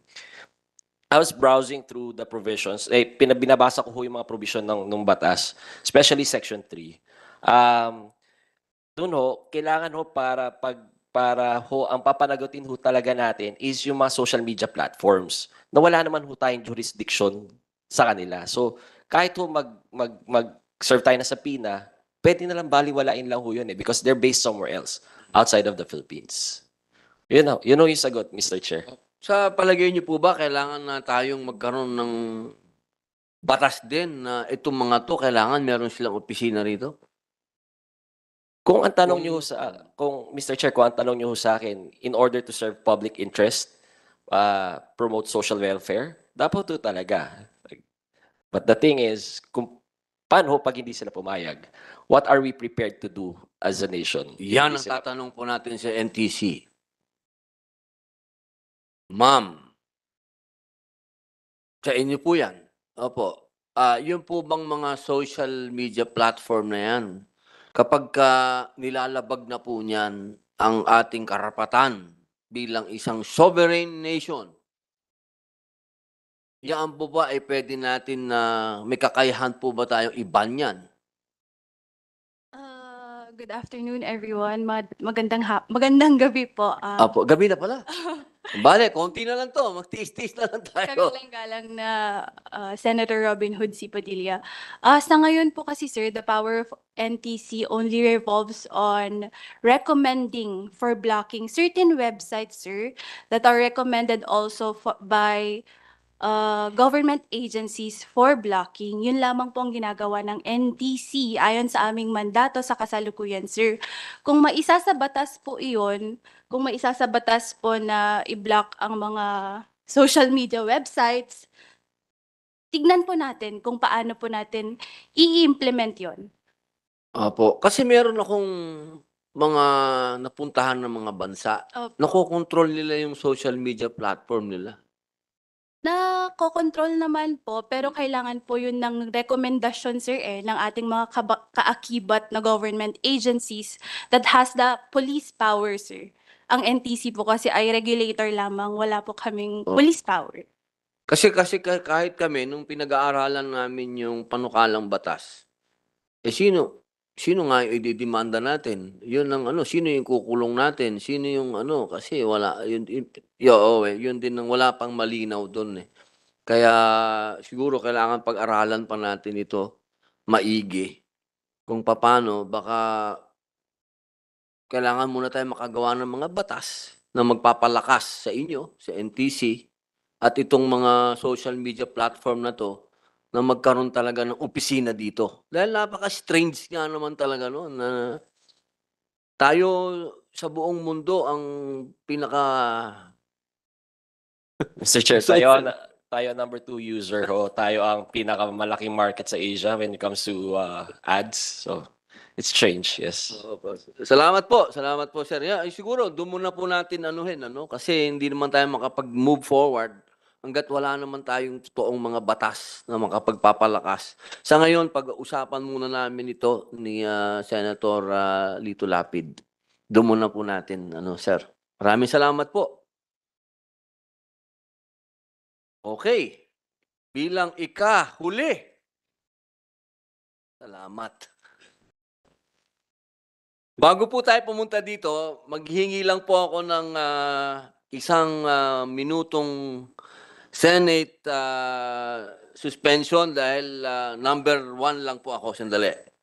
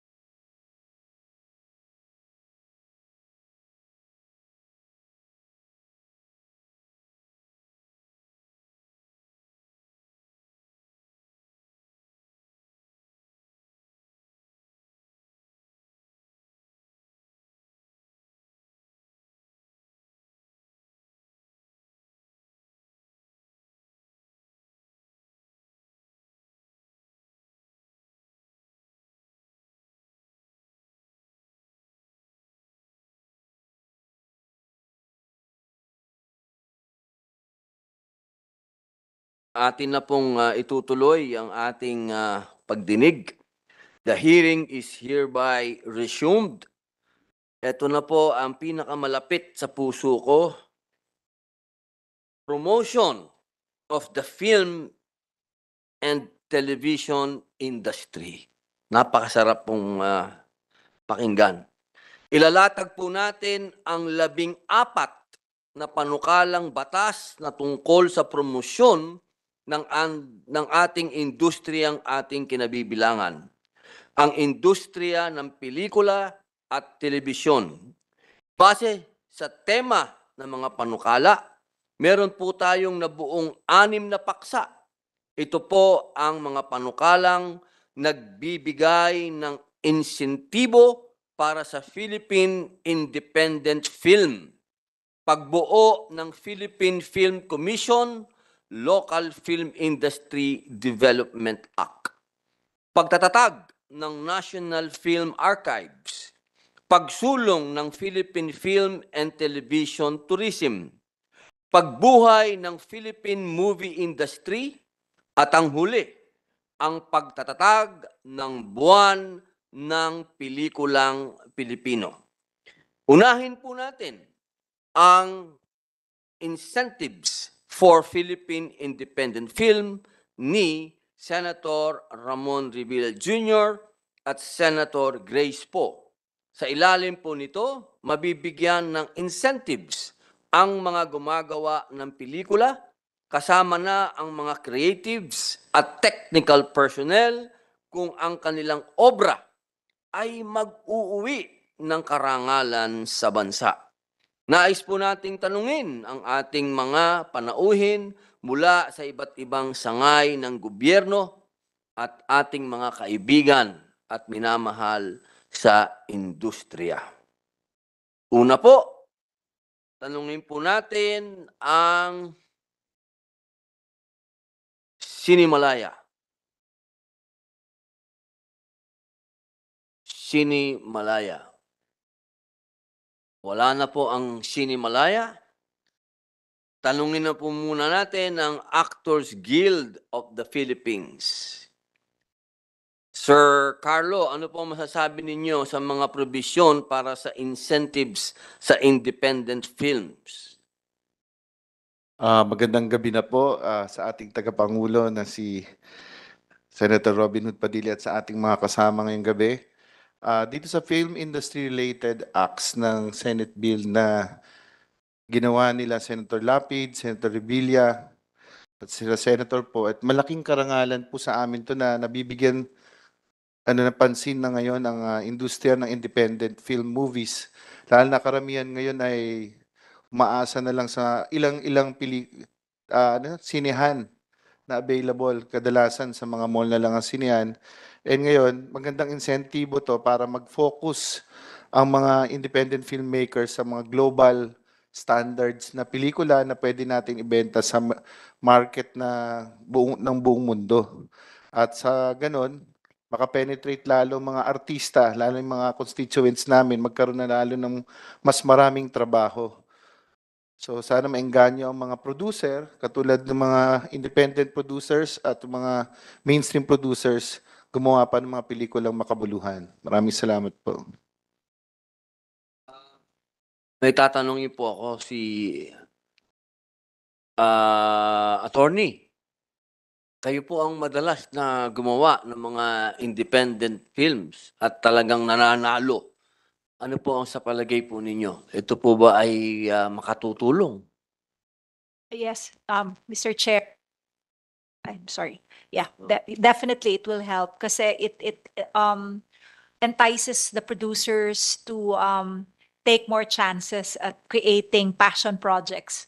Madalas po kasi, um, as, a- as a film producer, um, the objective is always to try to make money. But some other producers have a different perspective and they really want to create ripples and, um, generate accolade for the country by creating films that win awards abroad. Iba kasi, may kanya-kanya siyang happiness na hindi siya comparable. Siyempre, isa masaya ka pag marami kang pera. Pero yung pag nananalo ka and alam mo na dala-dala mo yung pangalan ng bansa, iba eh, hindi rin hindi 'yon nabibili ng pera. So, um, this is a very welcome bill because it will um, encourage more film producers to um, take risks.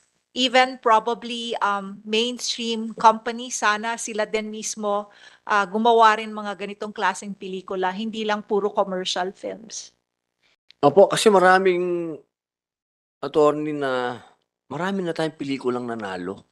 Napakadami na. Pero minsan hindi nagkakaroon ng pagkakataon na makatapak man lang sa Malacanang. Yung ibang iba ibang sining, ibang talino, yung ibang talento nakakarating. Pero pagdating sa pelikula, parang bihira yung nakita kong nabigyan ng pagkakataon na nakarating doon. Yes, that's Sa oh, at bihira din yung nabalitaan kong binigyan ng ng money incentive, yung binigyan ng award. Meron po ba kayo narinig na pelikula na nabigyan ng pera man lang? Opo. Um, as far as I recall, uh, the time that um, Direct Brillante Mendoza won the Best Director in Cannes, he was given 1 million, I think. I'm not so sure about the other winners kasi yon personal knowledge ko yon about the others. I'm not really. ah, Pero, pero napakadami ng yes po. nanalo. Oo, mga ano pa talaga. Masasabi natin na talagang ah, mga pelikula na hindi lamang yung kahirapan ng bansa ang ipinakita, kung hindi yung iba't ibang klase din naman ng aspeto ng bansa natin. Mabuti na lang meron na palang isa na nakarating din ba sa Malacanang? Sana naman nakara- nakatapak naman ng Malacanang. Yes po, doon po inabot yung cheque niya. Po, panahon po ba ito ni PRRD? Ah, what year was that? Parang no, no. Anong year ba? Kinatay yun eh. Kinatay. Inakay, ang title Inakay. Kinatay. Ah, kinat, kinatay. GMA. I think it was President GMA. Panahon ni GMA. Opo, wala na pong sumunod. Ah, hindi lang po ako privy sa mga mga nakapunta ulit para makatanggap ng award Opo. except for that one kasi Parang hindi natin mabalitaan, ibig sabihin, baka wala. wala. Wala nang malungkot. Opo. Ah, sir, Dan Morales ng ah, Philippine Development ah, Council of the Philippines. Ano po ba sa palagay nyo? Dapat na po ba talaga magbigay naman tayo ng insentibo para yung ating mga independent filmmakers ay ganahan naman? Um, una po sa lahat, magandang gabi po, Mr. Chair. Ah, ako po, I generally support the idea po na magbigay po tayo ng incentive sa ating mga award-winning producers at mga actors and uh, and films. Um, kami po sa side po ng FDCP, we we generally support the bill po. Salamat po. Salamat po. Ayun. Ma'am, ah, Department of Finance. Alam niyo, ma'am, sa lahat ng bansa na sumikat ang kanilang film industry, nakasuporta yung gobyerno. Katunayan, naging napakalaking issue minsan dito sa hearing na to yung usapin ng ah, K-movies, yung mga South Korean movies. Alam niyo po, sa South Korea, ang gobyerno ng South Korea, ang laki ng kanilang partisipasyon kung bakit ang kanilang movie industry doon ay kinikilala ngayon sa buong mundo. 100% pong nakasuporta ang South Korea uh, government. At nangyari po ito, hindi pa sila ganun kaprogresibo. Ah, sa tuna- katunayan po, eh, nauna pa tayong naging progresibo sa South Korea dahil galing sa gera yan eh. Ah, pag pumunta ka nga ng South Korea, mahal na mahal nila tayong mga Pilipino dahil hindi sila magiging South Korea kung hindi natin sila pinagtanggol laban sa North Korea. Ngayon, ang pinupuntahan ko lang po ng usapan natin, pwede po ba na may kakayahan po ba ngayon ang ating gobyerno, ang DOF, natulungan ang industry. Kahit di mo po muna yung industry, ito lang muna, itong mga independent film. Halimbawa, meron pong magandang istorya. Ano po bang pwedeng pagkunan ng budget? Good, good, good evening, Mr. Chairperson. Uh, uh, although I'm from the, the Department of Finance, uh, sa ano kasi ako, sir, sa attached agency, the Bureau of Local Government Finance. So, ang ano dito, ang involved dito po ay yung mga local governments. And uh, as far as mga local government is concerned, and dun sa local government code, Kasi malaki wala ang kasing, local tax. wala kasing incentives doon. Local tax, mataas. Yes, yes, Mr. Chairperson. Wala kasi incentive doon uh, except for mga new investors. Yun po yung pwedeng ibigay ng mga LGUs sa ating mga uh, um, taxpayers, uh, mga new investors lang po. Uh, for, ay, hindi ko lang sure kung ang BIR, meron sila ibibigay na incentive, but for local po, uh, in fact, mangongolekt pa po kami, nangongolekt pa, nangongolekta pa po sila ng, ng tax, yung amusement tax, kaya nandito po kami dahil mag, magko-comment po kami an S, uh, SB number 28, pero mamaya na po. But uh, as far as the uh, yung BLGF or the BLGF is concerned, which is um, sinusupport kasi namin ang, we, na, we assist, ina-assist kasi namin yung mga local government units na madagdagan pa po yung revenues nila, Ah, yun lang po ang ano natin, pwedeng incentive para po sa mga new investors. Yun po yung as a local government code. Maliban na lang po, Mr. Chairperson, kung ilagay natin sa batas. Nalagyan, Opo. magbigay Ay, ng ah, incentives. Naku, kung dadaan pa niyan sa batas. Mhm.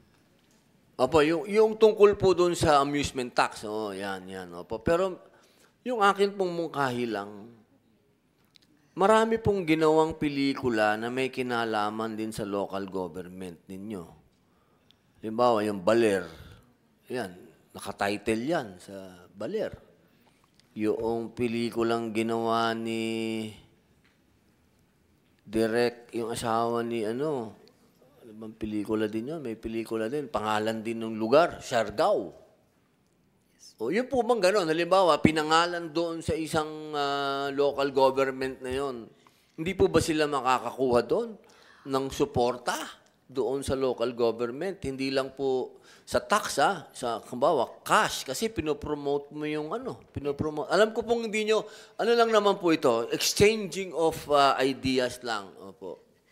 Siguro, Mr. Chairperson, case to case yan. Kung doon po sa lugar na yon, baka pwede po i-promote ng ating mga local chief executive yung yung pag ano yung yung pagpalabas and uh, uh, meron pa po um tag dito um, um before I went here uh, sabi ng ating at ang aking executive director is siguro yung creative industry pagbutihin din nila yung kanilang ginagawa para yung mga ginagawa nilang uh, movies or films ay kumita. So hindi lang yung uh, ang tinitignan natin is yung mga uh, proprietor or operators ng mga movie houses, kundi yung creative industry dapat gawin din nila yung dapat na gawin, pagbutihin din nila para uh, i-compare o kumbaga competitive si po sila sa sa mga foreign na ano. Apo, pero nanalo na po ng award.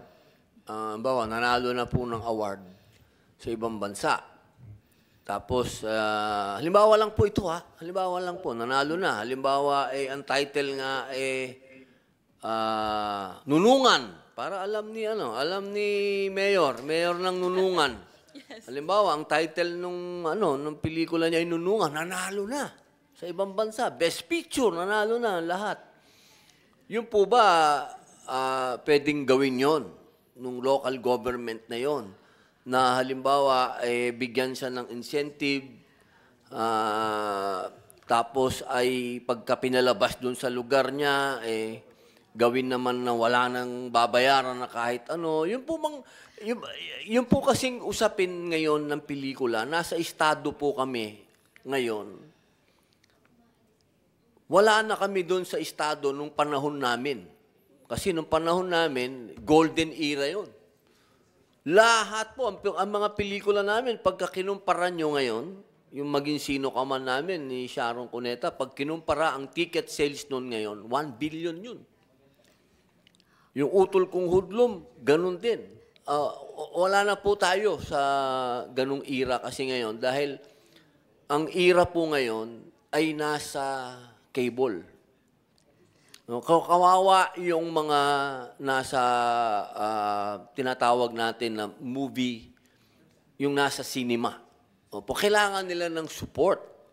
Opo, ano, ah, kung hindi natin sila tu- tutulungan, kahit na anong ganda pa ng creative niyan, kung walang government support, local government o national ah, government, susunod na kayo, BIR, ah, boss.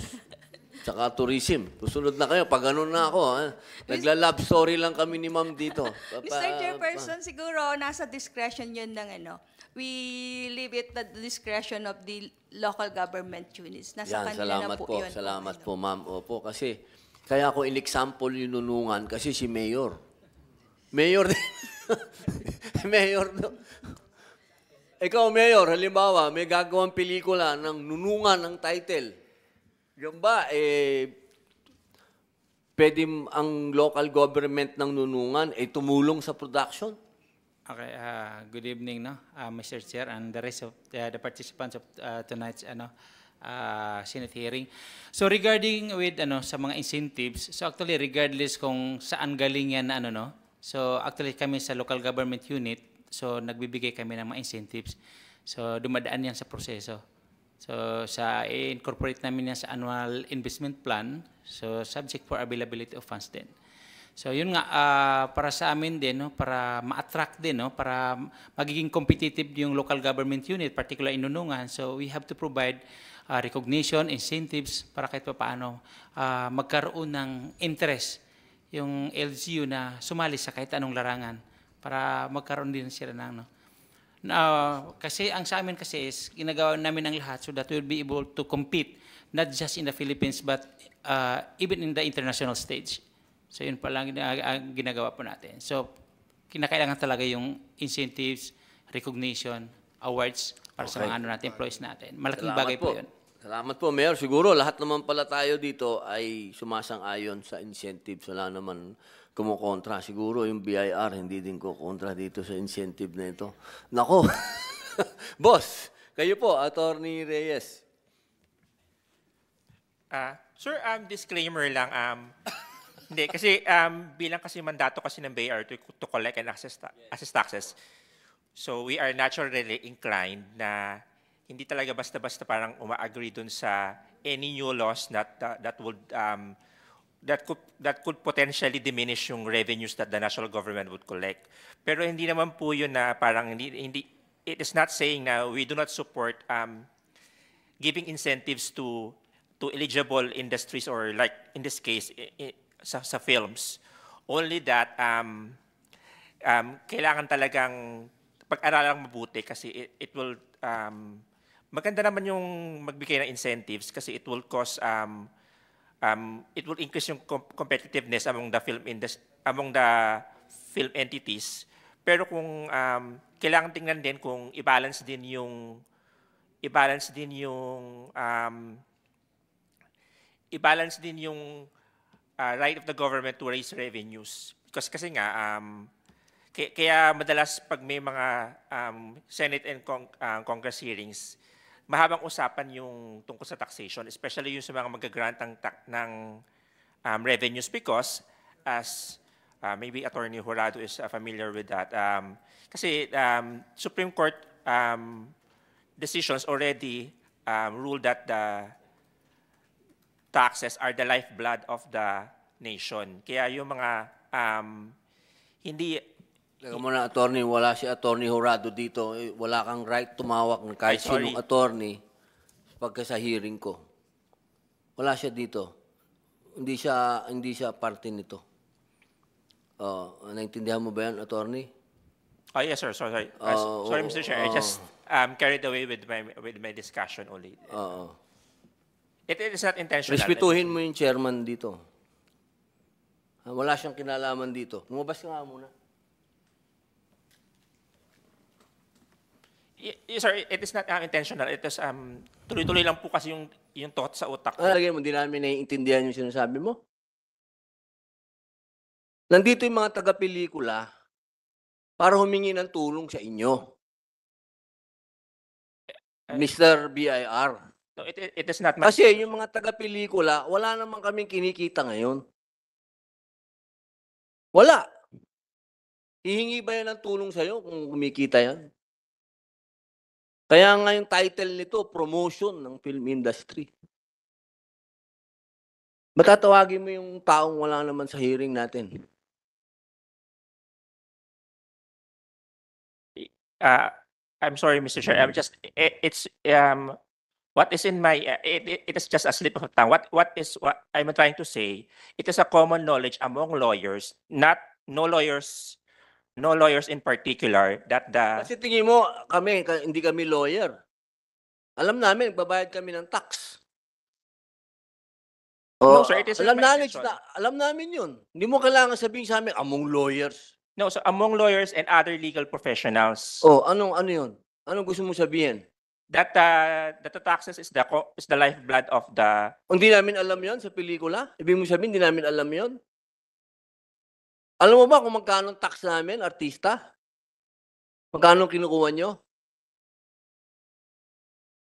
Wala naman kami napapala sa inyo. Ilan ang mga artista na nagkasakit? May napala ba sa inyo? May bumalik ba? no, no sir I'm just trying to Mr. Chair I'm just trying to explain that um Oh. Hindi, you- you're not explaining. You are dictating to us na we do not know the law. Only the lawyers knows about the BIR. Yun ang sinasabi mo. no sir it is not my intention Oo. That's not your intention, but yun nga ang tinutugmok mo. no sir Nagbabanggit ka nang wala dito sa hearing. Nakupo ba yan dito? Nakupo ba yan dito? no sir O ano ang intention mo? no it, it Ah, is- simpleng tinatanong namin sa iyo kung makakatulong ka ba sa pelikula. Banggit ka pa na lang, this is the lifeline of the ano, kaya ka nga pinatawag dito eh.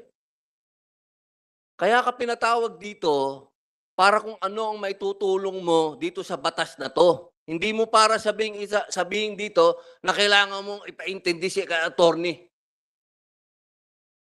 no sir Sagutin mo yung tanong. no sir I, Payag ka ba?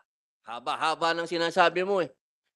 Yes, sir. Um, you you inquired um if the oh, um, I inquired.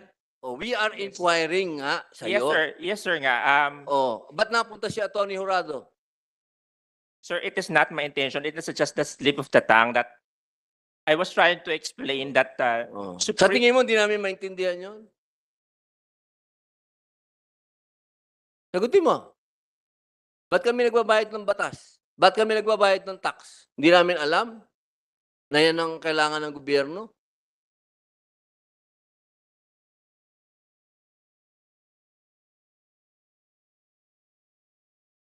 Tingin mo, hindi mo alam? Sa tingin mo, hindi namin alam? no, sir. I, I did not. I did not Oh. say that, sir. Oh.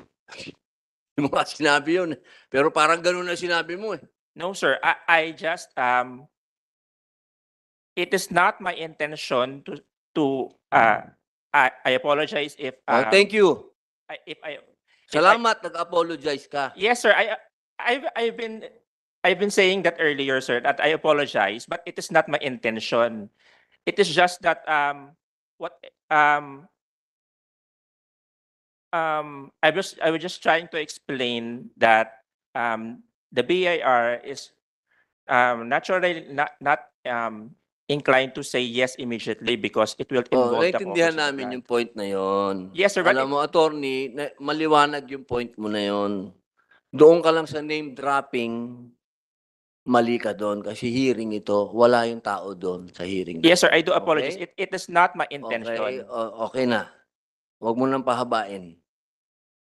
wag mo na lang gagawin yon kasi hearing ito. Ah, Yung mga wala dito sa upuan, hindi dapat binabanggit. Yes, sir. I will take note Okay? of that. O, para maganda yung hearing natin. Yes, sir. Oo. Okay. So, madaling salita, hindi mo matutulungan ang pelikulang Pilipino. Sir, mat- matutulungan naman po siya ng BAR. That, um, the, the BAR naman po kasi is um, um, as as the as the member of the executive, um, syempre sunod din naman po siya to for for providing incentives to to the film industry to make it more competitive and to foster nationalism kasi nga may mga movies na that promotes um, tourism for some places naturally inclined naman po siya doon pero syempre po it would um, kasi it would um, it would entail a possible diminishment of a diminishing of the national the revenues that the national government may collect kaya po dadaan po siya sa Eh, paano nga yun, process attorney? Wala naman masyadong kumikita ang pelikula. Magkano ba yung huli namin na Metro Manila Film Festival? The total gross for the summer MMFF was roughly 27 million for the entire run, which Boss. is really, really low. 27 million. Alam niyo po ba kumikita yan? Few years ago, 1 billion, di ba po? Kumikita yan. Um, summer MMFF po, Mr. Chair, is the first time. Pero sa Christmas MMFF, nakaka 1.1 billion na po. In the past, prior to the pandemic po. Oh, nung nagka-pandemic na po, ilan na po yun? The first MMFF online, naka 24.8 million. And then yung MMFF the following year, naka 25.1. And then the subsequent year, naka roughly 580 million. Yun, boss. Kawawa naman po kami. Yun lang naman po ang ano namin. Baka may may paraan na kasi parang nahihirapan po tayong bumangon no attorney. Ngayon po ang industry natin. Um, yes po, Mr. Senator. In fact, um, if we look at the figures for the year 2023, there is not a single film that grossed more than 12 M for a local film. And that's, um, we have to be reminded that the gross of a film, um, ang dami pa pong taxes na binabayaran. Andyan nga po yung 10% amusement tax. And then you deduct again the value added tax, which I might, may I raise that matter po dito sa hearing, Mr. Chair. Um, there was a decision coming from the Supreme Court. I just, I just don't remember the title right now, where if an entity already pays for the amusement tax, you're not obligated to pay the value added tax. However, in our case, the producers are paying the amusement taxes and then they still have to pay the value added tax. Diba? Sobra na po kami sa tax, boss.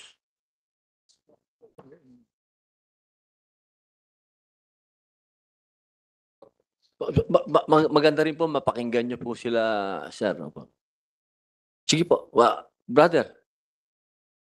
Ah, magandang gabi po. Ah, ako po isang producer din. Ah, I've been producing movies. Eh, I produced about 300 movies na. So, ah, lately, nag-start po ako mag-produce 2007. Or I started ah, educational media films. Pinapalabas po sa school yung mga pelikulang ginagawa namin. Ah, dahil nga napansin ko noon, pinapalabas sa eskwela Beauty and the Beast, mga ganon. So sinimulan ko po itong, itong advocacy na to, historical films. Nagpo-produce kami. And yun nga, napakahirap kasi unang-una, ah, kahit na independent producer po ako, mga kong artista, mga mainstream, sila Coco Martin, sila Jody, because we wanted kids to be interested in history. And uh, during that time, kakonti pa lang naman ng independent filmmakers. There was Cinemalaya, Cinema One. And yun nga naging problema namin. Dati kasi ang permits, kunyari ang mga tax, pag pinalabas namin sa sinihan, ang laki pa ng kinukuha ng cut ng mga sinihan. Ah, ang hirap makabawi. Parang ako ay binenta ko yung kotse ko, binenta ko yung kondo ko just to produce the first film. And then uh, it took me like 10 years to to re- to get the money back. And then there's so many permits like ang permit ng pelikula mo mag-expire yan, eh pinapalabas kami sa mga eskwelahan. Eh, ayaw namin ipasa sa estudyante yung mga buwis. So sabi na, sige, di bali na kahit malit lang yung ano namin, we were able to recuperate and reproduce other films. So yun nga, sinasabi nila na galingan daw namin, gumawa kami ng quality na content. Napakahirap. O para lang kumita, yung sinasabi ko 300 films, siguro 20 lang doon yung maayos. Yung iba puro mga pink films na mga mga lumapit sa akin mga artista, walang trabaho. Kasi you have to look at our our situation. Napakahirap para kaming DSWD. Uh, the Actors Guild is like a a ghost of its shell from way, way back. Uh, we haven't updated our bylaws. And to think the MTRCB and the Actors Guild go hand in hand before, panahon yan nila Kuya Robin, no? Napakalakas ng Actors Guild. Pag sinabing Star Olympics, sponsors madami. But due to antitrust issues, no, na the, the stations, they had their own. Uh, ang laki ng ano eh. Like I was there, I was watching history unfolding until I became a producer. Sa producer din pala, napakahirap. Ang daming challenges, mga daming permits, daming ganun. Hindi kami makabawi. So ano nangyayari? We, we, we gather. Kami nag-chipin-chipin kami mga artista. Hindi naman po ako superstar. It's just that I saw the need na hindi na ako mag-artista. Mas gusto ko mag-produce na lang kasi mas makakatulong ako sa industriya ko ng ganito. So nagsakripisyo po kami mga ibang artista. Kami ngayon nagpo-produce. Kami nila Allen Dizon, nila Dingdong Dantes, to name some, Piolo. Lahat kami nag nagbenta ng mga gamit, parang ano eh, nagpapaaral ka ng mga estudyante kasi we're trying to survive 8,000 members. 8,000 members and and to think of it, para kaming ano, we're under office of the president pero hindi na-update yung bylaws namin. Would you believe? Until today, ang allowances namin as board of directors is 500 pesos per month. Eh nung nakaraang hearing, sinabi ko, okay, MTRCB, ah, they're getting 200,000, parang ASEC level yung item nila. But we do not complain. Kasi kami nga, we're doing it for passion. We're doing it for the arts. Pero yung matatax pa kami, ina-assume na kumita kami ng malaki. It's a big, uh, it's, it's a, yung nga ma-rewardan lang kami sa abroad, parang it's a desperate move that we're trying to make movies just to get recognized abroad when you should be recognized in your homeland first before you go abroad. Kasi yun na lang yung ano, biro may, let's say Dali De Leon, nanalo sa sa foreign ano award. Siya yung latest kuya, si si Dali De Leon. Nanalo siya. May tulong ba tayo doon? Wala eh. Wala naman tayo ambag doon. Sariling sikap lang din ng tao yun na pumunta doon na nakilala siya because of opportunity, because of hard work and dedication. Nanalo siya. Pero yung sasabihin natin na may tumulong doon na government agency or what, wala eh. And we're comparing with ourselves sa North Korea, sa, sorry, South Korea and North Korea when they do movies. Grabe ang production value. If you see their their their films, yung mga teleserye nila, yung production value napakataas. Eh yung Pilipino, saan natin kukunin pabalik yung pera? As a producer, paano ko babalik? Kailan ang ikot nung nung film? Five years? Ten years? Napakahirap eh. So if we really want to rekindle, we have to look at the global market. Netflix na ngayon, yung mga platform na yan. Yan naman ang tinatax ngayon. Okay lang naman sa amin i-tax yan. Kasi kumikita eh. Let's say yung mga ibang platform na medyo sexy, although yun ang kumikita, it's an entry point. Maybe from that entry point na sexy, kasi ganun, namatay yung industriya, nabuhay ang pito-pito, nakabalik yung mga ano. We have to get the people back to support our own. So, yun lang po yung ma-share ko. Salamat po. Salamat po. Ah, ma'am, Ma'am Attorney, pwede po bang explain natin paano ang paggawa ng pelikula? Halimbawa, gumawa po kayo ng pelikula. Ano po yung mga tax na babayaran ninyo? Um, okay. For example, a film grosses 1 million pesos. So, sa 1 million pesos na yan, na kinita during the entire run, magma, i-deduct natin dyan ang 10%. So, less 10%, which is the equivalent of the amusement taxes, which is remitted to the local government units. So, ibig sabihin, yung matitira sa 1 million pesos na gross is 900,000. Sa 900,000 na yan, dinidivide yan into two. It is shared with the cinemas kasi sila ang kumbaga plataforma kung saan pinapalabas ang sine. Um, they own the the property, the the theaters, nagpo-provide sila ng tao para iman yung sinehan. So, 'yon ang share nila. It's 50-50. So, ang matitira sa 900,000 is 450,000. Sa 450,000, nagbabayad ng value added tax. Dito kami malaki ang issue sa producers with the BIR because we are being asked to pay VAT. Pero ang sinihan, because of that Supreme Court decision that said that if you're already paying amusement taxes, hindi na kailangan magbayad ng VAT, hindi sila nagbabayad ng VAT. Pero ang producer, pinagbabayad ng VAT. So yung 450,000 less 12%. So, teka lang, mahina na ako sa math. um, 450,000 times 88.88. Ang matitira is 396,000. Tapos doon pa rin sa 450,000, magbabayad ka sa distributor mo ng 6%. Ano 6% ng 450,000? Less 450 times 0.06 minus 27,000. So ang matitira na lang sa producer is 369,000. So um kunwari ang ginastos mo sa pelikula mo is 10 million, tas ang gross mo is 1 million, ang babalik sa is 369,000 lang. So sobra talagang katay ang producer. Yun po. Maraming salamat po, attorney. Yung boss, yun po yung sitwasyon ng ah, pelikula. Opo, kaya humihingi sila ng konting pagtingin mula po sa BIR. Sige po, attorney. Uh, uh, Mr. Chair, um, um, uh, maybe, um, maybe I could uh, raise that to my um, to my um, superiors because that that is a matter um, be, beyond my beyond my capabilities. Um, because um, as far as I am I am now, um, I can only render opinion on what is currently provided under the law. So tali po ako sa batas. So kung ano po yung nakamention sa batas, and kung ano po yung naging decision ng Supreme Court, um, kasi nga, um, ta, ta- ta- um, I, in, in my own opinion, um, I agree na that, that, that there's somewhat injustice in there that that's kasi may sa yung sa sa establishment hindi na siya sinisingil ng ah, ng VAT and sa sa producer si- sinisingil siya, siya ng VAT. Um, however po kasi th- that is what is stipulated under the law. So um, um, kaya po yung kaya po yung initial draft namin parang qu- qualified lang into na doon lang magkakaroon lang ng incentive sa VAT na related do sa income.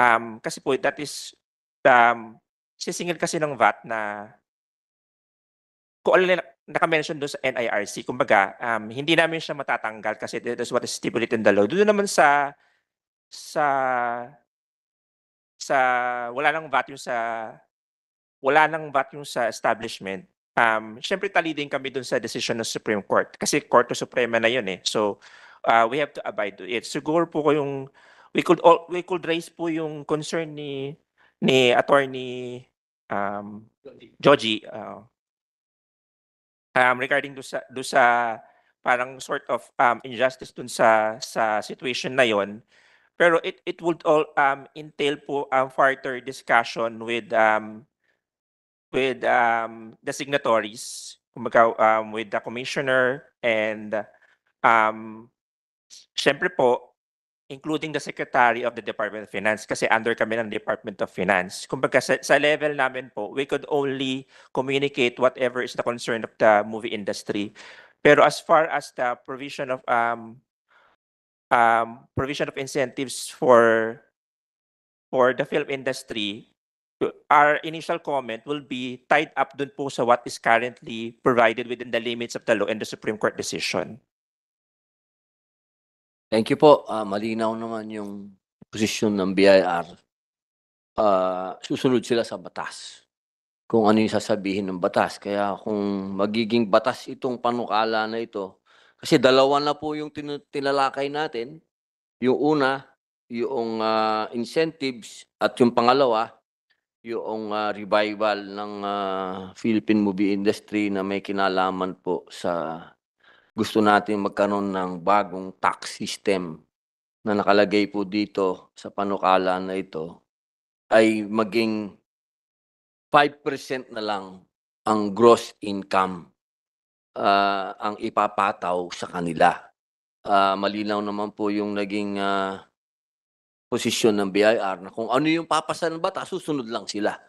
Kaya ang manggagawin na lang po natin, ah, gagawan po natin ito ng committee report, itong gusto natin na 5%. Tapos from there, kung sino pong susuporta. So, ang sigurado po dyan, meron na kayong limang boto. Ah, andyan na, i- limang artista nandito. Nandyan, na, andyan si, siyempre, si Ma'am Grace po, artista na rin ang tingin natin sa kanya eh. Um, Oo, so, Mr. Yes, Chair, yes, sir, yes, sir. Um, I, I would just like to add, um, um, the- the five percent will be um, somewhat like a form of a special corporate income tax. Kasi five percent, um, there's, there are other similar laws that, pro- that provides for such. Um, kung kaya lang po kung papasa siya, um, um, i-expect po na natin na that, that, that will, that there will be strict, um, uh, strict um, revenue regulations na ilalabas na dapat po yung mga yung mga persons or entities na bibigyan ng 5% um, tax incentive, dapat po dun sa books of accounts nila, malinaw po dun kung ano po yung income na na nanggaling lang dun sa mga sa exhibition tsaka showing ng commercial films. Dapat po may, may, may parang malinaw yung pagkakalagay dun sa books of accounts kasi later on naman po kasi pag hindi malinaw, pag hindi yun malinaw sa books of accounts nila, sila din po magkakaroon ng problema sa audit ng BIR po. Guro po, doon po sir, hihingi po kami ng assistance din ninyo pag ginawa namin yung TWG para mai ano nyo po doon, malinaw kung ano yung mga kailangan nilang ihanda doon sa kanilang book of accounts. Uh, yes, sir. Uh, actually, um, upon initial review, um, parang um, uh, in-expect na namin na it, it would, uh, parang manganak siya ng revenue regulations eventually. Um, for, if this um, eventually becomes a law, it will really entail um, um, issuance of the necessary revenue regulations. Apo, ano lang po siguro naman to pansamantala lang. Hindi naman namin ito hihingin na buong buhay na ng industriya. Ngayon lang po na kailangan namin siyang i-revive. Opo, ngayon lang po. Siguro pag-usapan po natin sa TWG, ang ang maganda lang po dito, ah bukas naman lagi ang gobyerno na tumulong sa mga negosyante.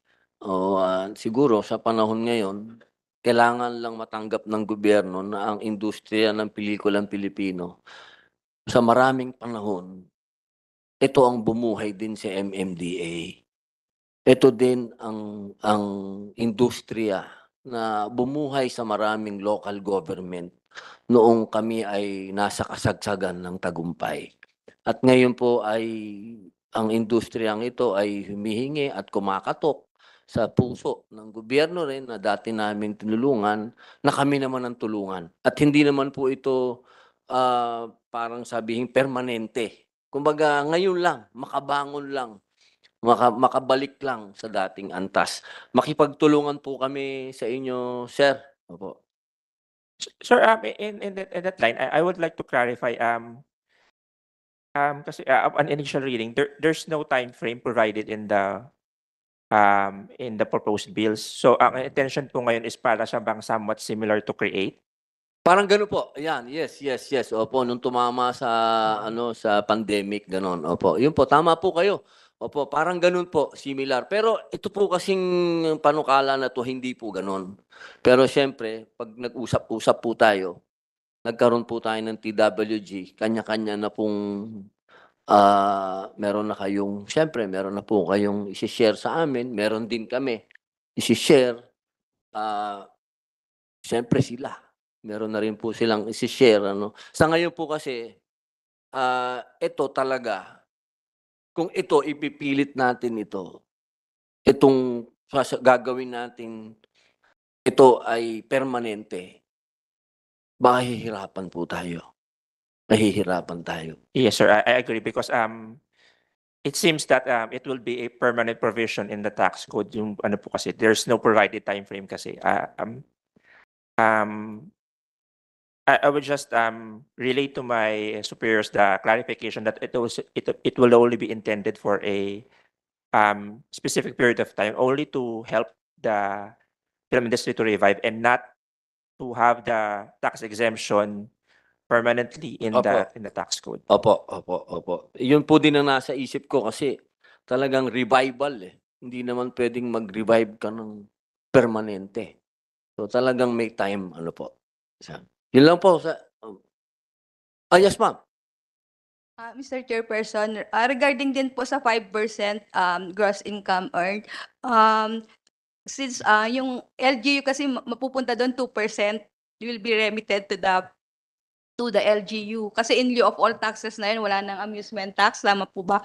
And thank you for informing us na temporary lang yun kasi baka maapektuhan din po yung LGU ah, kasi 10% yung sinisingil nila ngayon ah, compared sa 2% sa GIE. So gagawa din kami siguro, Mr. Chairperson, ng simulation kung baka kasi ma, mawa, mama- mabawasan din yung revenue ng mga LGUs. And isa pa po, dito kasi sa um, nakalagay dito will be remitted to the municipality, municipal treasurer and city municipal and city. Eh yung amusement tax kasi Miss, Mr. uh, Chairperson is is is a provincial imposition. Mawawalan po ang ang revenue yung province. Ah, dati yung province nag-share isinishare lang yung amusement tax sa municipality. Pero ngayon parang yung yung munisipyo na po yung magkukuha ng 2%, wala na yung province, so mawawalan din po ng revenue yung province, Mr. Chairperson. But since sabi niyo naman temporary lang, baka okay lang lang po na ma maapektuhan yung mga revenues ng mga LGUs. Apo. Salamat po. Ma'am. Um, I would just like to react, um, Mr. Chair. Um, kasi po ma'am, we sa FDCP po, we spoke to the mayors of Metro Manila asking initially for a tax break, for a tax holiday for a certain number of years. And um, the common reaction was, hindi na po ganun kalaki ang nakukuhang pera sa amusement taxes compared to before. So parang hindi nga nila maramdaman. As a matter of fact, in Quezon City, there is no amusement tax. Zero po. Eh, QC is the biggest generator. I mean, you know, it's the it's the it's the city that gives us the biggest um uh revenue in terms of film uh you know, the film viewers. So, yung um sinasabi niyo po na apektado, hindi na po katulad dati, ma'am. Sobrang ibang-iba na po. Besides, this does not include foreign films. Local lang po ang pinag-uusapan dito. And um, I, if I'm not mistaken, Las Piñas and Caloocan, they've also reduced the 10% amusement tax to 5% voluntarily. A- Again, the reaction was it doesn't really affect them kasi it's very small. Yun po. So okay lang po yung 2% na ibibigay sa kanila. Uh, In lieu of all, ano na yun, hindi na, ka- wala nang amusement tax, mag-share na lang sila dun sa 5% GI. I guess so. I, I, I cannot speak on behalf of the producers po, but it does make, I mean, it it sounds fair. Sounds fair. Yung, yung, yung sinasabi po ni Ma'am ah, Attorney, yung po yung nasa law. Isa panukala na yung po yung sinasabi. Pero, Ma'am, maniwala po kayo sa akin. Ang mga taga-pelikula ay hindi madamot. Talaga pong nung kami eh, kaming mga artista eh, tinax. Kami nagbayad din naman ng tax. Yung mga producer ng sila ay tinax, nagbayad din po yan ng tax. Ngayon lang po talaga. Kumbaga, humihingi lang lang talaga ng tulong. Po. Kaya, ayusin po natin yan sa TWG. Hayaan niyo po, wala naman pong madidihado. Ang kailangan lang po talaga natin tanggapin na kailangan na kailangan ng industriya ang tulong po ninyo. Local government, national government. Yun lang po. Maraming salamat po. Mag-move na po tayo. Dalawa na po yung napag-usapan natin. Yung incentives at yung ah, sa tax. Ngayon naman po ay ah, Film Commission. Pag-usapan naman po natin itong Philippine Film Commission. Itanong naman po natin ito siyempre sa FDCP. Sa atin pong ah, idolo, Chair Tirso Cruz III. Sir, meron po kaming tanong po sa inyo. ah, kagalang-galang na senador at ah, naging taga-pumuno po ng ah, usap-usapan natin tong araw na ito. Ang ah, FDCP po eh walang ah, kagatul-gatul na sumasang-ayon sa pagtatayo ng ah, National Film Commission po. Ah, this is something that ah, we can look forward to at sa tingin nga namin ito po eh kinakailangan na ng ah, ating industriya it will be able to help and gain a lot of support. And uh, bago din po tayo magtapos, nais ko rin pong ipaabot muli ang pasasalamat sa lahat ng mga senador, lalong-lalo na yung mga kabilang sa ating industriya, uh, kagalang-galang na chairperson. Ah, sa ito pong inialok ninyong mga mga batas na gusto ninyo yung maisa batas talaga, mga, mga, mga panukala na nais yung maisa batas upang makatulong talaga sa pag-unlad ulit ng ah, industriya ng pelikulang Pilipino. Sabi nga eh, ang muling manumbalik ang sigla at ganda at galing ng ating industriyang pelikulang Pilipino. We do agree with uh, the creation of uh, the National Film Commission po, uh, Chairman Robin Hood Padilla. Maraming salamat po ang aming chairman, Tirso Cruz III. Bago Ah. nga pala magtapos, ah, pa paumanin po, ah, Chairperson. Ako po dapat ay talagang nandyan, kanya lang ko hindi nakapunte dahil ako po inabot nung uso ngayon na ubo at sipon. Eh ayoko naman pong maghasik pa ng ah, mikrobyo dyan sa ating Senado. Pag paumanin na tanong po, kung hindi ako nakarating, humihingi Okay po ako po, ng okay paumanin lang sa inyo. Isang tanong na lang po, Chairman. Yes, Paano sir. po kaya yun? Dito po sa nakalagay sa panukala ng Philippine Film Commission, nakalagay po dito, sila po ay magre-review na rin ng pelikula. Hindi po ba magiging doble ang may MTRCB, may Philippine Commission pa? Paano po kaya yon? Yun lang po nga ah, napag-usapan din namin na siguro po eh, may mga provision na dapat nating pag-aralan pa. Sang-ayon po kami doon sa commission pero may mga provision na dapat pag-aralan at ah, ngayon pa lang pinapangako na po namin sa inyong opisina ah, Mr. Chair na ipapadala po namin ang aming position paper tungkol dyan dahil ayaw naman po namin sumaklaw din sa katung katungkulan at kapangyarihan ng MTRCB. Opo, opo. Oh. dahil sila ho talagang may karapatan pagdating diyan sa pagre-rate ng mga pelikula. baka, baka magkaiba sila ng review, mag-away pa yung dalawa. Yun, yun ang inaalala ko, ah, Mr. Chair, eh, baka mamaya ay magkasamaan pa kami ng loob ni Chairperson Lala, eh, ayoko po. O, opo, siguro tama. Pag-usapan po natin itong panukala na ito, iniimbitahan po namin kayo, Chairman. Yes po, ah, inihahanda na po namin yung ah, position paper namin tungkol dyan. Pero bukod po dyan, lahat po itong labing-anim na ininatag ninyo talagang unang mga panukalang batas. Eh kami po eh taas kamay at pumapalakpak at nagpapasalamat dahil kailangan kailangan na po talaga ng ating industriya, lalong-lalo na ang FDCP po upang magkaroon kami ng tulong sa pamamagitan po ng ah, tamang batas. Salamat po, Chairman Tirso Cruz III. Ma'am, Attorney Georgie. Um, um, Mr. Chair, actually the review that we, is being discussed in this particular Senate bill is not the same as that of the MTRCB. Ah, okay po. Sige It, po. it's um, giving a grade. Uh, depende po sa kalidad ng pelikula, mabibigyan siya ng, for example, grade A or grade B para magkaroon siya ng uh, tax rebate na manggagaling sa amusement taxes.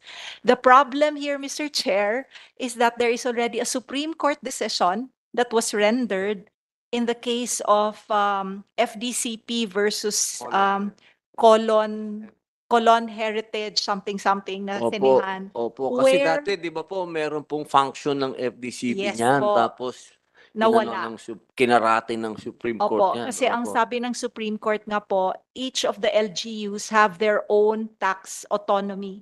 So nag dito sa sa bi- um sa provision ng law na sinasuggest minumungkahi ulit sa bill na ito, ganun na naman ang mangyayari. It will just be declared unconstitutional. So baka po we need to review this part.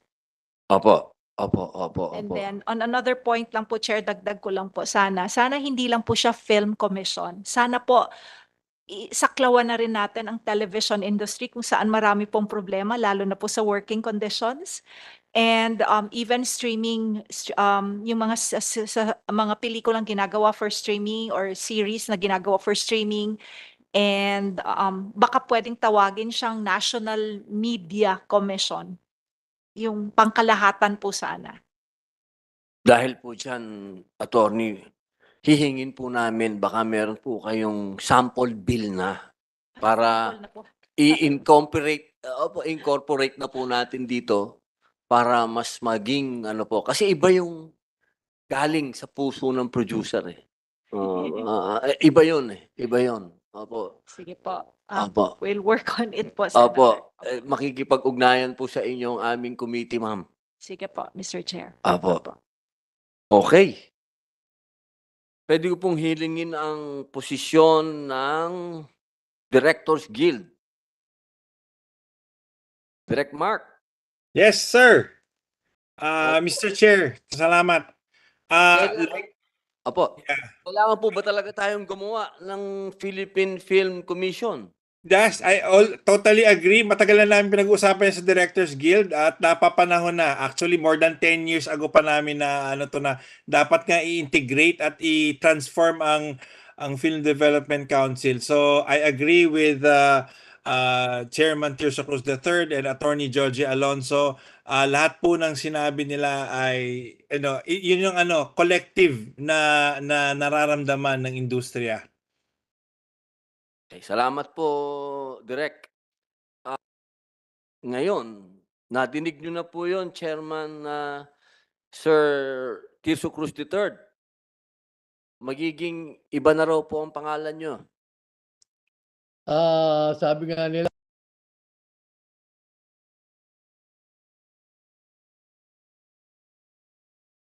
Chairman, nawala po ang inyong boses po. Chairman, parang na-off po yata yung mic. Na-mute po. Opo.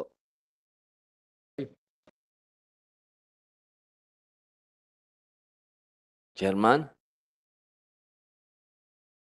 Yan, nakamute po kayo niyan. Ano, Yan. ayun, meron na ba? Opo. Ayun, meron na pala. Pasensya na po, ah, Mr. Chair. Ah, gaya nga na sabi ko, ano ba naman ang meron sa pangalan? Ang pinagtatalunan eh yung may paglilingkod ng ah, komisyon.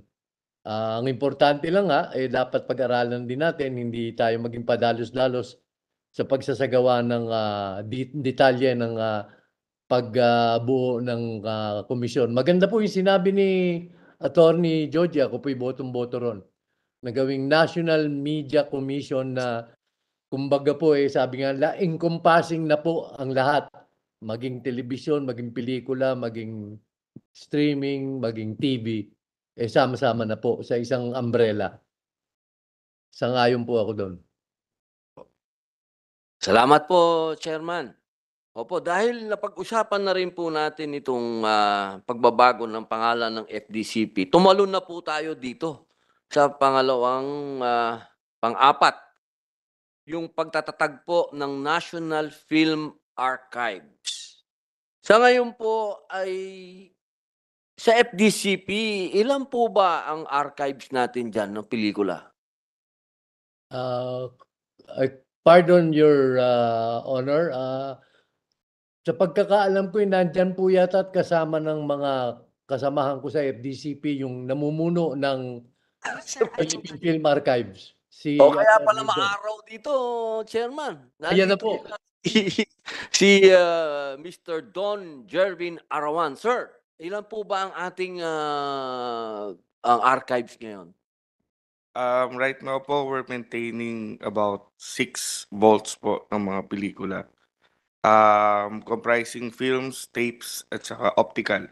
Including digital. Although yung digital natin, sir, hinihiwalay po kasi natin ang bilang dahil iba po yung treatment natin sa kanya. Okay. So mga ilang films po ito? Mga Uh, Mr. Chair, right now po, uh, we have, 1,000? we have 46,000. 46,000. 876 film elements po. Oo. So, talaga pang kailangan pala talaga natin ng National Film Archives, ano? Oo. Actually, Mr. Chair, uh, yung FDCP po has been supporting, tinayo po yung archives, ano, sa maliit na budget po ng FDCP, doon pa po namin kinukuha yung budget ng archives. And for the past 10 years po, ganun po yung sistema. Actually po ngayon nagpapasalamat kami kasi nabigyan ng, ano, ng, tawag dito, pagpapahalaga yung pag-institutionalize po ng archive. Kasi sa archive po, napakaliit po ng community namin eh. Um, kung ang industry po, 10,000 ang, nasa archive po, siguro mga isang daan lang, ganyan. Kaunti lang po kami.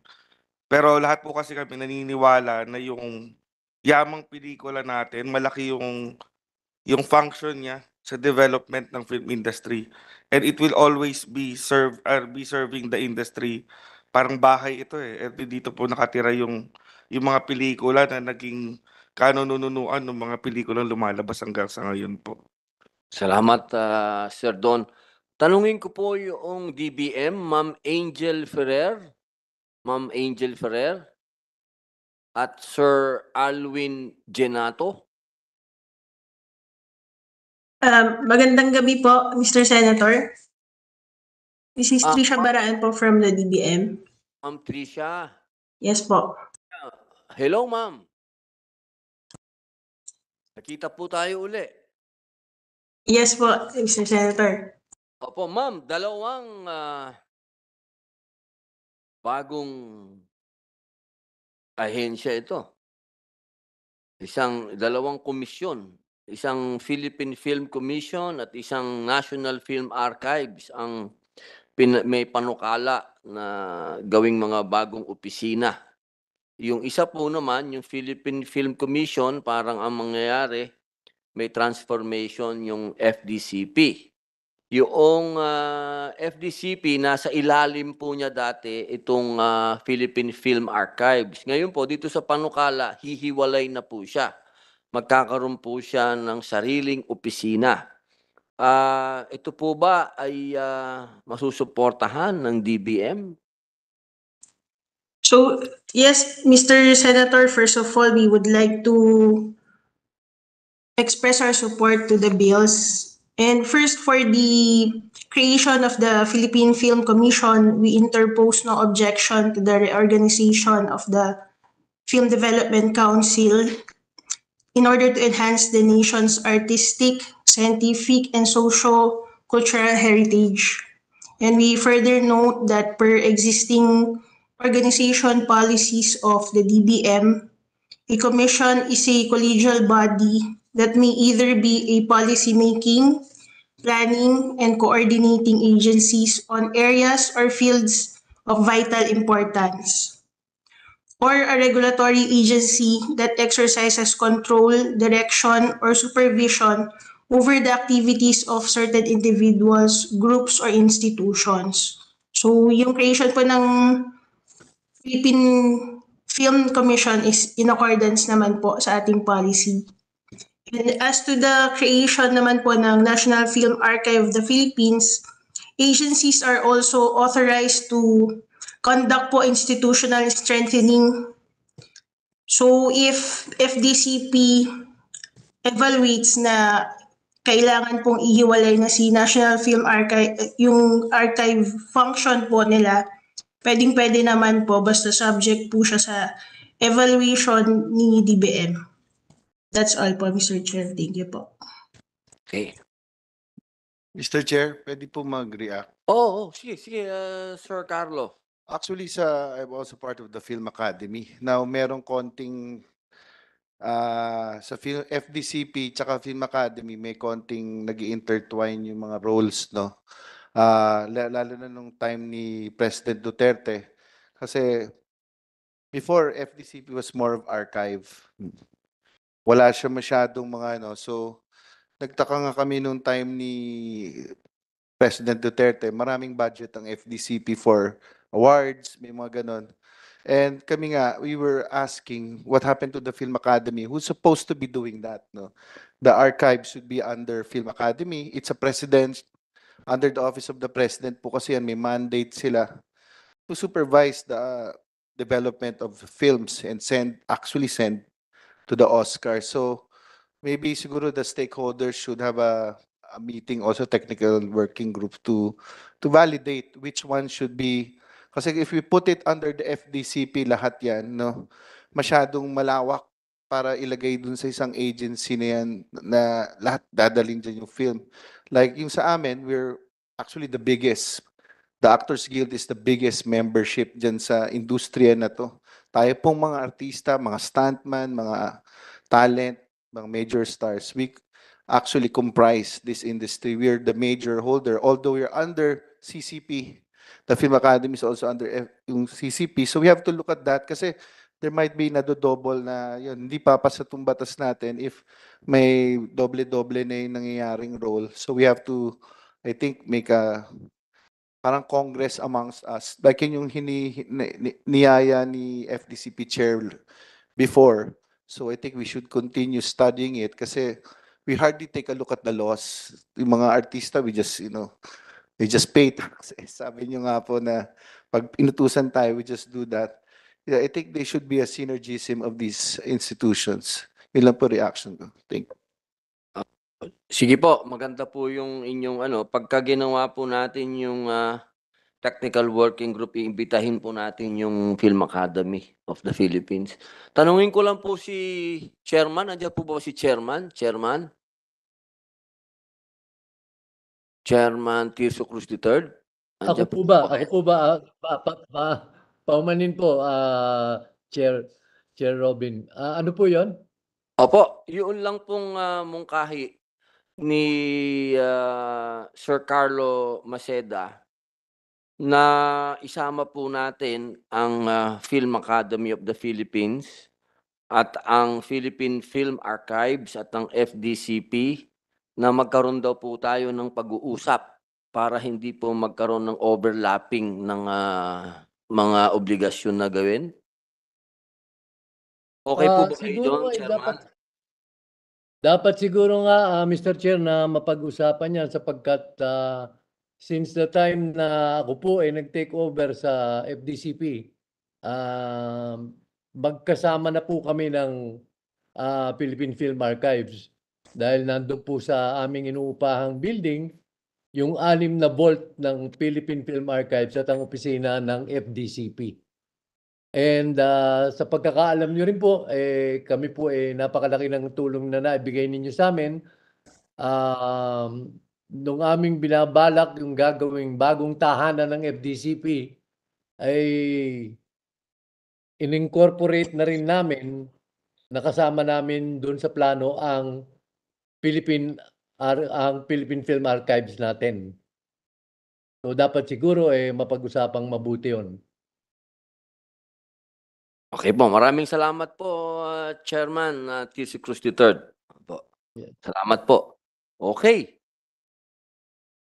Ito na po tayo sa, ah, okay ma'am. Ma'am Rosemary Roque ng Magandang gabi po sa atin, Mr. Chair. Ah, mula po ako sa Society of Filipino Archivists for Film. SOFIA po yung acronym namin. At Sige po. ah, ayun, ah, sasamantalahin ko po yung pagkakataon. Una, syempre magpasalamat na ah, matagal na po po kasi kaming may ganitong advokasya bilang organisasyon. Yung ah, SOFIA po, ah, sa kaalaman na rin po ng iba, ay isa po kaming non-stock, non-profit NGO. Comprised po kami ng individuals from varying backgrounds. Meron po talaga sa aming mga archivists, pero hindi kami limitado sa mga day job na AV archiving. So meron din sa aming mga film en- enthusiasts. Halimbawa po ako, isa po akong guro, pero ang advocacy po talaga ay sa audiovisual preservation. At ah, iisa po yung nagsama-sama kami dahil sa yung kailangan maitayo yung yung ating National Audiovisual Archive at lalo na nung panahon na thir- 30 years ago, may plugging pa, ah, nung natayo po yung organization ay yung nawala na po yung archives mainly na hawak ng Manila Film Center. Kaya yung muling pagbabalik ng ating ganitong ang layunin, kumbaga yung amin nga pong President Emeritus, si uh, Professor Doy Del Mundo, ay meron ngang sinasabing dreaming of a national archives, uh, audiovisual archives. So ito po ay talagang matagal na ngang pangarap at kinalaunan nga po, fast forward, meron po tayong FDCP na nabigyan ng isa sa mandato ang mag, mag-maintain ng AV archive. Ngunit ah, sa ah, ito dito kailangan kong sabihin na dahil institutions and individuals kami sa Sofia po, ah, ang PFA po ay actually member ng Sofia. Kasama po namin ang Mowel Fund, ang Prov Archives, ang FPJ Archives, ang ah, UP Film Institute Film Archives at may mga individuals na yun nga, ah, katulad po ng ibang mga nasa Senate, ay ah, nasa archives po ng Legis, ay member po ng Sofia. So ganun po yung lawak po natin. Pero ako po, magsasalita po ako galing sa akademya at meron po kaming nasikap na, ah, na position paper na kung pahintulutan pa ko, may email ko po to sa committee. Ah, although po ito ay um, mas bunga nung mga naunang legislative um, bills po, hindi sa Senado, kundi sa Kongreso, pero makik I mean sa House of Representatives, pero makikita po yung similarity. At ang iniikutan po nung aming position paper, kasama ko po dito sila Dr. Bliss Kuwalim,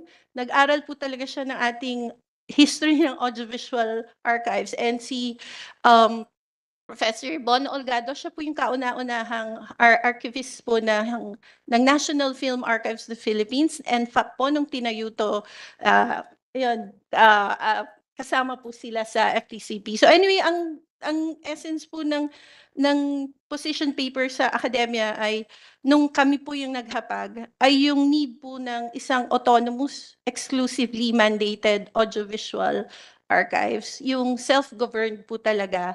Kasi malaking issue po sa archiving, yung sustainability and longevity. Yung, um, kaya po halimbawa, um, sorry po at kasi tatlo po yung bills na hinapag. So nung binasa ko po yung tatlo, tinuhog ko na siya dun sa, may provision po kasi nga na may nagsasabing ah, under pa rin ng FDCP, pero meron namang bill na ang proposal ihiwalay na dalawa po yung bill na ganon. At yun po dun, ah, mas pumapanig yung posisyon na to, na talagang ang ang sa karanasan po, halimbawa, nabigyan akong pagkakataon na mabisita mismo yung Korean Film Archives uh, two, month, uh, two weeks ago, yung COFA po, ay ganun sila. Katulad din po sa National Archives ng Thailand, yung ma- malapit na lang sa atin, ah, mga autonomous, exclusively mandated, self-governing po na mga AV archives po sila. So,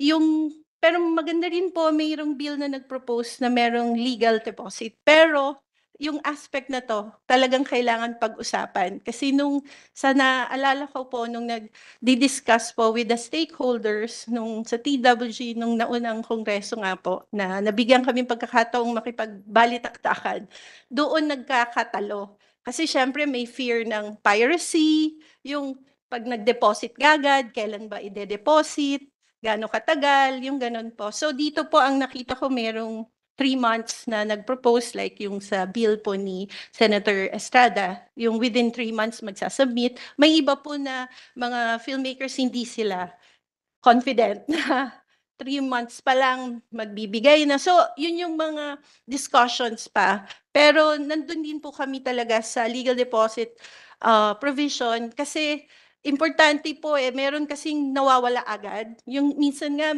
corrupted kagad yung file, tapos walang, isa po kasi sa archival principle is yung uh, redundancy of copies, yung para pag, lalo na yung, ano man mangyari sa isa, meron pang suportang iba. So yung mga geographical locations, dapat magkakalayo. So may mga prinsipyo po, uh, isang art and science po ang ang archiving. Kaya po, yung kahit po yung provisions, mainam po merong proposal na nagsabi na merong executive director, merong two dep ED, pero ang napansin ko po yung provision is two years lang, tapos dalawang beses lang sila pwede. So four years.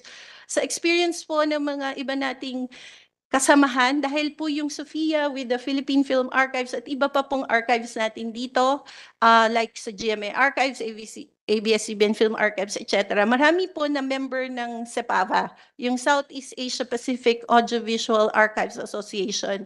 At yun pong mga ting, ah, kinukwento ko na, na ganito, um, may iba-iba kasing state po ng ano natin, yung archiving. Siyempre, mayroon ng state of the art, meron startups pa lang. Pero importante po, may state nga na mangunguna while respecting the decentralized archiving efforts of others. So yung siguro po yung pag pag-upo nga po ng lahat ng concerned, um, malaking bagay sa TWG ito kung magpupursu po. Pero yung isa po rin naming malinaw, totoo pong napaka-importante ng resources and funds na i-allot para, para dito. At maganda pong narinig na yung kanina po na mga nakonsulta sa DBM po, etc. na posible naman po talaga palang mangyari. Para yung dream po, na dreaming of a national AV archives ay magkatotoo na dahil po at sa, sa totoo lang kahit po ang mga filmmakers may tinatawag na archival repurposing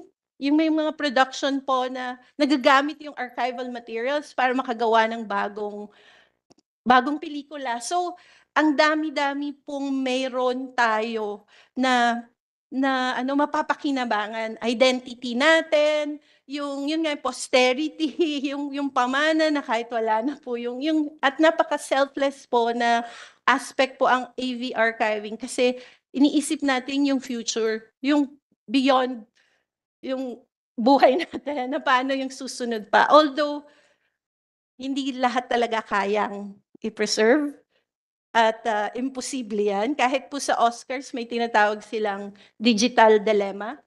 May libro na po sila dyan tungkol sa dilemma na yan. Pero ang point ko po, good step po talaga to at ah, maraming salamat po. Ang ina-assert lang po namin yung, yung lalo na yung sa academe na nag-propose nga po ng autonomous, exclusively mandated, self-governing na AV archives po.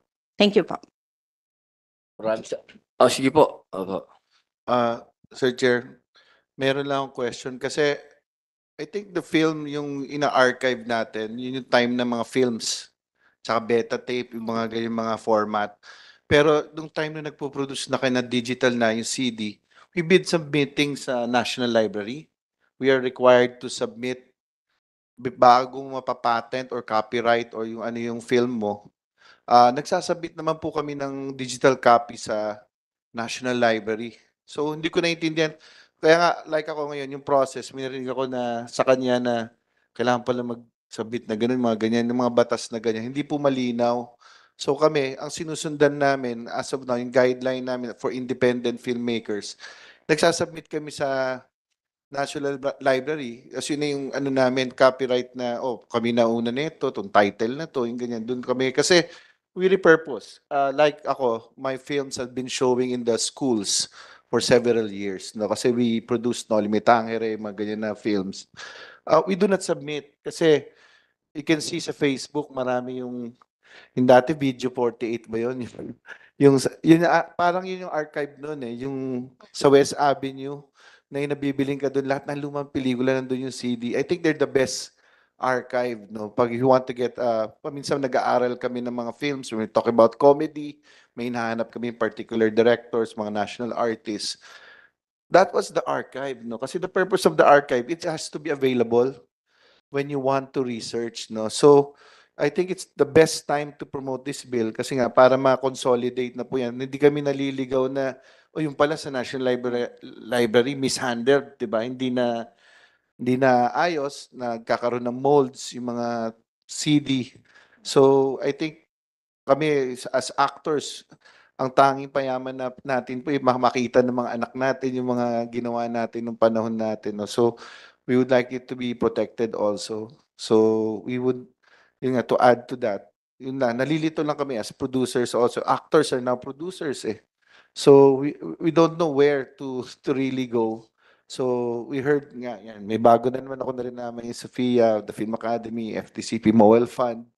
So ang dami. So yun nga, we need to meet para yung isa na lang yung sumisigaw ng balut para naiintindihan. Oh, dito pala dito pala bibili ng balut, 'di ba? Para ganun kasimple lang para lahat ng tao makinabang. Maraming salamat po. Mr. Chair, add ko lang. Thank you po. Ah, actually, ayoko pang pasukin din. Pero pansin niyo po ang term na ginagamit ko, AV, audiovisual. Hindi ako nagpalimit sa term na film. Kasi kung istriktuhin na film, celluloid, totoo, hindi na lang yun po. Pero yun nga po, gumagamit ako ng term na audiovisual. Kasi nga, even sound, yun nga, yung even ito pong Senate hearing natin na ngayon ko i-record po ito ang bahagi ito ng ating audiovisual heritage bilang documentary heritage. So napakalawak niya actually. At uh, yun actually rin yung laman ng position paper namin na not to limit the name kung may name naming to the National Film Archives but to to convert it to the, like a national uh, audiovisual archives or uh, Philippine Film Archives basta yung audiovisual archive. Pero sa TWG na lang din siguro po yun mas pag-usapan. Marami na rin naman po tayong available references like UNESCO has been very generous for providing um, uh, these materials kasi ang audiovisual archivists po around the world are very generous. They really share their experiences and they're downloadable, free yung mga references. Matter lang po talaga na aralin natin tapos magamit natin sa Pilipinas. Lalo na ngayon yung digital preservation po napaka-importante niyan kasi hindi pa nasasagot yung problema ng digital rot, yung mga nawa, na, nagko-corrupt na files. Damang-daman niyo po yan. Alam kong siguro sa mga personal nating files, may nawawala na agad. So, yun po. Salamat po. Thank you, ma'am. Malinaw ang ating ano, tol. May kakampi ka. Sige po. Ako po yung vice president ni sa Sofia. Ah, ganun ba? Eh, kaya naman pala eh. Okay. Ayos. O, mag-ano na po tayo. Kanina napag-usapan na po natin, ik- ikalama po natin ito, napag-usapan na natin yung ah, tungkol sa promosyon ng mga lugar sa Pilipinas. Ituloy na lang po natin to. Ang panukala para isulong ang turismo sa pelikula at telebisyon bilang isang espesyal na pamumuhunan para isulong ang turismo sa bansa. Magkakaroon po tayo ng promosyon at marketing ng mga lokasyon sa bansa para mahikayat ang production ng international films at TV programs dito. Marami na rin pong nailatag na incentives para sa film tourism. Ayun, tanong po natin ang DOT. Opo, ah, sir, magandang ano po, alabado. Meron akong Matagal kong naging gwardiya dun sa Bilibid Alabado eh. Kaano-ano mo ba yun? Um, Baka- Mayong gabi, um, Chair, uh, Senator Robin Hood Padilla. Okay, uh, I'm, I'm from Mindanao and I very much appreciate the the tinalak that you are wearing right now. Sal- Salamat po, salamat po. Uh, for the, apo, Apo, may tanong lang po ako dito. Sabi, marami pong pag-aaral sa benepisyo ng film tourism sa bansa tulad ng 300% increase ng mga turista sa Scotland. Isang taon matapos ipalabas ang Braveheart ni Mel Gibson noong 1995.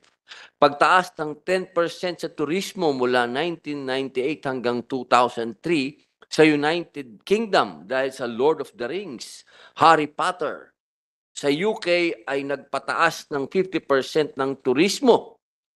Ang Mission Impossible 2 sa National Park sa Sydney, 200% increase sa turismo. Sa palagay po ba nyo, kapag ka nagkaroon tayo ng ah, film tourism, tataas po ang ating ano? Naniniwala po ba kayo doon?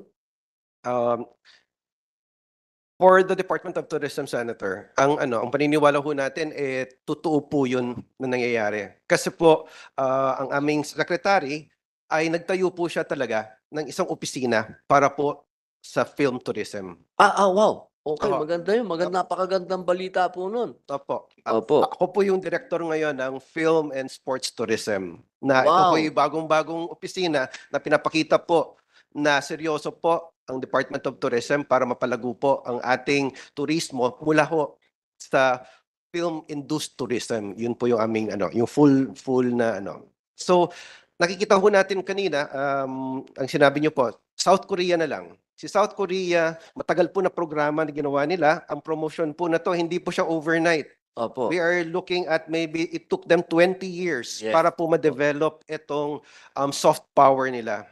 Na kung saan ang ating mga Pilipino po na mga fans nila, magpakita lang sila sa atin ng movie or TV series, eh nauudyok po ang ating mga, ang kanilang mga fans na pumunta po doon sa Korea para lang humakita yung locations. Una na po yung asawa ko, sinama ako sa South Korea. Nagpunta kami doon sa isang location doon. Oh, so nakikita po ng ano ng Department of Tourism na kanina pa ho natin pinag-usapan ang mga incentives, ang mga promotions, etong mga struktura na sana ay maayos natin para magkaroon tayo ng kalidad na mga films na pwede ho natin ipanlaban sa international. At ngayon pa lang ho nananalo na ho tayo sa mga international na mga film festivals, which is part of promotion. Nakikita ho ng ano ng Department of Tourism pag meron ho tayong mga ganong klaseng mga films, hindi lang po local, but if we can have um, even international na mga films who would locate at titingnan ho nila yung mga ating mga mga locations dito, local locations, baka po maudyok ho natin ang mga nanonood ng mga films na yon na bumisita po sa Philippines. Katulad ho nangyari sa New Zealand, na nanood lang sila ng The Hobbit, inaudyok po sila na pumunta sa ano sa New Zealand. Ang sa Thailand naman po eh ito yung The Beach. Napakita lang po na si si Leonardo DiCaprio eh nandoon sa isang isolated na beach next year. Parang mga 400,000 ata ng mga backpackers ang naudyok na pumunta ho sa Thailand. Yun po yung hinahanap po ng ano ng Department of Tourism. Ano klaseng film kaya ang pwedeng maging ano natin, parang trigger para po maudyok natin ang buong mundo na bumisita sa Pilipinas. Magellan. Alam mo, ah, ayon po sa batas, magkakaroon po ng one-stop shop para sa pangangasiwa ng lahat ng pangangailangan para mas mapadali ang pag-shoot ng pelikula dito sa Pilipinas.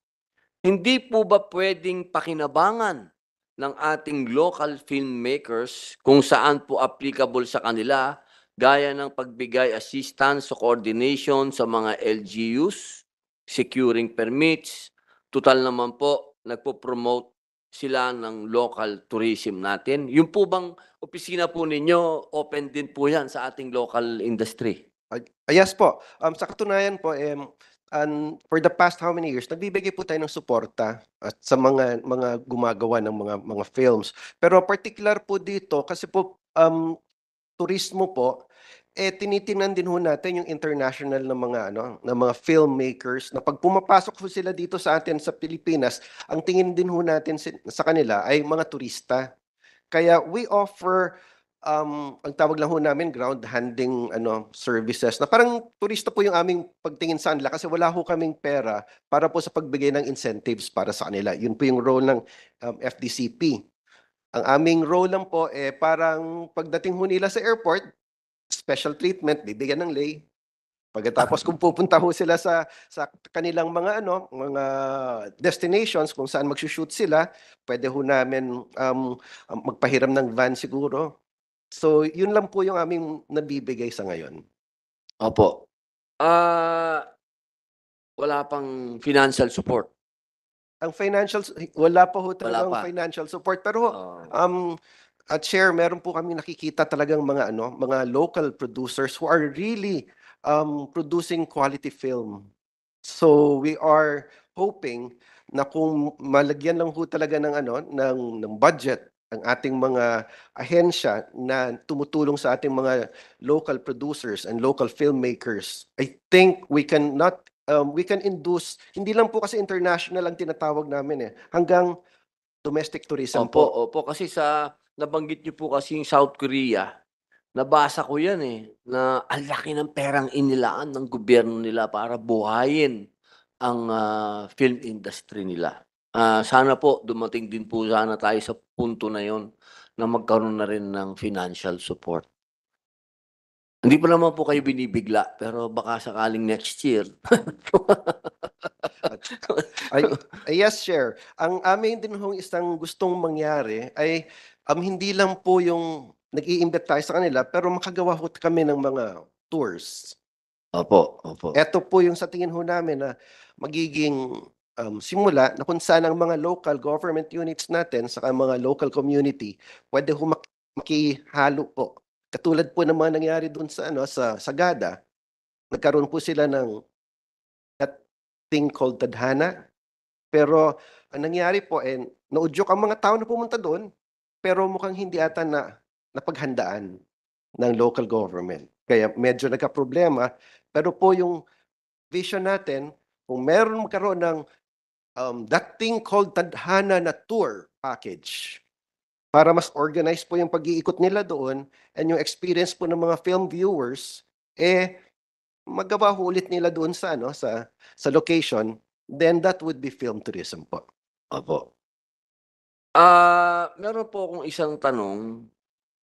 Halimbawa, meron pong international film outfit na nagpunta sa Department of ah, Tourism. So tinulungan niyo po sila, ano? Ah, tinu- mga lugar. Pero yung po bang ah, working conditions? Siyempre, yun naman po ay sa dolly naman yan. Pero, ba, pero dahil nasa ilalim po ng DOT yan, yung working conditions ng ating mga kababayan, pati po yung salary, binabantayan din po yan ng Department of Tourism. Uh, usually, um, Mr. Chair, kami po yung para nagiging tour guide lang po. Ah, okay. Sino po kaya? Kasi meron pong isang film, ah, international film, ang inireklamo. Oo, tinulungan daw po yan ng mga, ng ating gobyerno, pero sila ay hindi nagbayad? Opo, yung Magellan, pelikula ni ano? Pelikula ni Mambea. Oo, yung working conditions, ano? Oo, yung working conditions. Oo, ngayon, ngayon ko lang ako nakarinig nun eh. Kasi dati, eh, ah, kami, tuwan-tuwa kami pagka may mga international ah, film outfits dito sa Pilipinas. Kasi talagang sumusunod sila. Etong nag-iisa lang. Nag-iisang sumablay sa working conditions. Siguro bantayan lang po natin doon. Siyempre, ayaw naman natin na dehado yung mga kababayan natin. Yun lang po, yun lang. Nabanggit ko lang dahil dumaan daw po sa ah, Department Department of Tourism. Pero hindi nyo po time, ah. Ano, ibang administrasyon. Wag- Don't have a panics. Opo, ano lang po, paano lang po yun. Pa, paalala lang. Paalala lang po sa DOT. Proteksyonan din natin yung ating mga... Ah, ma'am, meron po kayong ano? Ah, may dolly ba tayo? Ah, ayun. Ah, ma'am, ma'am ah, Ria Santiago? Ma'am Ria Santiago? Hello? Hello, ma'am. Ma'am Ria. Hello po. Hello po, kagalang-galang. Ay magandang gabi po, kagalang-galang na tagapangulo at sa lahat po ng dumalo sa pagdinig na ito. Opo, ma'am. yes Ah, po. magandang gabi din po. Malapit na po tayo matapos. Pasensya na po. Opo. Tatanong ko lang po sana, yung ah, kasi po, yung atin pong ah, may panukala po dito, na buksan na atin, ano, yung ating ah, film tourism. Opo. Ah, napakaganda po nito dahil sa matagal na panahon, tayo naman po ay lokasyon na ng mga pelikulang ah, internasyonal na talaga pong ah, namayagpag, ano, katulad po ng mga war movies na Apocalypse Now, Platoon, ah, Born on the 4th of July ni ah, Tom Cruise at ah, marami pa pong iba na mga pelikula at pati mga survivor, meron din tayong ganun eh. Ah, pero kaisa-isa po na inireklamo ay itong pelikulang Magellan na hindi daw po yata nirespeto yung working conditions ng ah, ating ah, kababayan. Ah, bilang kayo po ay nasa dole, pwede po ba namin kayong mahingan ng inyong ah, partisipasyon pagka ginawa po natin itong panukalang batas na ito? Ay, opo, maha ay kagalang-galang na tagapangulo. Titiyakin po ng Department of Labor and Employment na ang nasusunod po ang local at foreign production outfits sa working conditions sa labor standards at occupational safety and health standards po nang hindi na po maulit yung nangyari po sa ating kagalang-galang na aktor na si Eddie Garcia po. Mahal Please. na, Apo. Mahal na tagapangulo, yung patungkol po sa nabanggit nyo kanina, maaari, ko, maaari po ba naming balikan po kayo doon? Ah, isasangguni lang po namin sa aming bureau kung ano po yung nangyari doon sa nabanggit nyo po kanina na Po, yung Magellan. Opo, yung Magellan po yung Magellan na hindi po Opo, sumunod. Opo, Opo. nakarating po daming tanggapan yung reklamo ng mga kababayan po natin nagtrabaho doon na medyo pati daw po yung safety nila. Medyo hindi daw po na ah, pangalagaan. Yun lamang po, pero syempre, ayaw naman po natin na bagkus na gusto natin proteksyonan yung ating mga kababayan. Ang title po ay 1521. Ang title po nung pelikula, 1521. Sige po, mahal na tagapangulo. I, ipapaabot po namin to sa aming bureau at babig- bibigyan po namin kayo ng impormasyon kung ano pong nangyari dito. Apo, okay. Maraming salamat po, Ma'am ah, Ma'am ah, Rhea. Maraming Opo. salamat. Salamat Isang din. tanong na lang po sa tourism. Nag-a-assist naman po kayo sa visa ng mga international nating na mga gusto mag-shooting dito. Yes po, uh, Mr. Chair. Nagko-coordinate po kami sa DFA, sa, sa Department of Foreign Affairs para po ma-facilitate po yung kanilang mga ano, Opo, maganda kasi mag, magkaroon talaga tayo ng ano, iwasan na natin yung ma, dumaan pa sila kung saan-saan, yung mahirapan. Oo, kaya kayo nasa inyong mga kamay na po para mag, mapadali ang ah, pag-shooting ng mga international film outfits. Ha- ang ano ho, ang ang partnership po ng Department of Tourism sa yung FDCP ay malusog po at uh, we have a tight partnership po with FDCP po. Okay. Yes, sir. Uh, Mr. Chair, if I may add to uh, Director Alabado's um, inputs, um, FDCP po actually has uh, an office called Film Philippines Office. Um, so una po, meron po kaming programang tinatawag Film Location Engagement Desk.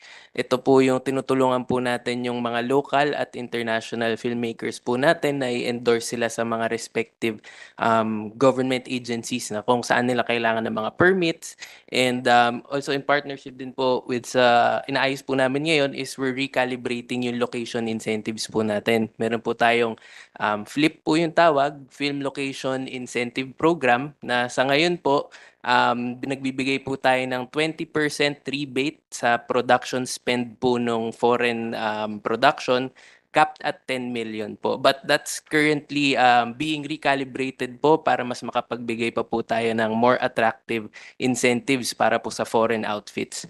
So, yun lang po. Thank you po.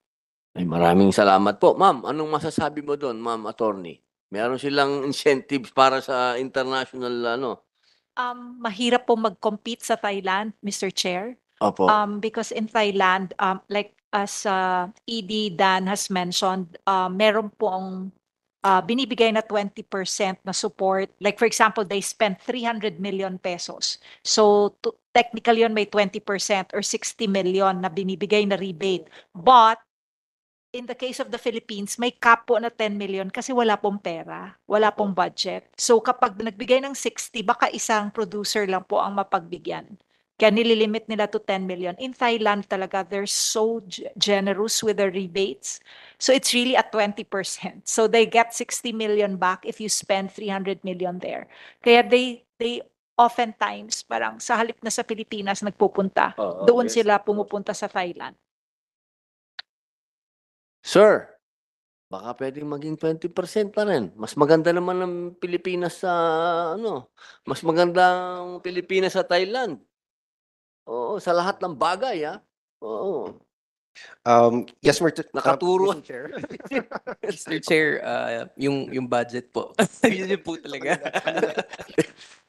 Dapat talaga magtulungan tayo, magtulungan tayo talaga. So, siguro ilagay natin sa panukala na yan, na gawing 10, 20%.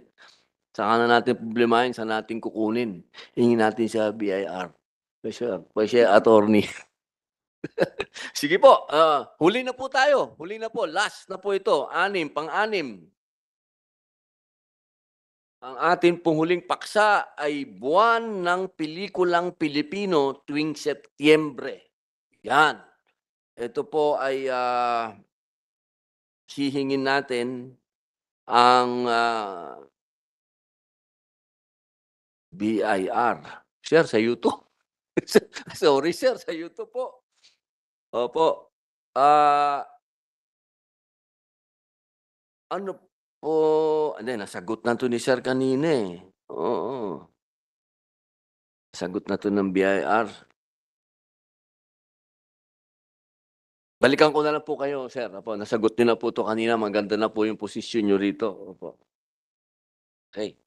Sa ating ah, direct Directors Guild of the Philippines, Direct, nandiyan po ba kayo? Malapit na po tayo matapos, Direct. Konting-konti na lang po ito. Direct. Direct Mark Mayley. Ah, nakat na si Direct. Ah, o sige, tanungin na lang po natin ang producers natin. Si Attorney Joji. Attorney Joji, sa panukala po magkaroon ng buwan ng pelikulang Pilipino sa September. Ano po ba sa palagay ninyo? Ito po ba ay ah, makatutulong sa atin?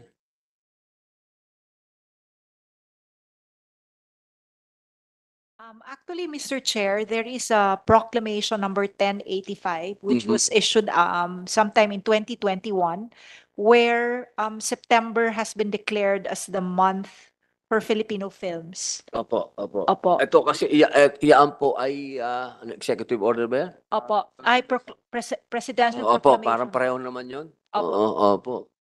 Ah, ito ba, panukalang batas na to. Gagawin na nating batas. Ano po sa palagay po ninyo? Ay, it's most welcome po para welcome na welcome po yan. Oh, eh, paano kaya yun? Ibig sabihin po ba nun ay ah, maglalabas tayo ng pelikula? Ah, O kikilalanin lang? Ano po ba ang gusto ninyo? Magpalabas? Yung buong buwan na yon, puro pelikulang Tagalog lang? O ano po ba sa palagay po ninyo ang pinakamaganda? ah, Mr. Chair, if I may po. Sige po. Um, so yung Philippine Film Industry Month po, simula nung, kasi po kasabay ko lang po si ah, Chairman Cruz.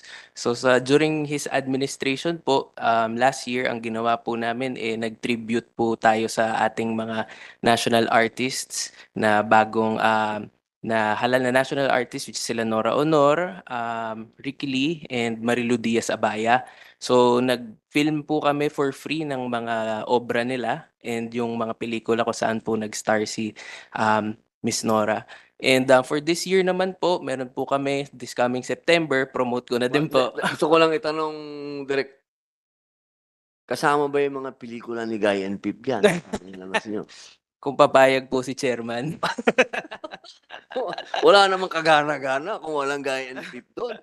Oo, then naglabas kayo. Opo, opo. Tas- yun lang yun lang ang plano. Wala Um, nang Marami po actually. So, ito pong coming September, meron ang theme naman po namin ngayon eh Sine Halakhak. So, tribute naman po sa ating comedy king na si Dolphy. Okay. Ah, meron din po tayong film labs, ah, film workshop po siya para sa ating mga youth which is under Sine Kabataan na program. After po nila mag-film lab, meron po silang short film competition. Um, and then meron pa po kaming ibang mga activities na ina-iron out pa po possible partnerships with um, people from the industry. Ah, so chine-check pa po namin. eh. So inaasik. welcome na welcome sa inyo to. Opo, opo, ginagawa na po Oo. namin. May budget kayo para dito. Nag-aalat po kami from our GAA. Opo. Wow, ang galing ha. Opo. Oo, wow. Punta po kayo sa opening. Oo, sige. Oo, dapat natin tong ano. So okay to, walang kumukontra dito. Opo, opo. Opo, sir. Okay kayo dito. Tutulungan nyo kami mag-promote nito. Um, the Department of Tourism commits with a partnership with FDCP po. Salamat po. Sir, sa ating pong BIR, sir. Okay po kayo dito. Buwan ng pelikulang Pilipino. Sir, okay naman. Pero um, yung, ay, yung sa kung may akibat yung tax incentives, syempre, Ano, okay po. subject to Mal- consultation. malinaw, malinaw po. Malinaw po yung posisyon niyo. Opo. Subject Ano to lang po? consultation. Personal support. Personal support. Yes, sir. Personally, syempre, sir, um, Siyempre, Pilipino tayo, support tayo ng sariling atin. Salamat po. Ma'am, nako ma'am, local government. Nako ma'am, Agree, ah, Mr. 2%. Sir. Oo, yung, yung mga treasurer lang naman kasi yung ah, under ng Dep- Department of Finance. Hindi namin po kasakop ang mga LCE. So siguro eh, ano rin natin sa DILG. Opo, opo. Pero sana ah, maka-suporta po kayo sa pag ah, celebrate. Kasi ano yan eh. Alam niyo ma'am, ang pelikula, kung gagamitin lang natin talaga, ito ang pinakamagandang medium. Lahat, information, ito ang gamitin mo, pasok sa puso ng tao ito. Kasi marami tayong pwedeng daanan na medium kung ano-ano. Pero pag isang pelikula lang ang daanan mo at makuha ng tao, maniwala kayo sa akin.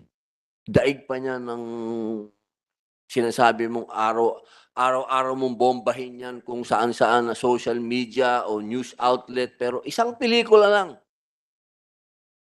Ano yan? Ako, wag po kayo, ano, hindi ko kayo binobolan. Tanda kong to. Yung mga bata na nakakapanood pa nung maging sino ka man. Lumang pelikula yun, ha? Napanood ng bata ngayon. Abay, na, natatandaan pa nila, ay si Carding, oh. Eh, ganun, ganun, ka, ganun, na, ganun ka timeless ang, ang pelikula. Uh, kaya mama, 2%. Agree po. okay, wala na po tayo siguro pang dapat pang Okay. Gusto niyo pa ba? okay. Nagpapasalamat po tayo sa ating bisitang naglaan ng pitong oras at 30 minuto. Tayo po ay sinamahan nila sa ating diskurso sa 29 na panukalang batas. Ito po ang dami ng ating natalakay ngayong hapon na ito. At ah, sa puntong ito, akin pong iminumungkahi po ang pag-adjourn ng ating pagdinig sa araw na ito. Atin pong itala na wala naman na po tayong ah, nadidinig na pagtutol sa gayon. Ang motion para i-adjourn ng pagdinig ay inaaprubahan ng committee. Hearing no objection, this public hearing is hereby adjourned. Maraming salamat po.